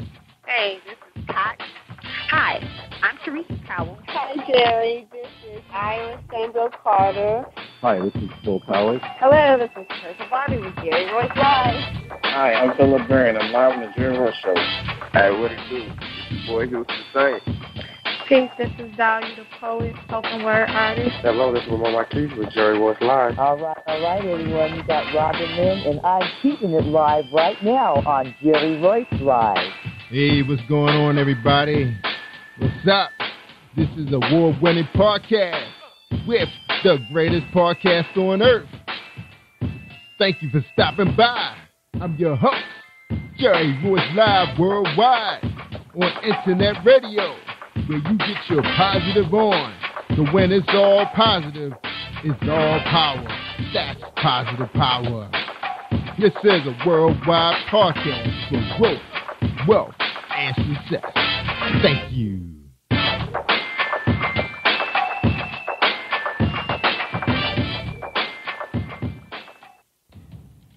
Think you know how drugs get in those little brown bottles? Think again. Set in the green hills of western New Jersey, inside the gilded halls of power of a U.S. pharmaceutical company where decisions are worth billions of dollars and human lives worth less. Nicholas Harding, a young executive at Marshall Pharmaceutical, finds his career, family, and life in jeopardy. The Farmhouse, a suspense thriller novel by Bill Powers, published by Donna Inc. Publications, available at Amazon.com or DonnaInc.org. Go to Bill's webpage at www.author.billpowers.com. Are you looking for the next great read? A book filled with love, passion, betrayal, and intrigue. The award winning novel, Season of Change, by Tamika Patrice Kane, is sure to satisfy your literary sweet tooth. Check out this must read book reviewers are calling uplifting and emotional, and exceptionally great read, deeply intense and thought provoking. Order your copy today, available in paperback and ebook on Amazon.com or at www.tamikapatrice.com. Are you an author looking for promotional services or a reader looking for a great read at low prices? In this competitive world of books, Writing Royalty Promotions is dedicated to bringing authors and readers together to build a greater respect for literature through our various promotional services and online bookstore. So head over to writingroyaltypromotions.com and check us out.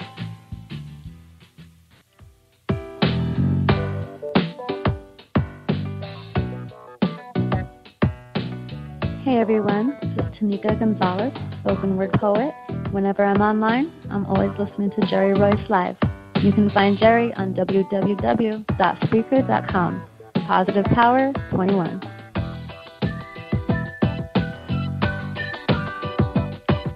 Hey, hey. That's right. Tanika, Tanika Gonzalez in Florida. They listen to Jerry Royce Live worldwide. That's right. And thank everybody for joining us and welcome to Positive Power 21.org. I am Jerry Royce Live. That's right. And we got a book buzz sponsor for tonight's show. That's right. Because tonight we got Joyce Reed, the author. She's here tonight and we're going to talk to her and, and we're going to hear her bio right after this presentation. So hold tight, everybody. This is James Deshay, the male poet. Are you looking for a great book of poetry that is romantic, heartfelt, and full of male emotion? Then get Thoughts, Love, and Reflections by James K. Deshay. That's D E S H A Y. Go to www.jamesdeshay.com. You will enjoy Thoughts, Love, and Reflections. All right, check him out. James Deshay, the romance one. Good book of poetry. Check him out, y'all. Support their author. All right, tonight on Jerry Royce Live, we got Joyce Reed. She's here to talk about her book, Hurt. Used to live here. Based on a true story. In the early 80s, a young girl was born into a family that left her heartless, helpless, and emotionless, allowing her to always fend for herself. Alone and barely loved, she grew up and experienced so many things that eventually allowed her to learn, forgive, forget, and grow. Sharing her story that touched hearts of others that can relate to the struggle, life's disappointments, abuse, death, and betrayal, and come out with a positive attitude. All right, ladies and gentlemen, I present to you Joyce Reed. How you doing, Joyce? Welcome to Positive Power. Thank you for having me. I'm fine yourself. I'm doing great. We in the middle of a snowstorm here in Maryland, but you know that's the way it is. We in, we in the middle of February now. Mother, Mother Nature's going to get us now. We've been ducking it all January, but we'll be all I know I've seen it on the news. Yeah, it's supposed to be like a blast of a storm. It's supposed to just come right on through and leave us, but who knows? The weather guys always get it wrong. But anyway, welcome to the show, and we're glad to have you um, present your your new project, one I know that's real dear to your heart. I know you wrote that with you know with with a, with, a, with many many tissue box next to the to the writing pen. So I know it's tough, but um, I know God put on your heart to do it, and you're here to share. All right. So the first question is, who is Joyce Reed? I am an author, entrepreneur, and a survivor of many things. Um, I'm not here to preach to you, but I am here to let you in my world a little bit and help whomever I can. Um, everyone has a story, but not everyone has the courage to speak out about it. Um, I was alone at eight. I was a mother at 14. I was a single mom with two boys at at 19, and, event, and eventually homeless with two boys. That's just who I was. But now I am a survivor, not a victim. That's right. We are not alone. Right. Strength. Hmm. So I guess my next question was, what got you through that period? I mean, I know we're gonna go back a little bit, but what got you through all of that? You know, with the two boys out there by yourself. What what state were you living in when when you were homeless? I was in Georgia. You in Georgia? Okay. Mhm. So what got you through it all? Got you and the boys. I, first and foremost, it God got me through it. Nobody else could get me through it but Him. Right. And when I was younger, I always knew that it was a higher power, but never understood why He would allow everything that happened to me to happen to me. And right now, mm-hmm. speaking about it, I didn't understand it then, but I definitely understand it now, and I don't regret anything that I've been through. Because if I do regret it, I wouldn't even be here today speaking, helping, and inspire, inspiring other people that's been through similar or more worse than I've been through. Like I said mm-hmm. before, everyone has a story, but not everyone has the courage to speak out about it. That's right. It under the rug keep moving. So Joey, so what happened what happened in the early eighties as a young girl born into this family? What happened? I was basically I was basically alone since I was eight years old. I raised myself um, since I was ten. Um, I had a mother that was there, but only there financially. I taught myself um, how to tie my shoe. I taught myself how to be a woman. I taught myself everything. Um, and I've learned that being there financially isn't raising a child. It takes more than just being there financially. Anybody can give you money, but it takes more responsibility and more and, and love to raise a child. That's right. So were you living in a single family household? Single parent household? Yes, up until I was three, um, my mom and my dad um, had got a divorce. I don't really remember it all, but um, there was always a man around. Always a man around. hmm So so you said your mom was there financially, with what and she just leave you money and then she just go off for days or weeks? No, she worked. She worked three jobs. So Oh. she was. Uh, so it was like we only communicated by writing. So I would write a letter, leave it on the uh, mirror in the bathroom, and I would say, "I need this. I need underwear. I need a bra. I need lunch money," and then she would leave it. And that's how we would communicate that way. So she's working. so she's working three jobs. So she's working around the clock. So so that meant that meant she wasn't home on the weekends at all. So No, you she you, you didn't have the wow. So you didn't have that mother daughter bond. No. How about grandmother? No grandmother? Well, my grandmother, she passed away um, when I was only 13. I actually lost six people in my family in 96, which includes Hmm. uh, my grandmother on both sides of my family, my grandfather, my brother, my auntie, um, and my cousin within seven months in 1996. So my grandmother passed away when she was, I think she was 56. Um, and my great grandmother, she passed away when she was 64. So I didn't raise, I wasn't raised with grandparents and or anything like that. Yeah, they're pretty young. Wow. Yeah, that- that's a young age, you know, considering, you know, nowadays I see um, women in, in their 50s and 60s, and they look awesome, you know. You know, people taking really good care of themselves. Now, so basically the abuse came in because you were always alone. So you weren't you weren't left with no no adult supervision, just in the house or an apartment. I have sisters and brothers, um, but it was me and my brother. We were really close, um, but my sister we, we wasn't really close at all because she's like four years older than I am. Um, okay. But we would be left with, at the time, my mother's boyfriend. For, you know, at the time, which is whomever that would be. Um, it was one guy that she used to leave us with. Um, he's passed away now, but he used to beat us every single day. Mm, every day. Every single he was because he was trying to watch TV and y'all was trying to play, and he thought y'all was too noisy, or he just no, was an angry just man. have to. He was just angry. Like as soon as my mother walked out the door to go to work, he would sit us on the couch for hours. We had to sit there with our legs crossed and um our hands folded. And if we asked to go to the bathroom, if he asked to get, if we were hungry, he would just beat us. Mm. Wow, how long did that go on? That went on. I was I was five or six, so I think it went on. I want to say. I mean, it felt like a lifetime, but I want to say six months to a year. Mm-hmm. Wow, that's a good long time. All right, now, in your book, you state you say using the words I recorded in journals and notebooks I kept as a young girl, I now bear my soul within these pages by sharing my truth. I share my personal struggles with the world to help others and give them support and love I never felt as a young girl. I don't want anyone to feel what I felt growing up. But in my years of healing, I realized I'm certainly not the the only one. So there's a lot of people out there feeling what you felt. You know, no mother in the house, no father, grandmother. She's gone now.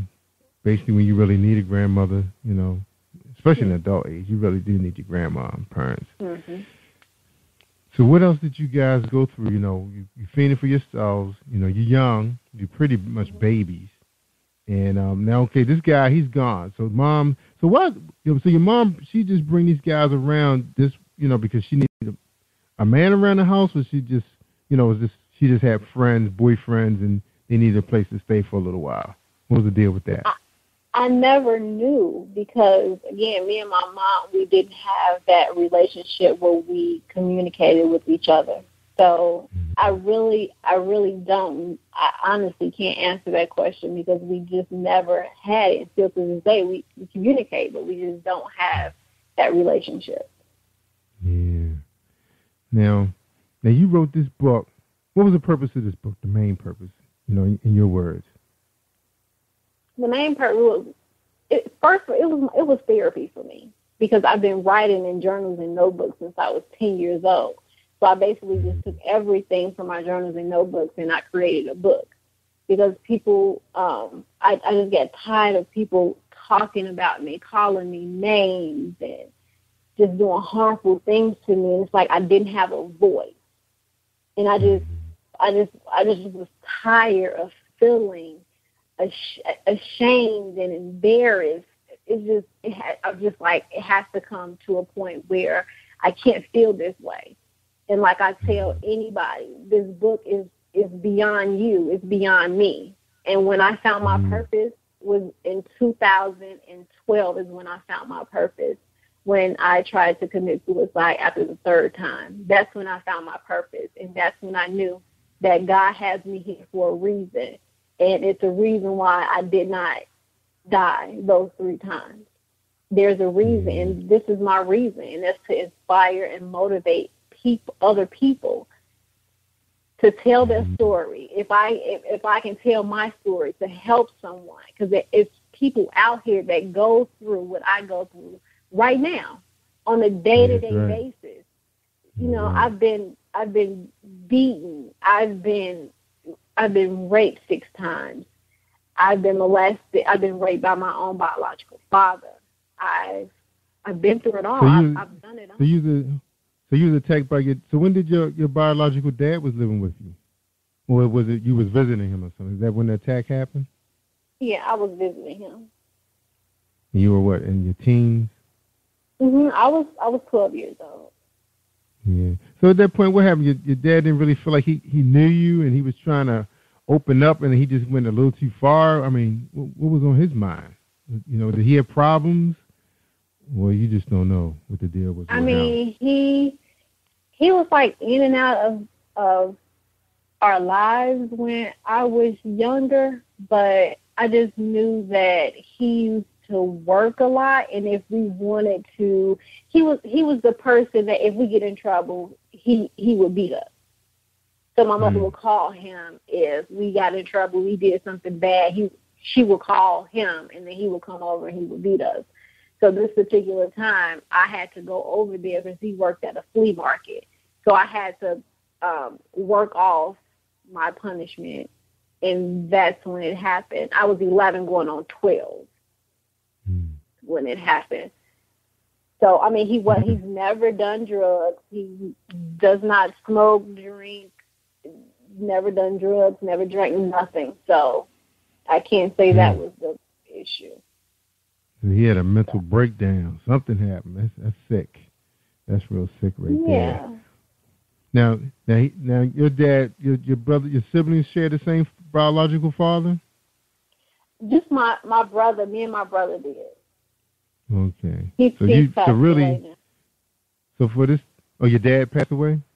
No, my brother. Oh, your brother passed away. Oh, sorry to hear that. hmm So, so your your dad, so there's no explanation for his action. You know, No, and like I you said, no drugs, know to this day. no drugs, and he has not served his crime. Nope. Mm. Nope, and that I don't want to give you all of it, but you have to read the book to to get that information. But no, he has not served time um, to this day, and I'm not the only sibling he's done it to. No. Yes. Yeah. That's that's I'm the only right one there. that speak out about it, you know. So hmm All right. Now, what were some of the challenges, you know, that you faced writing this book? reliving everything. Mm-hmm. Because when it happened, it's like I can tell the story and it's like I can be in that place. I put myself, because when I write the book, I want you to be where I am. I want you to feel what I feel and felt what I felt. until you can get a better understanding on who I am. And that was basically the hard part, putting myself back into that place, that negative place that I'm no longer in. Yeah. Now, you, you mentioned that you tried to take your life six times. Is that right? You said your life six times, or you were, you were Mm-hmm. Raped six times? Three times. I was raped six times. I, mhm. And that was because of the attacks, or you just didn't feel like, you know, you life didn't owe you anything, so it was time to leave. What was going on in your Um, mind then? The first time is when um, my brother um, wasn't here because he was the only person that listened to me. He was the only person that was there for me. It's like someone, like my soul was ripped out of my body when he left me. So I felt that um, I started having negative thoughts and you know, if it was the devil, um, I just had just negative thoughts and dreams and thinking that it was okay for me to leave and be with him. And that's when I tried to commit suicide. I took, yeah, I took like 40 pills. Oh, your brother had passed. hmm Oh, he had passed. Oh. Hmm. Yeah. But he was a fighter, though, wasn't Yes, he was. Yeah. All right, your reviews. You got some reviews out there. People reading reading the book. Mm-hmm. Heart wrenching, uplifting. Joyce Reed has poured her heart out on paper for all the world to see. This fearless woman discusses her tragedies and triumphs in this autobiographical novel. The stories are real, and so is her pain. I hope this book gets in the hands of these kids out there facing similar situations, so they know that it will it'll it'll get better. I look forward to reading future books. Wow, thumbs up, two thumbs up. This this this reader was grateful, five stars. Courageous, they say. Proud of you. You proud of yourself for doing Yes, this this project? Yes. Yeah, yeah, kudos. It takes much strength. All right, Miss Joyce, we're going to take a quick break and we come back. We're going to talk to you about where people can find you. You know, somebody out there probably want to give you a hug or want to mm-hmm. communicate with you on Facebook. You know, who knows? There's some people out there hurting, going through the same thing. All right, hold Yeah. tight for episode of Book Buzz, ladies and gentlemen. Just keep in mind, if you're one of those authors, you try and get the word out. If you can't get on the show, you can we can advertise and promote you. All right, let everybody hear about you. Remember, we we're promoting the show in 12 countries, and we're doing very well here in the states. All right, hold tight, everybody.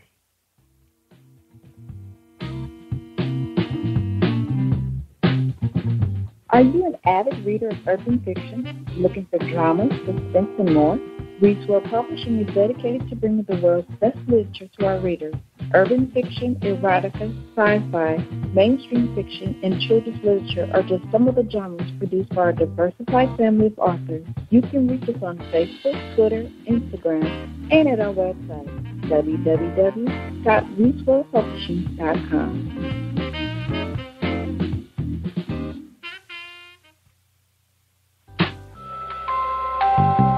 How would you like to have a book that reflects your life? Hi, I'm Mocha Butterfly. I would like to tell you more about my latest book, The Reality of Mocha Butterfly. It's a poetry chapbook capturing my life that covers subjects such as self-esteem, anti-bullying, spirituality, family, friends, love, and heartbreak. You can purchase your copy online at twopenceandlit.com forward slash Thompson. To find out more about me, visit me on Facebook at facebook.com forward slash M8CHA Fly. Thanks for listening. Positive Power 21.org Internet Radio. You are listening to All right. Power21.org with Jerry Royce. All right, thank you, family. Thank you. It's Jerry Royce live, y'all. We talking to Joyce Reed, based on a true story. Hurt. Hurt used to live here, and her website is www.iamyourvoice.com, and that's I M U R voice.com. All right, and you can find on Facebook under author Joyce Reed, R E E D, just like Christopher Reed, the Superman. All right, and we talking to Joyce Reed. Um, man, she reads. This reads. This reads so well. Um, I'm sorry, I read the wrong word. I am a single mom of two wonderful boys. I am business owner. I am a writer. I am a college graduate. I am a friend. I am a woman. I am stubborn. I am real. I am a best friend. I am loving. I am worthy. I am forgiving. I am a fighter. I am beautiful. I am wonderful. I am God's child. Wow, you accomplished a lot. You're doing well. Um, college graduate, business Yes. owner, writer, raising two boys. The boys doing great now. Yes. Do they remember those those times? Do they remember what you went through, the struggles? Um, some, some of it. They were um, my youngest son. He was too young to really remember, but um, I do. I did sit my oldest son down and talk to him about everything, um, because I knew that I was writing a book and I wanted him to hear from me and not anyone else. Yeah. Now, now Joyce, now during that time when now you you sound like you might have been in what middle school or high school when you got pregnant the first time. Now, now were you dating you know young guys then, or was it older guys, or you got pregnant accidentally? What, what went on during that time? Well, actually, the first first time that I, I actually um got pregnant, um, I was 11 years old, um, and that was that was out of rape. Um, and then my two sons that I um, I miscarried um, with that baby, um, and um, my my two children that I have now they were out of rape. Oh wow. Mm. Yeah. Sorry to hear that. Now, did those situations happen like during school? Were were you were you institutionalized, or you know, were you in a facility for girls? And you know, you know, you have males working at those places, or you just was Yeah. hap- That's when you was on the streets. Then were you on the streets? No, I wasn't. Um, I actually I was at home, um, and I was asleep, and uh, my mom let a man that she thought that she knew, a young man that she thought that she knew, um, in the house, and he raped me. Wow. Um, Yeah. And, and then my second son, I was actually in a relationship with someone for five years, and um, most most women, with some women, don't understand that rape doesn't have to come from a stranger. It can be from mm. your spouse, your husband, your boyfriend. I was in a relationship with this man for five years, and I was forced to have a baby with him. He raped me, even though he was my boyfriend. Rape is rape when it's unwilling and you say no and you're forced to do something you do not want to do, that is rape. That's right. Now, when you was in a relationship, did did you have a problem? You know, when when it came to you know being sensual for man, or there was no problem? You know, it just was just wasn't a good time. You said no, not tonight. You know, we do hear that. You know, not tonight, babe. Maybe tomorrow. Put on my calendar. You know, what was the deal with that? Uh, some men don't want to hear the word no or don't want to hear well I'm leaving you. And that was the case. Was That's a long time. with- Five years. yeah, I was just fed up with, you know, the lies and, you know, how, and I was young. So I met him when I was 16 years old. And, you know, he was 10 years older than me. So it was like I was tired of the, you know, the lies. I was young. So it's like, you know, you hear, well, it wasn't, he, he wasn't abusive to me. But uh, mentally he was. And it's like, you know how men, some some men, I'm not going to speak for all men, but some men, it's like when you tell them you- you're leaving or you get into an argument, I'm sorry, baby, let me buy you this, and, then we fall back in. Mm-hmm. But you only know when you're tired. I can sit here and call my friends, my best friend, oh, I'm tired, I'm going to leave him, but only you know when you're tired and when you're fed up. Right. Now, are you in a relationship right now? No, I'm not in a relationship. No. Just with God. Just with God.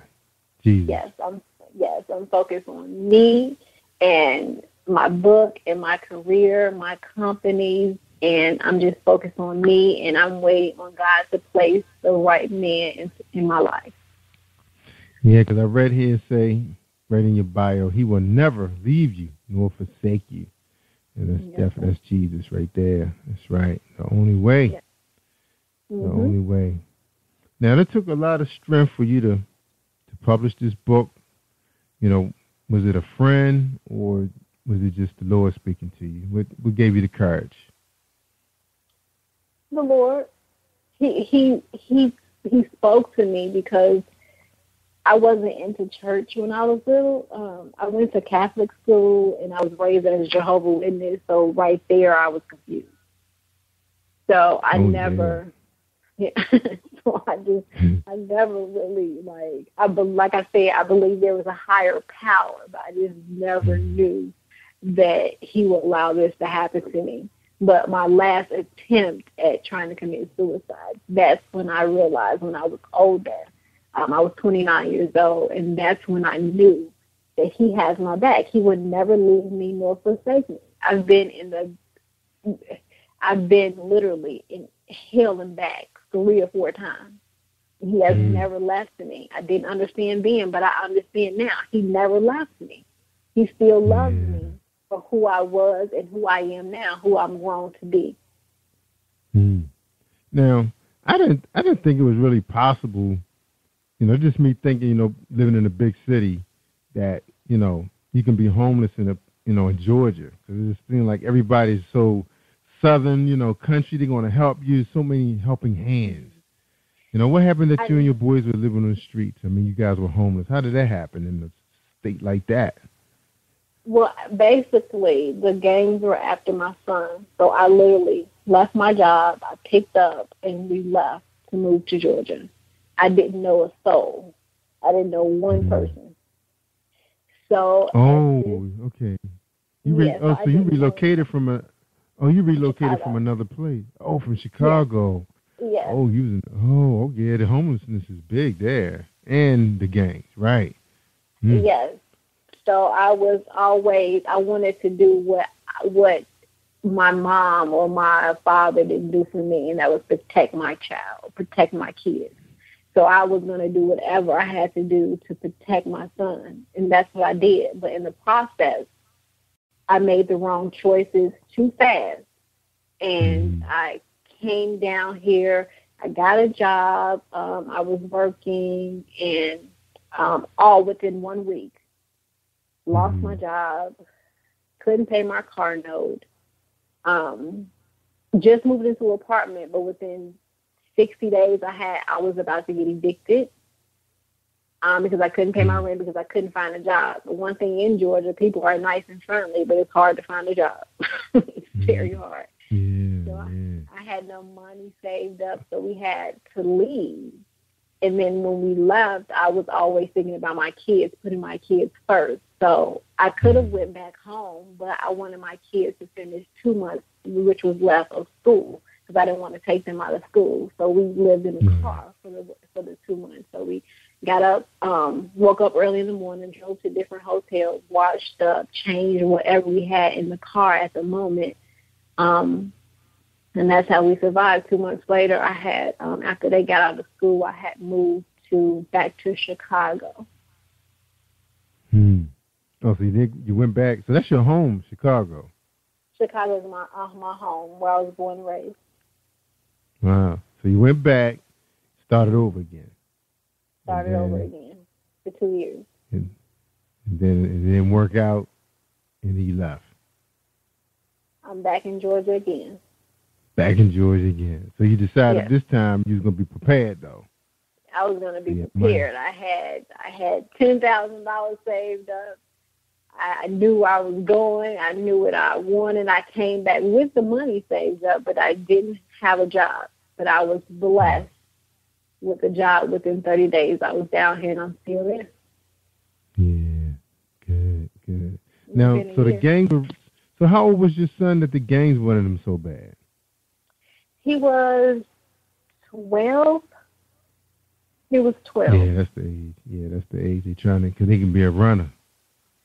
Mm. Yeah, he he he doesn't look his age. Like people still now think he's my boyfriend or you know, but he he was he he could- he played football, so he's big and he you know muscular and you know you know big. So he doesn't look like a he didn't look like a normal twelve year old would look. Right. Mm. So you were living in the housing projects in Chicago. Is, is, is that what the deal was? No, no, No. I, no. I was fine when I was in Chicago. Okay. So I- they I just trying to recruit them to school. Yeah, because they go into the good schools and try to recruit boys to sell drugs in those schools. Yeah, So it was that it was bad around that my you had to- mom's house. It was around my mom's house. She stayed she stayed in the city of Chicago, the south side of Chicago. Mhm. So, so so wait, so when you lived there, there was no trouble, no problem with the gangs for him. No, Just when I went back when I went back for those two years, no, we stayed in the suburbs.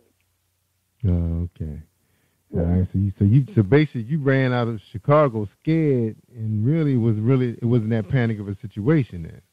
It was like oh, you could it have was kind of. because It it, was? was. It's when they ask you, "Do you want to be in the game?" You tell them no, they will beat you. Oh, Oh, so they was after him.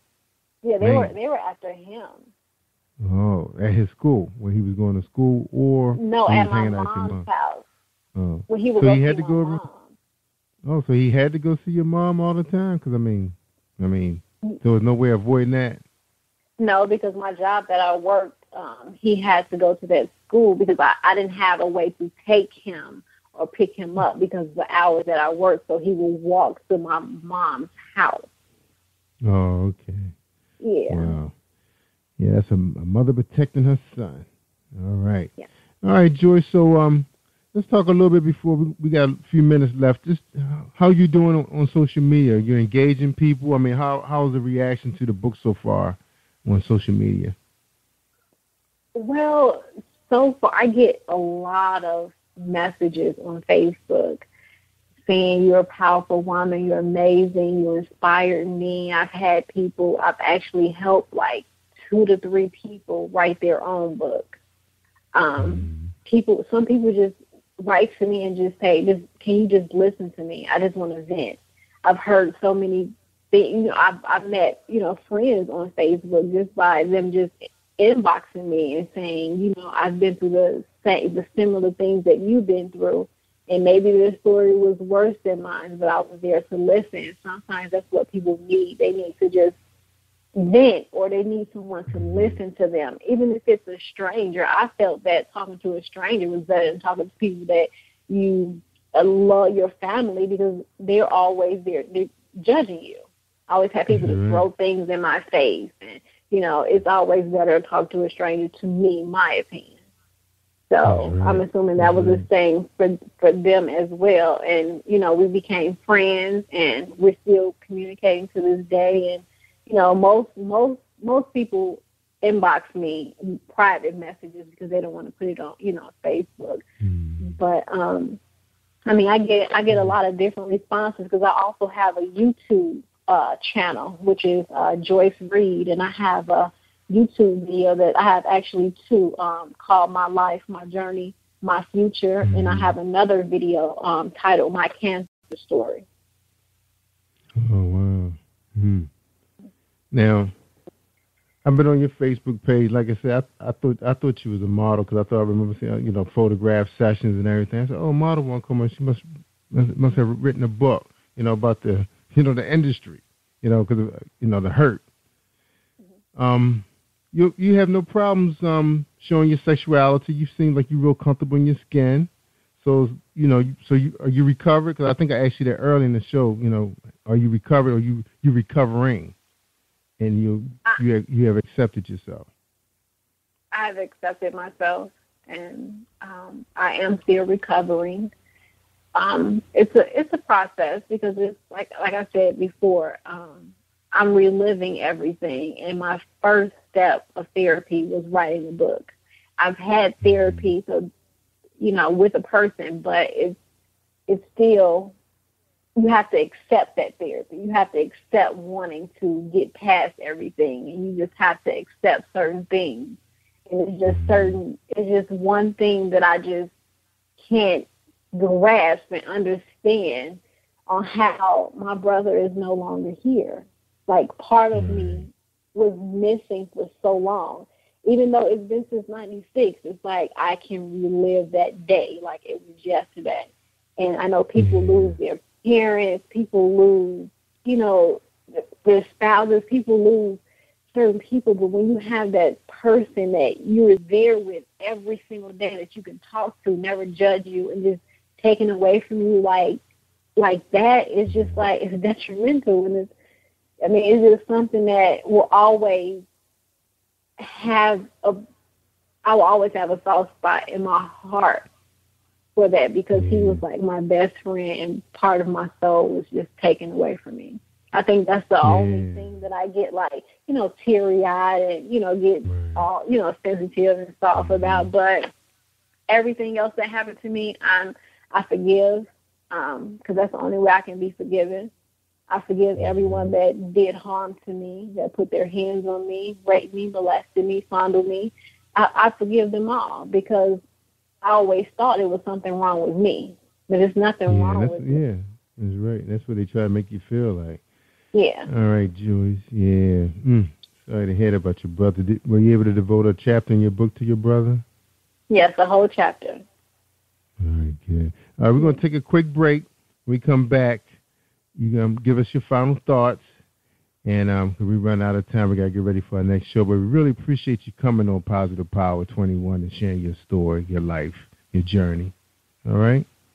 Thank you. Hold tight. Mhm. All right, here's another episode of Book Buzz with Tamika Kane and her book, Seasons of Change. Are you looking for the next great read? A book filled with love, passion, betrayal, and intrigue.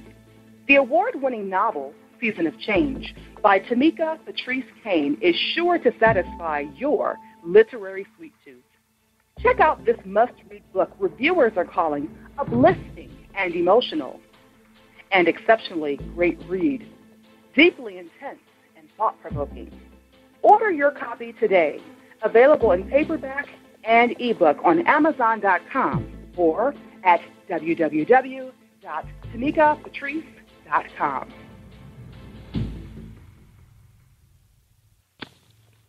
Hi, I am Martha Crystal Alexis, and I'm on Positive Power 21 with Jerry Royce Live. Woohoo!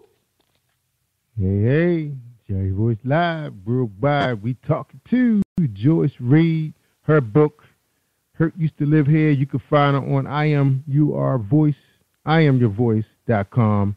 Her website, I mean Amazon.com. You can find her book under Joyce Reed. Just type in Joyce Reed, come right on up.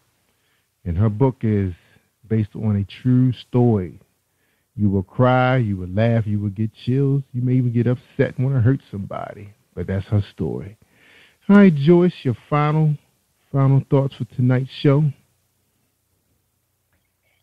I really appreciate you having me on the show and me sharing my story. Um, I'm hoping that I inspired, motivated someone that's listening today to um, also have the courage to speak out about what they've been through or what they are going through, and always understand that love does not hurt. And you don't have to be ashamed and embarrassed about what you've been through because God would not put anything on you that you cannot handle. We are all strong, beautiful people, and we can get through it all because He will never leave you nor forsake you.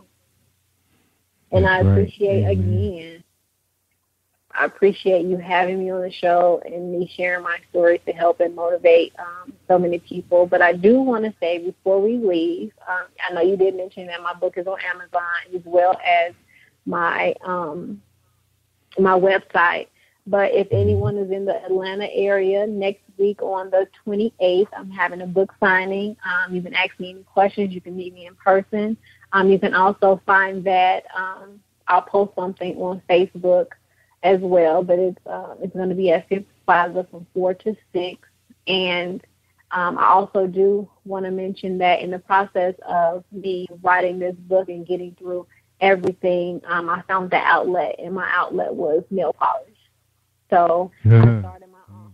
I started. I love colors. I love to be bright. I love to be different. So I started my own nail polish company, which is called Ironic Nails.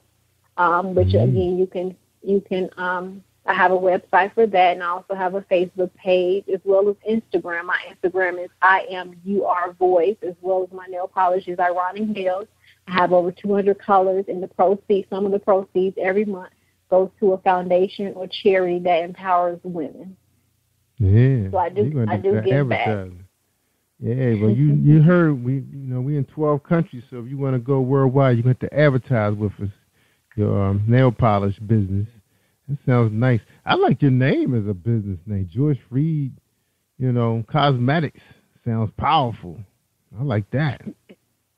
Because sometimes we get so creative with our name. I, I don't remember. I don't remember people's really fan. Like I, I, I do um, business, um, like workshops once a month. My director and I for the government, and um, people have all these names like some, some, some, something consulting or whatever, and we never remember their names. We remember their name, but we don't remember their business name. They just try to be so creative. Like, why people don't keep the the name names of their business simple anymore? Because you want people to remember you, and they won't be able to find your website. You know, they can't remember the name of your company. I just be tripping out on that sometimes. Especially some people have some very very nice um you know names that be that are. If you look at some of the most successful businesses, they named after people. All right. Anyway, that's my little piece. Anyway, Joyce Reed, so glad you were able to share your story with my audience, and um, I hope they support you. You told a great story, and um, we be in touch with you. All right. Yeah. All right, ladies and gentlemen. I tell you all the time, if y'all want to hear the good stuff, you gotta listen to Jerry Royce, Jerry Royce Live worldwide at positivepower21.org and Spreaker.com forward slash positive power 21. Take care, everybody, and stay awesome. Stay awesome all week long. Thank you for tuning in to Jerry Royce Live on positivepower21.org and Spreaker.com forward slash positive power 21. This is a Royce Enterprises production. And don't forget about replay on Facebook.com forward slash Jerry Royce Live.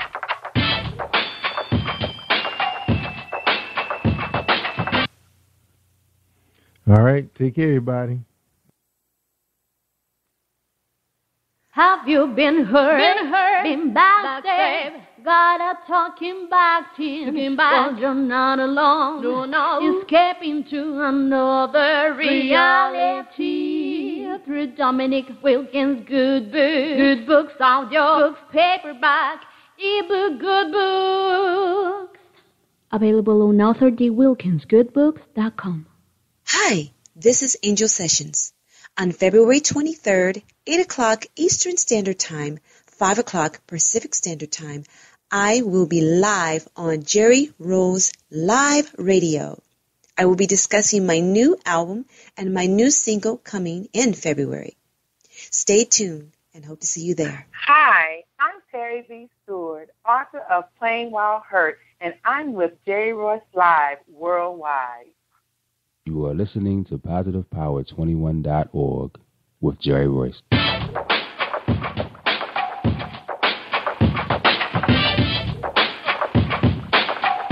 What up? It's your boy Kano Kingston. Hi, this is Angel Sessions. Hey, this is Pat. Hi, I'm Powell. Hi, Jerry. This is Ira Kendall Carter. Hi, this is Phil Powers. Hello, this is Teresa Bobby with Jerry Royce Live. Hi, I'm Philip Barron. I'm live on the Jerry Royce Show. Hey, what it do? Boy, he was the same. Peace, this is Dolly, the poet, spoken word artist. Hello, this is Lamar Marquise with Jerry Royce Live. All right, all right, everyone. You got Robin Lynn, and I'm keeping it live right now on Jerry Royce Live. Hey, what's going on, everybody? What's up? This is award winning podcast with the greatest podcast on earth. Thank you for stopping by. I'm your host, Jerry Royce Live Worldwide on Internet Radio, where you get your positive on. So when it's all positive, it's all power. That's positive power. This is a worldwide podcast for growth, wealth, and success. Thank you.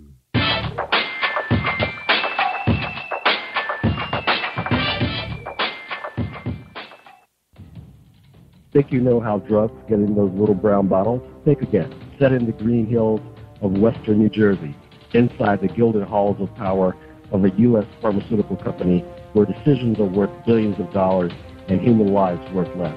Nicholas Harding, a young executive at Marshall Pharmaceutical, finds his career, family, and life in jeopardy. The Farmhouse, It's a suspense thriller novel by Bill Powers, published by Donna Inc. Publications, available at Amazon.com or DonnaInc.org. Go to Bill's webpage at www.authorBillPowers.com.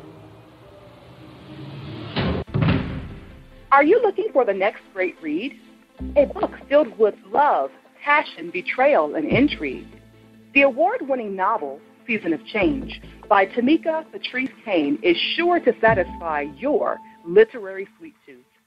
Check out this must read book reviewers are calling uplifting and emotional, and exceptionally great read, deeply intense and thought provoking. Order your copy today, available in paperback and ebook on Amazon.com or at www.tamikapatrice.com. Are you an author looking for promotional services, or a reader looking for a great read at low prices? In this competitive world of books, Writing Royalty Promotions is dedicated to bringing authors and readers together to build a greater respect for literature through our various promotional services and online bookstore. So head over to writingroyaltypromotions.com and check us out.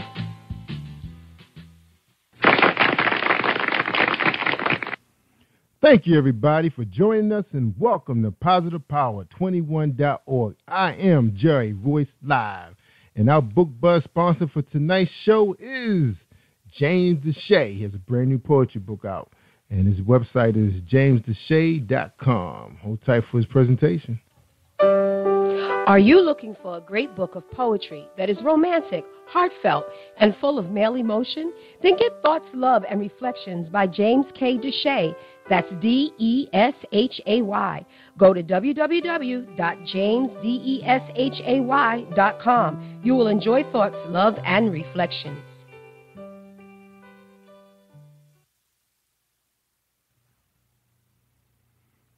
All right, all right, everybody. Welcome, welcome to Positive Power 21.org. That's right.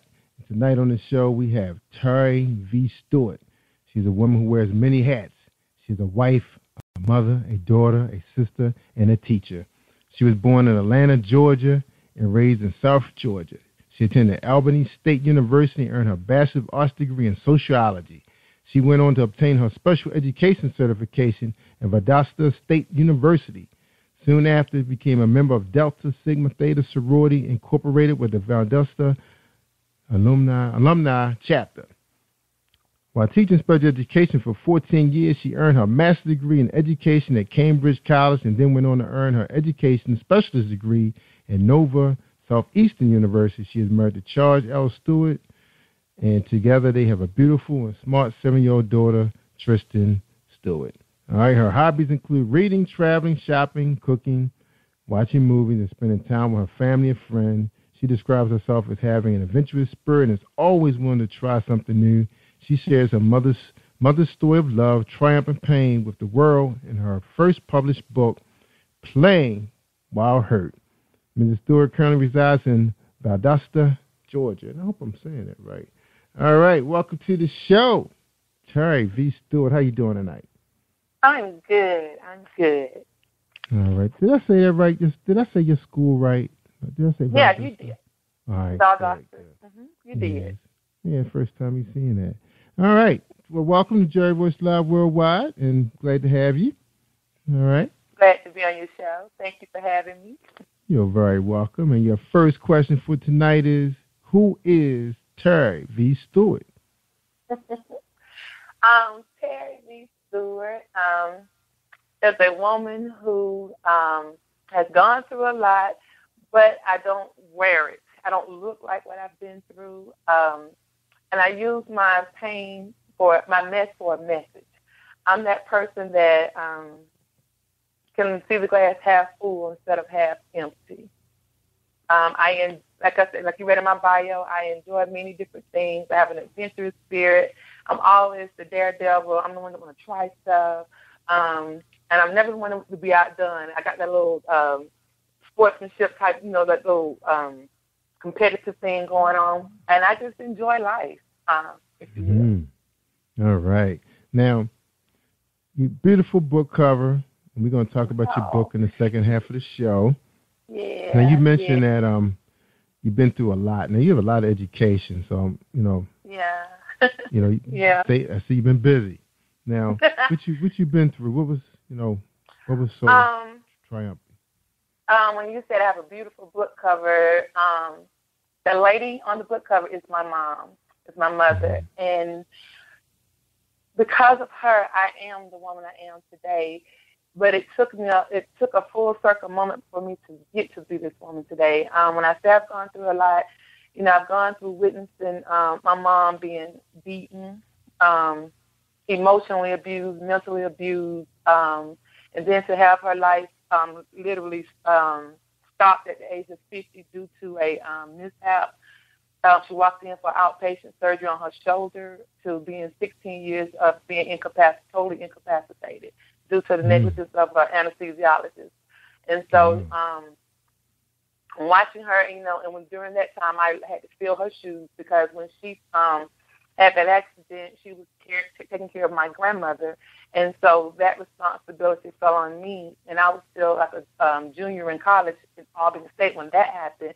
So you got this um 21 year old um who's then about an honorary 90 year old lady and my mother at the same time, and trying to maintain um my grades as well at undergrad. Mm. Wow. Um, That's a lot. but yeah, it's a lot. It was a lot. it was a lot.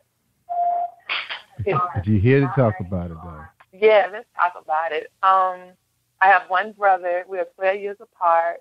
Um, we're very close. Um, and he has been like a like almost like a father figure to, as well as my big brother. Um, but he and I have both kind of witnessed the same thing. You know, trying to figure out like why. You know, what what happened to our mom to make her endure the um pain and suffering that she went through, the needless pain and suffering she went through with relationships, and you know us having to watch it and to you know when she's finally starting to come into her own to be to being struck down in the, the prime of her life. You know, we just you know just a lot of um questions that we were just trying to figure out why, how did this happen, and then how in, in the midst of all of that, how well my mother handled the adversity that she the card she was dealt. Um, the title "Playing While Hurt" was actually um, my brother's um, sermon the first um, Sunday after my mother's funeral um, that he preached. Yeah, and he compared my um, mother to like an athlete. You know, athletes they're always, you know, they, they, it's about the game. You know, it's not about them; it's about the game, the sport that they love, and you know, they play hurt, whether it be physically, um, mentally, maybe going through something financially. You know, athletes go through a lot of challenges. You know, the politicking of the sports, if it's you know NFL or NBA or what have you, but they they you mm-hmm. know it's all about that game. And so, although my mom didn't play an actual sport, she understood that mentality of an athlete was in the game of life. You know, she taught my mm-hmm. brother and I how to play while hurt. You know, about this life is not about you, it's about servitude. You know, if this, if if my pain can be somebody else's relief, so be it. You know, we go through it to help somebody else. Yeah, it's not about us. Mm. So, Wow. So how how how um young were you guys when you were seeing her go through this abuse? Well, you know, my brother got to see the the most of majority of the physical abuse because he had to witness it from his dad. Then he walked when she thought he was they were walking away from it with his dad, and then she married my father. You know, and to walk right back into the same thing. And um, I was smaller, and younger, but I do remember a few of the incidents that you know just really just stuck out to me at being um, four and five years old. And then when she finally left my father, um, it's a excerpt from the um, the sample of my book where I talked about when she shared with me how my father had wrapped the um, telephone cord around her neck and he was dragging her, and Mm. she literally was um, like the life of her breath. She was losing her last breath, and she managed to like just pray like God, if you let me live, I'll leave him. And she said the cord instantly broke. And so Mm. she knew she had to make good on the promise she had to walk away. And so when she moved back to South Georgia, um, she didn't want to go. of course, you know, going back leaving because South Georgia, she was from a town called Tifton, Georgia, and she did not want to go back to Tifton. She wanted to stay in Atlanta, but because she had to make good on that promise, she had to, she she left. And um, a few years later, she married again my stepfather, and went from the. And then he was the church going, like family man. He had eight kids of his own that he had raised Wow. by himself, and Mm. they were mostly grown, but it was the emotional um abuse, and that's what I really got to um witness. Kind of like you know, it's my way, no way at all. You know, Mhm. um, his kids could be sitting in the living room and I could be sitting there with them. They were grown for the most part, and if he was not home and, they, and he would pull up in the driveway, they would all scatter, and I would be sitting Wow. there like, "Where's everybody running? Why is everybody running?" And you know, he would, and they would call me disrespectful. You know, you, you're not respecting our dad, and he didn't like that. You know, and my mom was like, "Well, Terry, you know, maybe you should." Just go to your room sometimes, because you know how he is. We got to work on him, you know. And I just couldn't figure out like why, you know, what was the big deal. Yeah, Mm. so Ah, emotional abuse. So Yeah, it was the emotional stuff. Yeah. So he yeah. had no problems with them eight kids, though, did he? he ruled with an iron fist. It wasn't until they got grown to some acting out maybe started, but he did. He ruled with an iron fist. Yeah. Mm. Yeah. Yeah. Mm, mm, mm. So, you, so it's not like your mom went through the same type of abuse. It was, it was a different type when in the second marriage. Was more emotional. No, the, the, no, the first two, she was married three times. The first Mm. two marriages was the actual, it was all incorporated. It was the emotional, it was the physical, you know, mental, it was all of it. And then, Oh. and I remember her even sharing with me with the first one. Um, she didn't really want to marry this guy, but she gotten pregnant, 18 years old. So you married man, you know. That was my grandmother pushing her to marry, you know, because you're pregnant. And she really didn't. She resented that, but she looked at it as a ticket of leaving, you know, South Georgia to get to Atlanta. And um, she would actually, she even shared with me how she would even initiate some of the fights, like in hoping that maybe he would leave her. You know, she, you know, Mm-hmm. and w- w- she would fight with him. But then when she got with my dad, it was different. She, you know, she said it was like he would just, you know, tower her, he would just beat her. Yeah. Mm-hmm. And um, not to give a whole lot of the book away, she even shared an incident where she had caught my father. Um, you know, she had made friends with this lady who was actually having an affair with my father. She didn't realize it was my father. She was, you know, it was my mother's husband she was having an affair with, and they had Wow. became friends. And so when they were going to confront the um my daddy about his infidelity, like he's been busted, you know, my dad just looked at them and laughed. She said and left. Mm. But he beat the other lady Wow. so bad, you know, and cause she she was from like up north somewhere, and she left, and he didn't even, you know, he just looked at her, he, never addressed it, and you know, she said she should have known, like, seemed like common sense would have kicked in, like he really don't care about, it. you know, what else is it going to take? Yeah, Mm. yeah, Mm. What did he go through in life to, to be that way? right, right, right. You didn't get him, so you didn't get that in your in your book, did you? you know, only because I don't know a whole lot about his childhood, but I will say, um, I just think hurt people hurt people.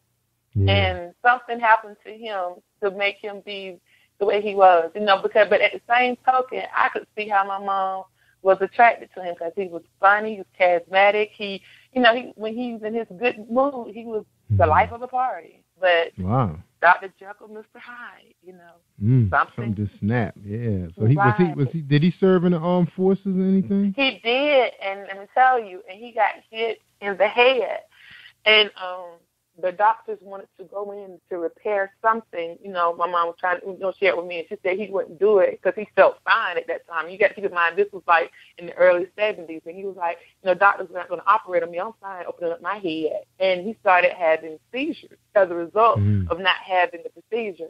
And so he started, he began to self-medicate, like with um smoking uh, marijuana, drinking, that kind of thing. And the, seizure progressively got worse to the point where today um, he had a, a real bad seizure back in like '04 to the where he um when he fell in the grocery store, he hit his head, and like he doesn't know me to be his daughter anymore. He just ta- he actually talks to me for my mother.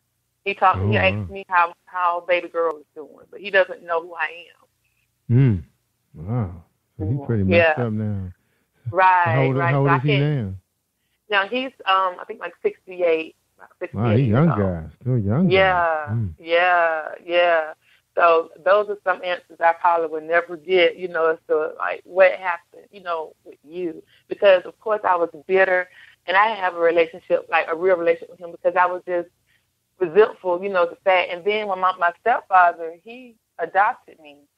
And you know, and I was like, you know, you you let this other man, you gave me away to another man. You know, you didn't want me, so I had a lot of resentment toward him um, for that. So it wasn't until I got grown, and you know, I was at Albany State, and I had this professor. Um, I was needing to take a class out of sequence because due to my mom's illness, I had to, I sat out of school a um, term, and, and I had to get a permi- special permission from her, and I went to sharing with her what, what I was dealing with, what's going on. And before I left there, she pretty much was like, "You don't think your mom knew your dad was trifling or who he was before she got with him? You know, like your mom. What, you know, why are you putting all the blame on your dad? Why you're not with your mom?" And I got so upset with that lady because I was I felt guilty for wanting to be mad with my mom because it's like I couldn't understand why she felt like she had to take what she, you know, took from men. But as I did more history in her childhood, she watched my grandmother do the same thing. She literally lost her older sister to the same domestic violence. Mm. Um, so it it was just a generational curse, you know, if you will. Yeah, it is. You know, you hear about that. You know, now I've been doing the show for about over a year now, and all these stories sound exactly the same. It's like it's like it's a generational curse. It's like these women just attract these kind of men, no matter where they go, where they find them, whether it's in church or in the hood. That's what they Mhm. attract. And the little good, the good little guys, they don't even see them guys. They Mm-mm, see the one with the horns on their head. and and Mm. like them, yeah, and attract I love them to death. Yeah, and then things. Just, that's we saw a play this past summer that was produced by my cousin, and man, she put a twist on that thing. And that was it was written from the perspective of um this guy shows up like an angel, but, but, but once he put that ring on the finger, bam, mm, different guy. Yeah, A different guy. Yes. The true colors. Wow, I bet you that was a good play. And that, and you know, and I can I can see that. But you know, um, my grandma used to tell me, you know, I, I was dating this guy in college, and he was carrying me through all kind of changes, and and I just we had stopped seeing each other, and she, you know, she had asked about him, and I was like, I'm not seeing him anymore, that guy anymore. And she was like, Why? I said, I could just, if I could, I could get someone else. I don't have to deal with that. And she's like, why? Because all men are the same. You just trading off one for the other. I mean, all of them do the same thing, you know. And so that's what she had taught to her daughters. You know, um, my my aunt, my mom, um, and it was and my brother. And I was starting to buy into it a little bit. And when I made that comment to my brother, and he just went in. He was like, "Look at me, look at me, Terry. What do you see? Do you see me being like those men that hurt our mama? Do you see me being like Trice?" I mean, he just got. I mean, he was livid, but in that moment, he validated me to tell me I was special, I was worthy. You know, I I didn't have to take you know or settle for nothing but the, you know the best. So I'm so grateful for that because no man had never really validated me like in that you know uh, uh, way before. Mm. Now your your brother is your brother married? Yeah, yeah. Mhm. Been married over 30 years. His high school Wow. sweetheart, and he has Mm. three kids and two grands. Yeah. So he so he know so he knew the way a woman should be treated and, and, and how not to be treated. Yeah, yeah, yeah. So because you know he left us in Atlanta. He got to the point. He said he got tired of feeling like that helpless little boy. You know, not couldn't help mama and just watch. Got to sit in the room and listen to her get beaten. You know, and trying to help her up off the floor, that kind of thing. He he just he just couldn't take it anymore. When he would talk to her, and she still wouldn't leave. By the time he was entering in high entering high school, he decided to go back to Tifton um, with my grandma. Oh, wow. And yeah, and he was just like, cause he I just couldn't take it anymore. I mean, uh, Mm. So he feared it. for her death that he was going to get that phone call one day from you. Yeah, saying, you know, yeah. Mama didn't make it. You know. Yeah, yeah, Mm. yeah, yeah. Mm. And you know, and my mom has had so many, um, had so many surgeries, orthopedic surgeries. Um, and she never played a sport in her life, but all of it from domestic violence. Like she had like three back surgeries. Um, even after she gave birth to me, I was the oldest baby in the um baby room or what have you because she didn't let me go home with anybody. But she had, we had to stay in the hospital almost three months because she Mm. had allegedly fallen downstairs. She would never tell us what what really happened, but she had fallen down some stairs. Mm. So, um, yeah, and I was like three months old when we I left the hospital with her. Yeah, I Mm. just stayed too. Yeah. Yeah. Mm. We're talking to Terry V. Stewart, the woman who wears many hats, the wife, the mother, the daughter, the sister, and the teacher. She wrote a book called Playing While Hurt, um, her mom's story. All right, we're gonna take a quick break. When we come back, we're gonna we wanna people wanna find out where they can meet Terry Stewart so they can hug her.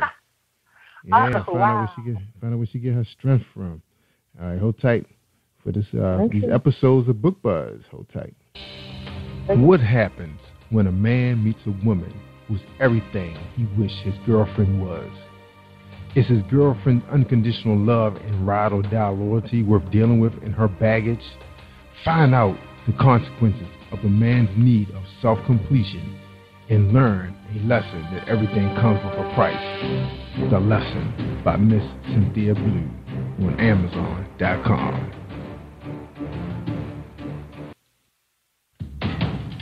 Think you know how drugs get in those little brown bottles? Think again. Set in the green hills of western New Jersey, inside the gilded halls of power of a U.S. pharmaceutical company where decisions are worth billions of dollars and human lives worth less. Nicholas Harding, a young executive at Marshall Pharmaceutical, finds his career, family, and life in jeopardy. The Farmhouse, a suspense thriller novel by Bill Powers, published by Donna Inc. Publications, available at Amazon.com or DonnaInc.org. Go to Bill's webpage at www.author.billpowers.com.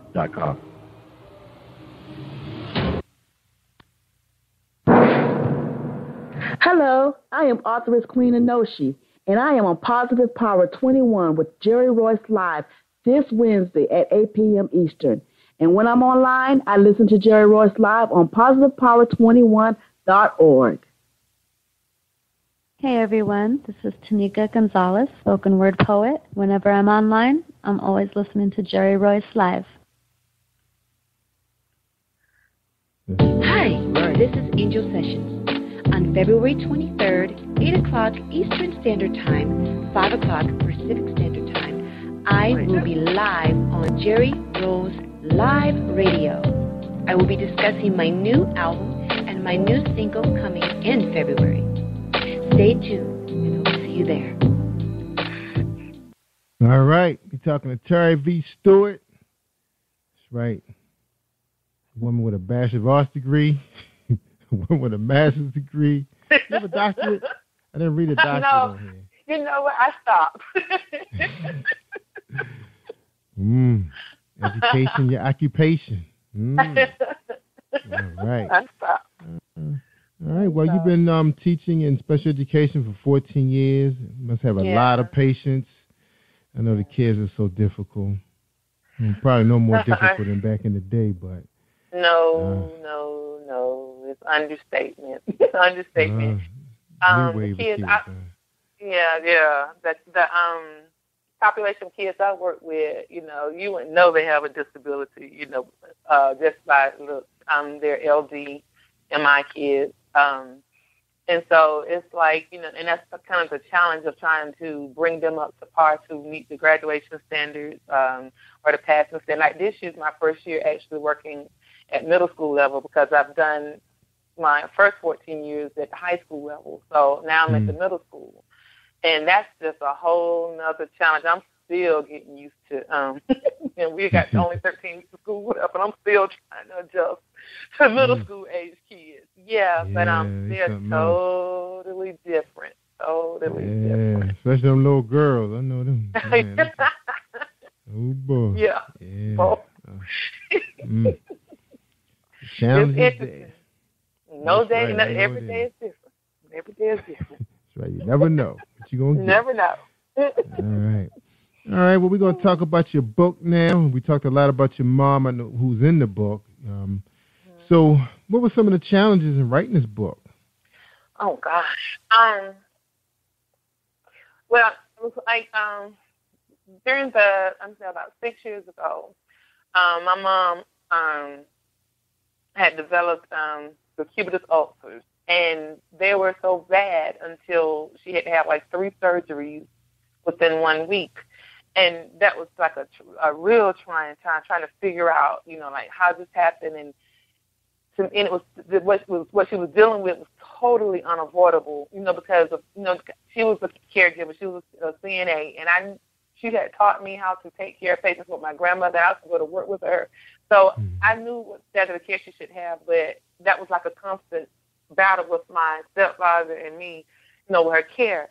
And so during that time of turmoil with the families or what have you, I um was sitting there and God was like, You gonna you need to write a book. You need to tell your story, you need to tell the story.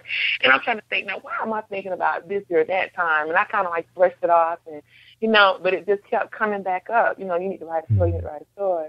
So fast forward um to 2011, and my mom passes that August 18th, and uh, probably about maybe three or four weeks after she passed, um, she came to me in a dream and told me it was time to write, to go get the book, to, uh, and we need to go write. We can go get the book. And I started um, trying to um, write a little bit more. I was just, I, and I always kind of journal anyway, and I was just kind of journaling some things down and what have you. But um, it was like until last due to budget cuts or what have you, I didn't teach summer school, and that was the first time in like 12 years last summer that I have never taught, you know, that I didn't teach summer school, and um, I just took that time to just really just put it together and just kind of dive in, and it just and it made me have to um, you know, revisit some dark places, some things that I just didn't want to remember. It just, yeah. it was just, you know, so it was really um an emotional journey, if you will. And I, you know, and I would stop, you know, and I'd pick it up and I, you know, get myself together and come back mm. to it. And then some things when I would need my brother's input, you know, for the first 12 years of life, he had mama by himself. So then I'm, I got to put him in a funk, you know, put yeah, him in a yeah. dark spot, you know. Um, How about your my, husband? I mean, he had to be supported too.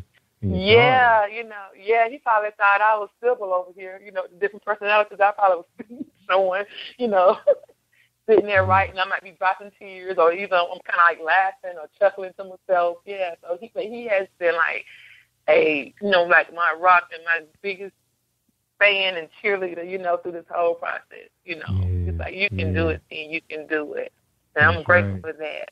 Yeah, right. I am. Well, what do you what do you remember? What was the last the last like final words your mom gave you? You know about her life. You know that you that you shared in the book. when my mom before she that um summer ninety one I mean summer ninety five, excuse me, um that spring I had turned twenty one and um she started like actually talking to me like, you know, woman style, you know, it, it was just woman to woman. And so from like that May until that September she had that story, that's when really and truly it's like she took every moment to just really share the things that I wrote about in this book. It came directly from her. And one thing she used to always tell me, no matter what, Terry, I want you to stay to the cross and be of good courage. Stay to the cross. She even wrote it in my Bible. And I didn't find it till later, and I looked at it that she had actually written that to me, you know. So that was her mantra, like, just stay to the cross, you know, and be of good courage. Mm, And so that's, that, yeah, and and that's one thing that you know I it really resonates to me. Even when I was viewing her body for the first time after she passed, I literally heard when I really felt like I was fixing to like just lose it and pass out, and I, it's like I heard her tell me that, and I just immediately like gathered my composure. You know, you know, she told me, that, you know, stay to the cross and be of good courage. Yeah. So that's one the most powerful thing I think my mom could have told me. Yeah. So did she? So when she met, so she she did she met Charles. She knew who Charles was, right? Yeah, yeah, she did. But when she, you know, he didn't get the privilege of meeting her prior to the surgery. He only met her afterwards. So she was, um, you know, incapacitated when he met her. But she knew him. You know, yeah, yeah. And he Did was she- there. Like, you know, No, gonna say, Smiling. did she get a chance to get to know him to be a good man? You know, knowing that you were safe, Yeah. and I mean, you assured her that Charles wasn't one of those those demons that that she was, you know, that she was married to.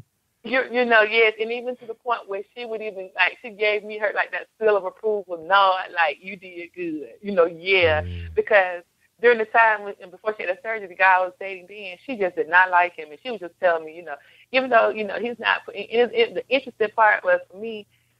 I had this thing where as long as you didn't put your hands on me, you know, now, and I was dealing with the emotional uh, um, abuse and the mental stuff, but, you know, and the disrespect, but you just did not put your hands on me, you know, and that was twisted. It's like I was separating them, like, you know, just to put your hands on me.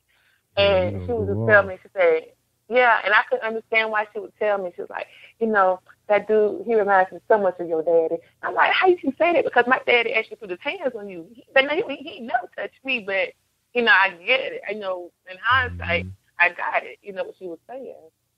And so when she met Charles and she saw how Charles would, you know, come with me and, you know, be with me to visit her and we would do things together. She was just, I mean, she loved Charles. Yeah. Mm-hmm. Good, good. Playing while hurt. All right. Now, I think you told me why you chose that title. hmm Um, give it to me again. I think you you kind of related to sports. You know, yeah, I think your brother, your brother. Yeah, when the first Sunday after my mom's funeral, that was his sermon title. Yeah, that's right.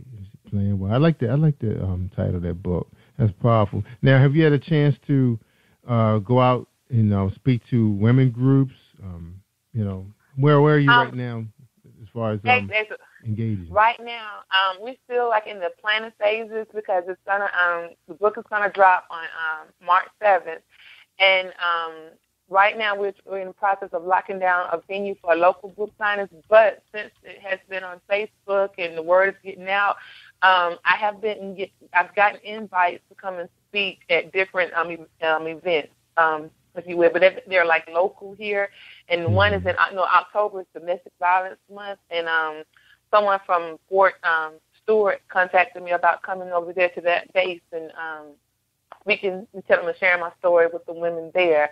And so, um, of course, you know, I got a sisterhood luncheon with my Sarahs um, on March, actually the day of release, and um, we'll be at Austin's um, restaurant here in Valdosta.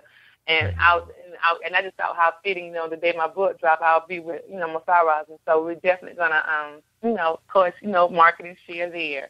So, um, but when I do get actual the dates and times of my actual book signings, of course, it will be all over social media. The um, GetItRightConsulting.com, um, my Facebook, um, Instagram, at TV Stewart.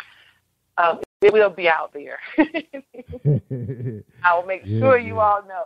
And I will, look, and I will even tag you, Mr. Roy. That's right. That's right. You better tag me too. yes.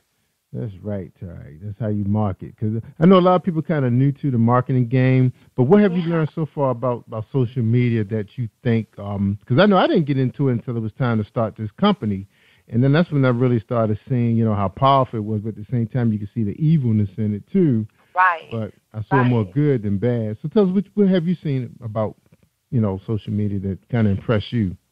Um, it's it's a great tool. Um, yes, I just upload. You know, just as a um, when uh, my editor was saying that she's going to go ahead and put it on the um her page on the page, her web on the website about the book coming out.